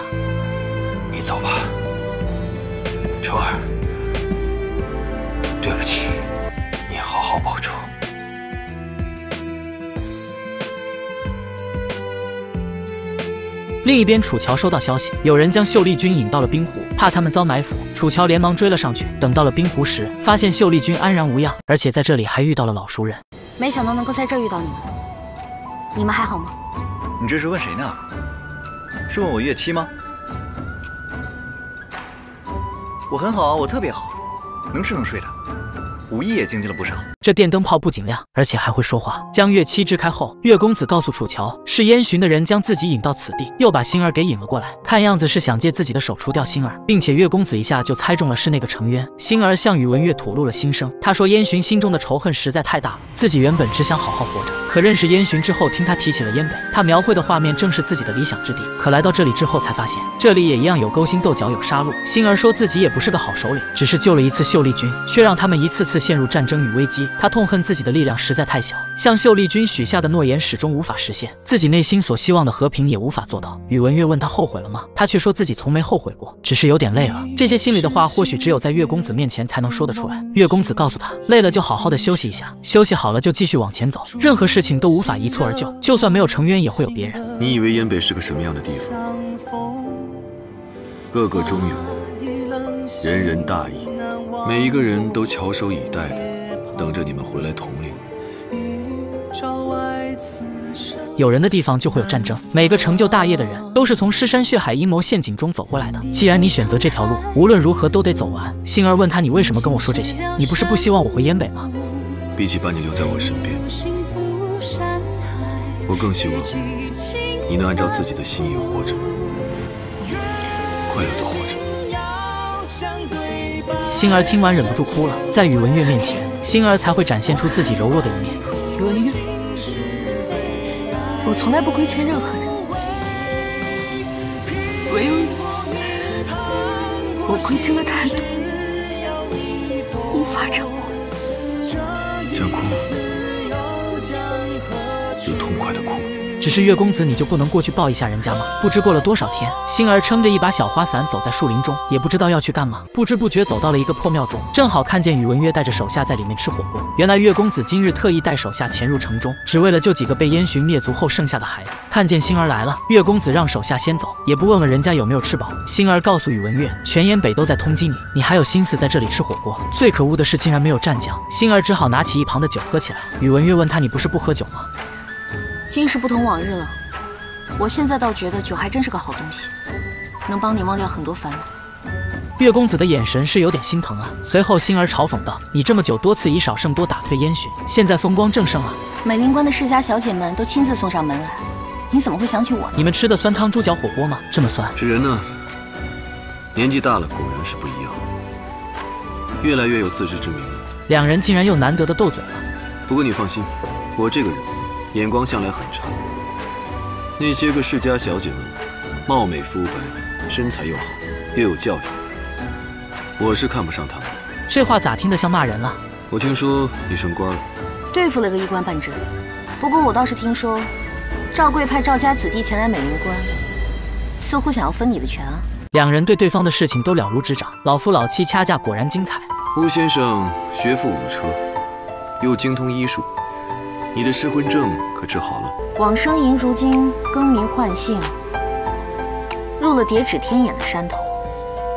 古有曹孟德煮酒论英雄，今有星月煮火锅互相吃醋，吵完之后又是一顿沉默。战场上刀剑无眼，朝堂上风云莫测，你自己多保重。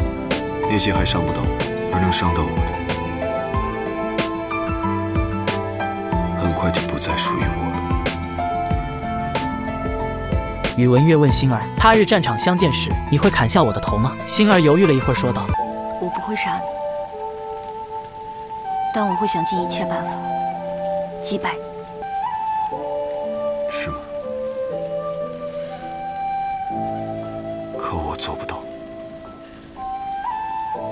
星儿说：“人若身处荆棘中，心不动则人不动，不动则不伤；心动人则妄动，伤其身，痛其骨。不动则不伤吗？那我早已被荆棘刺穿了。”好经典的情话，爱得越深则伤得越深。燕洵得知楚乔和宇文玥见面了，便准备派人在他回去途中将其截杀，还故意找人装成秀丽君找到宇文玥，说燕洵得知他俩见面，便想令楚乔杀掉宇文玥，可楚乔不肯，于是便带秀丽君和黑鹰军打了起来。贺萧统领战死，宇文玥立刻问他星儿现在怎么样，对方说他还在苦苦支撑。如此瘪三的计策，岳七直接看了出来，说他们一定是将公子引过去群攻，公子怎么可能会看不出来？倘若是真的，十有八九是假的，而且应该是有人故意设局，引我们掉入陷阱。那另外的十之一二呢？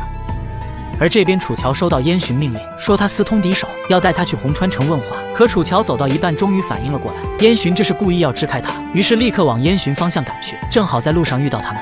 你知不知道你在做什么？你觉得呢？宇文玥呢？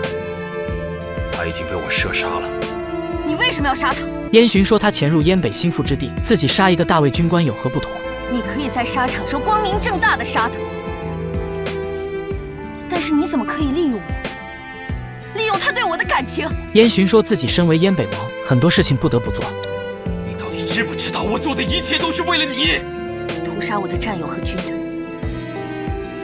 逼迫我废弃我们的理想，驱逐我远离中心，不信任我，监视我，这些都是为我好。我只是想保护你。这种保护就犹如囚禁。燕洵最后问了楚乔一个问题：这些年，你爱过我吗？楚乔说：“我不知道对你的感情算不算爱，但是我在意你，关心你，以你的梦想为梦想，不想看到别人伤害你，把你的家乡当成自己的家乡。但是我现在却疑惑，我做的这一切究竟值不值得？我到底有没有看清？”楚乔说，他回燕北后便开始各种怀疑，怀疑仲宇，怀疑吴先生，更是怀疑楚乔，一切对他权力上有威胁的人，他都怀疑。你已经变成权力的奴隶了，也许我不怪你杀宇文越。我只怪你的手段太过卑劣，你不该这样践踏我对你的忠心，你不该践踏我们之间的感情。现在，如你所愿，我要去找宇文玥了。你赶紧走吧，岳公子都快撑不住了。我最后一次警告，如果宇文玥死在燕北，我永远不会原谅你。楚乔终于驾马离去，而此时宇文玥已经浑身是伤，越位所剩无几。此时的他已经是强弩之末，就算再厉害，可面对对方一波又一波的车轮战，他已经快坚持不住了。这边岳七也遭到了围攻，身负重伤，已经快站不稳了。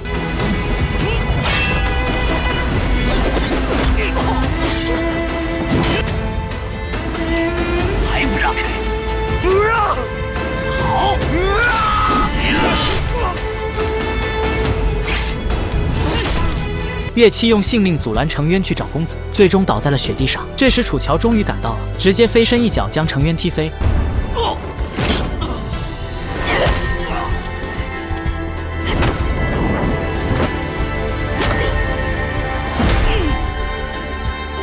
程渊明显不是楚乔的对手，被他一顿虐。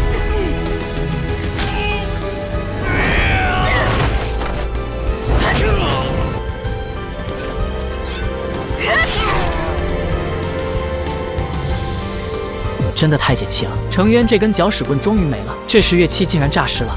可见公子，他在冰湖。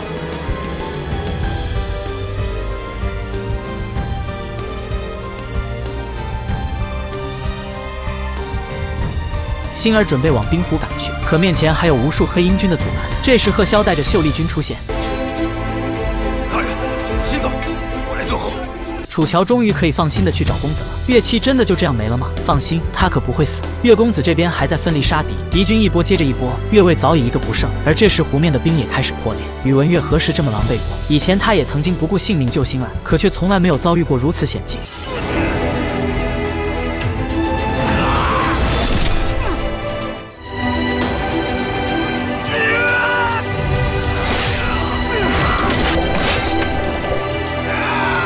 敌将终于被他斩杀，岳公子缓缓站了起来，撑着剑立在尸山血海中。星儿手持弓箭急速赶来，而这时燕洵大军就在对面岸上，他毫不留情地示意手下接着上，又是一波敌军袭来。可宇文玥已经没有再战的能力。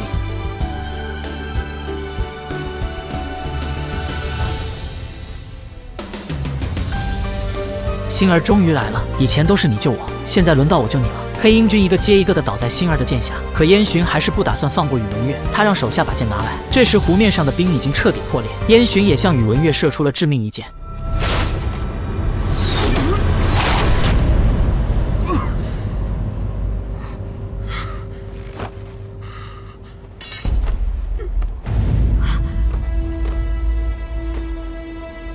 宇文月，公子终于倒下，再也站不起来。星儿赶紧扑了过去。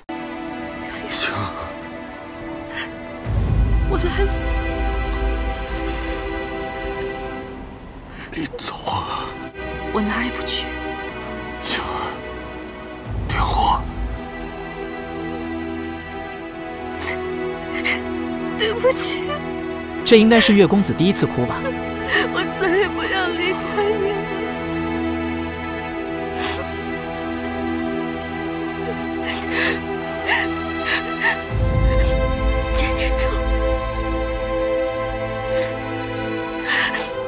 坚持住。星儿想扶他起来，可宇文月已经彻底没了力气。起来，宇文月，起来，宇文玥你起来，你起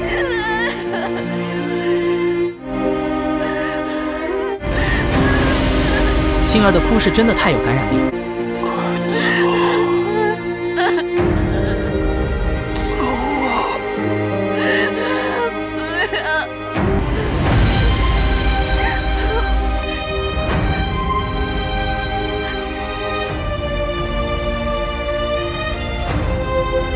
而燕洵也准备下最后的杀手了。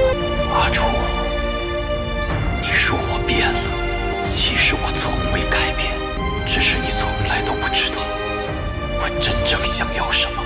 而如今，我却要以这样的方式，将我的信念、我的抱负一一告诉你了。他招呼手下继续上，可冰面已经承受不住这么多人的重量。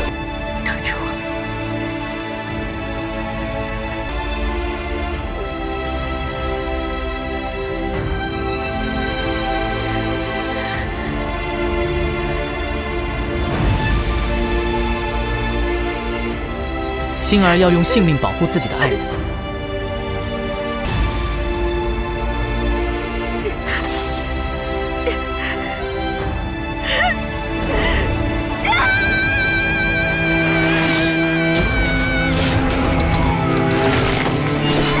敌军一个个倒下，冰面破裂的也越来越严重，一些士兵直接沉入了湖中。等星儿回头时，却发现宇文玥在另一块冰面上。燕洵派人射箭击中星儿脚下的冰块，要将他拖回来，而宇文玥也慢慢开始往下沉。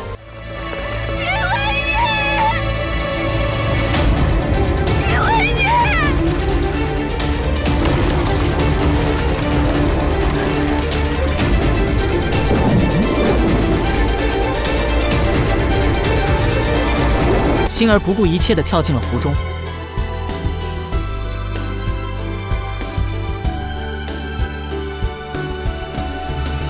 听见星儿的声音，他强撑着睁开了眼睛，而星儿背上的彼岸花也若隐若现。风云令即将出现，可现在如何救自己的爱人？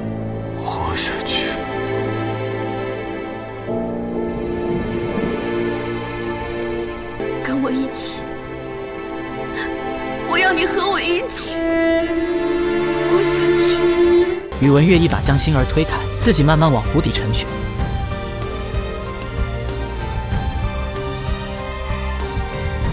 这时，星儿背上的彼岸花彻底浮现。电视剧到这里就完结了，可故事却还没有结束。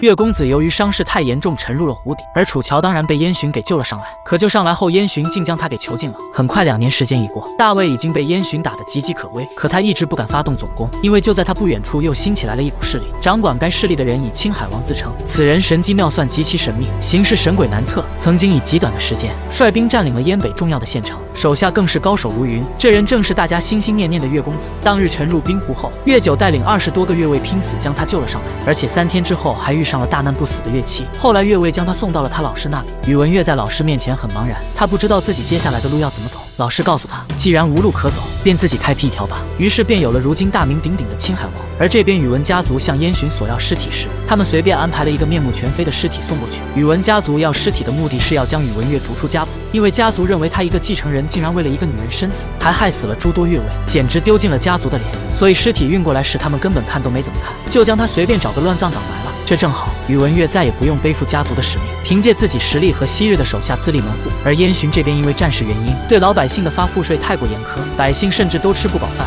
于是便开始造反。而早早被燕洵驱逐的众女也在其中。最后为了保护百姓，在燕北军中身受重伤，最后死在了楚乔怀里。燕洵的行为让楚乔彻底心灰意冷，便决定离开燕北。燕洵自然不会让他轻易离去，便立刻派人拦截。可不要忘记，楚乔后面还有一支军队，如今已经九千人的秀丽军誓死追随，终于成功杀出了燕北。而就在这时，大梁太子萧策和青海王竟然同时来犯。楚乔看见萧策，终于放下心，疲惫的倒在他怀里睡了过去。青海王更是派人给萧策断后，让他护送楚乔离去。而萧策根据青海王的行事风格，大概已经猜到了他的身份。萧策立刻将自己的猜想告诉了楚乔。楚乔顿时愣住了。根据萧策所说，这个青海王的行事风格确实很像那个人。他不停在脑海中推敲这个念想，几乎可以确定此人就是宇文玥，而且又大动干戈救了自己，并且像以前一样深藏功与名。萧策说完后便告诉他，如果你想通了此人的身份，就告诉我，我给你置办了一份嫁妆。你若嫁我，这就是彩礼；你若嫁他，这便是嫁妆。萧策对楚乔的爱虽没有像宇文玥一样刻骨铭心，可依然让人无法忘怀。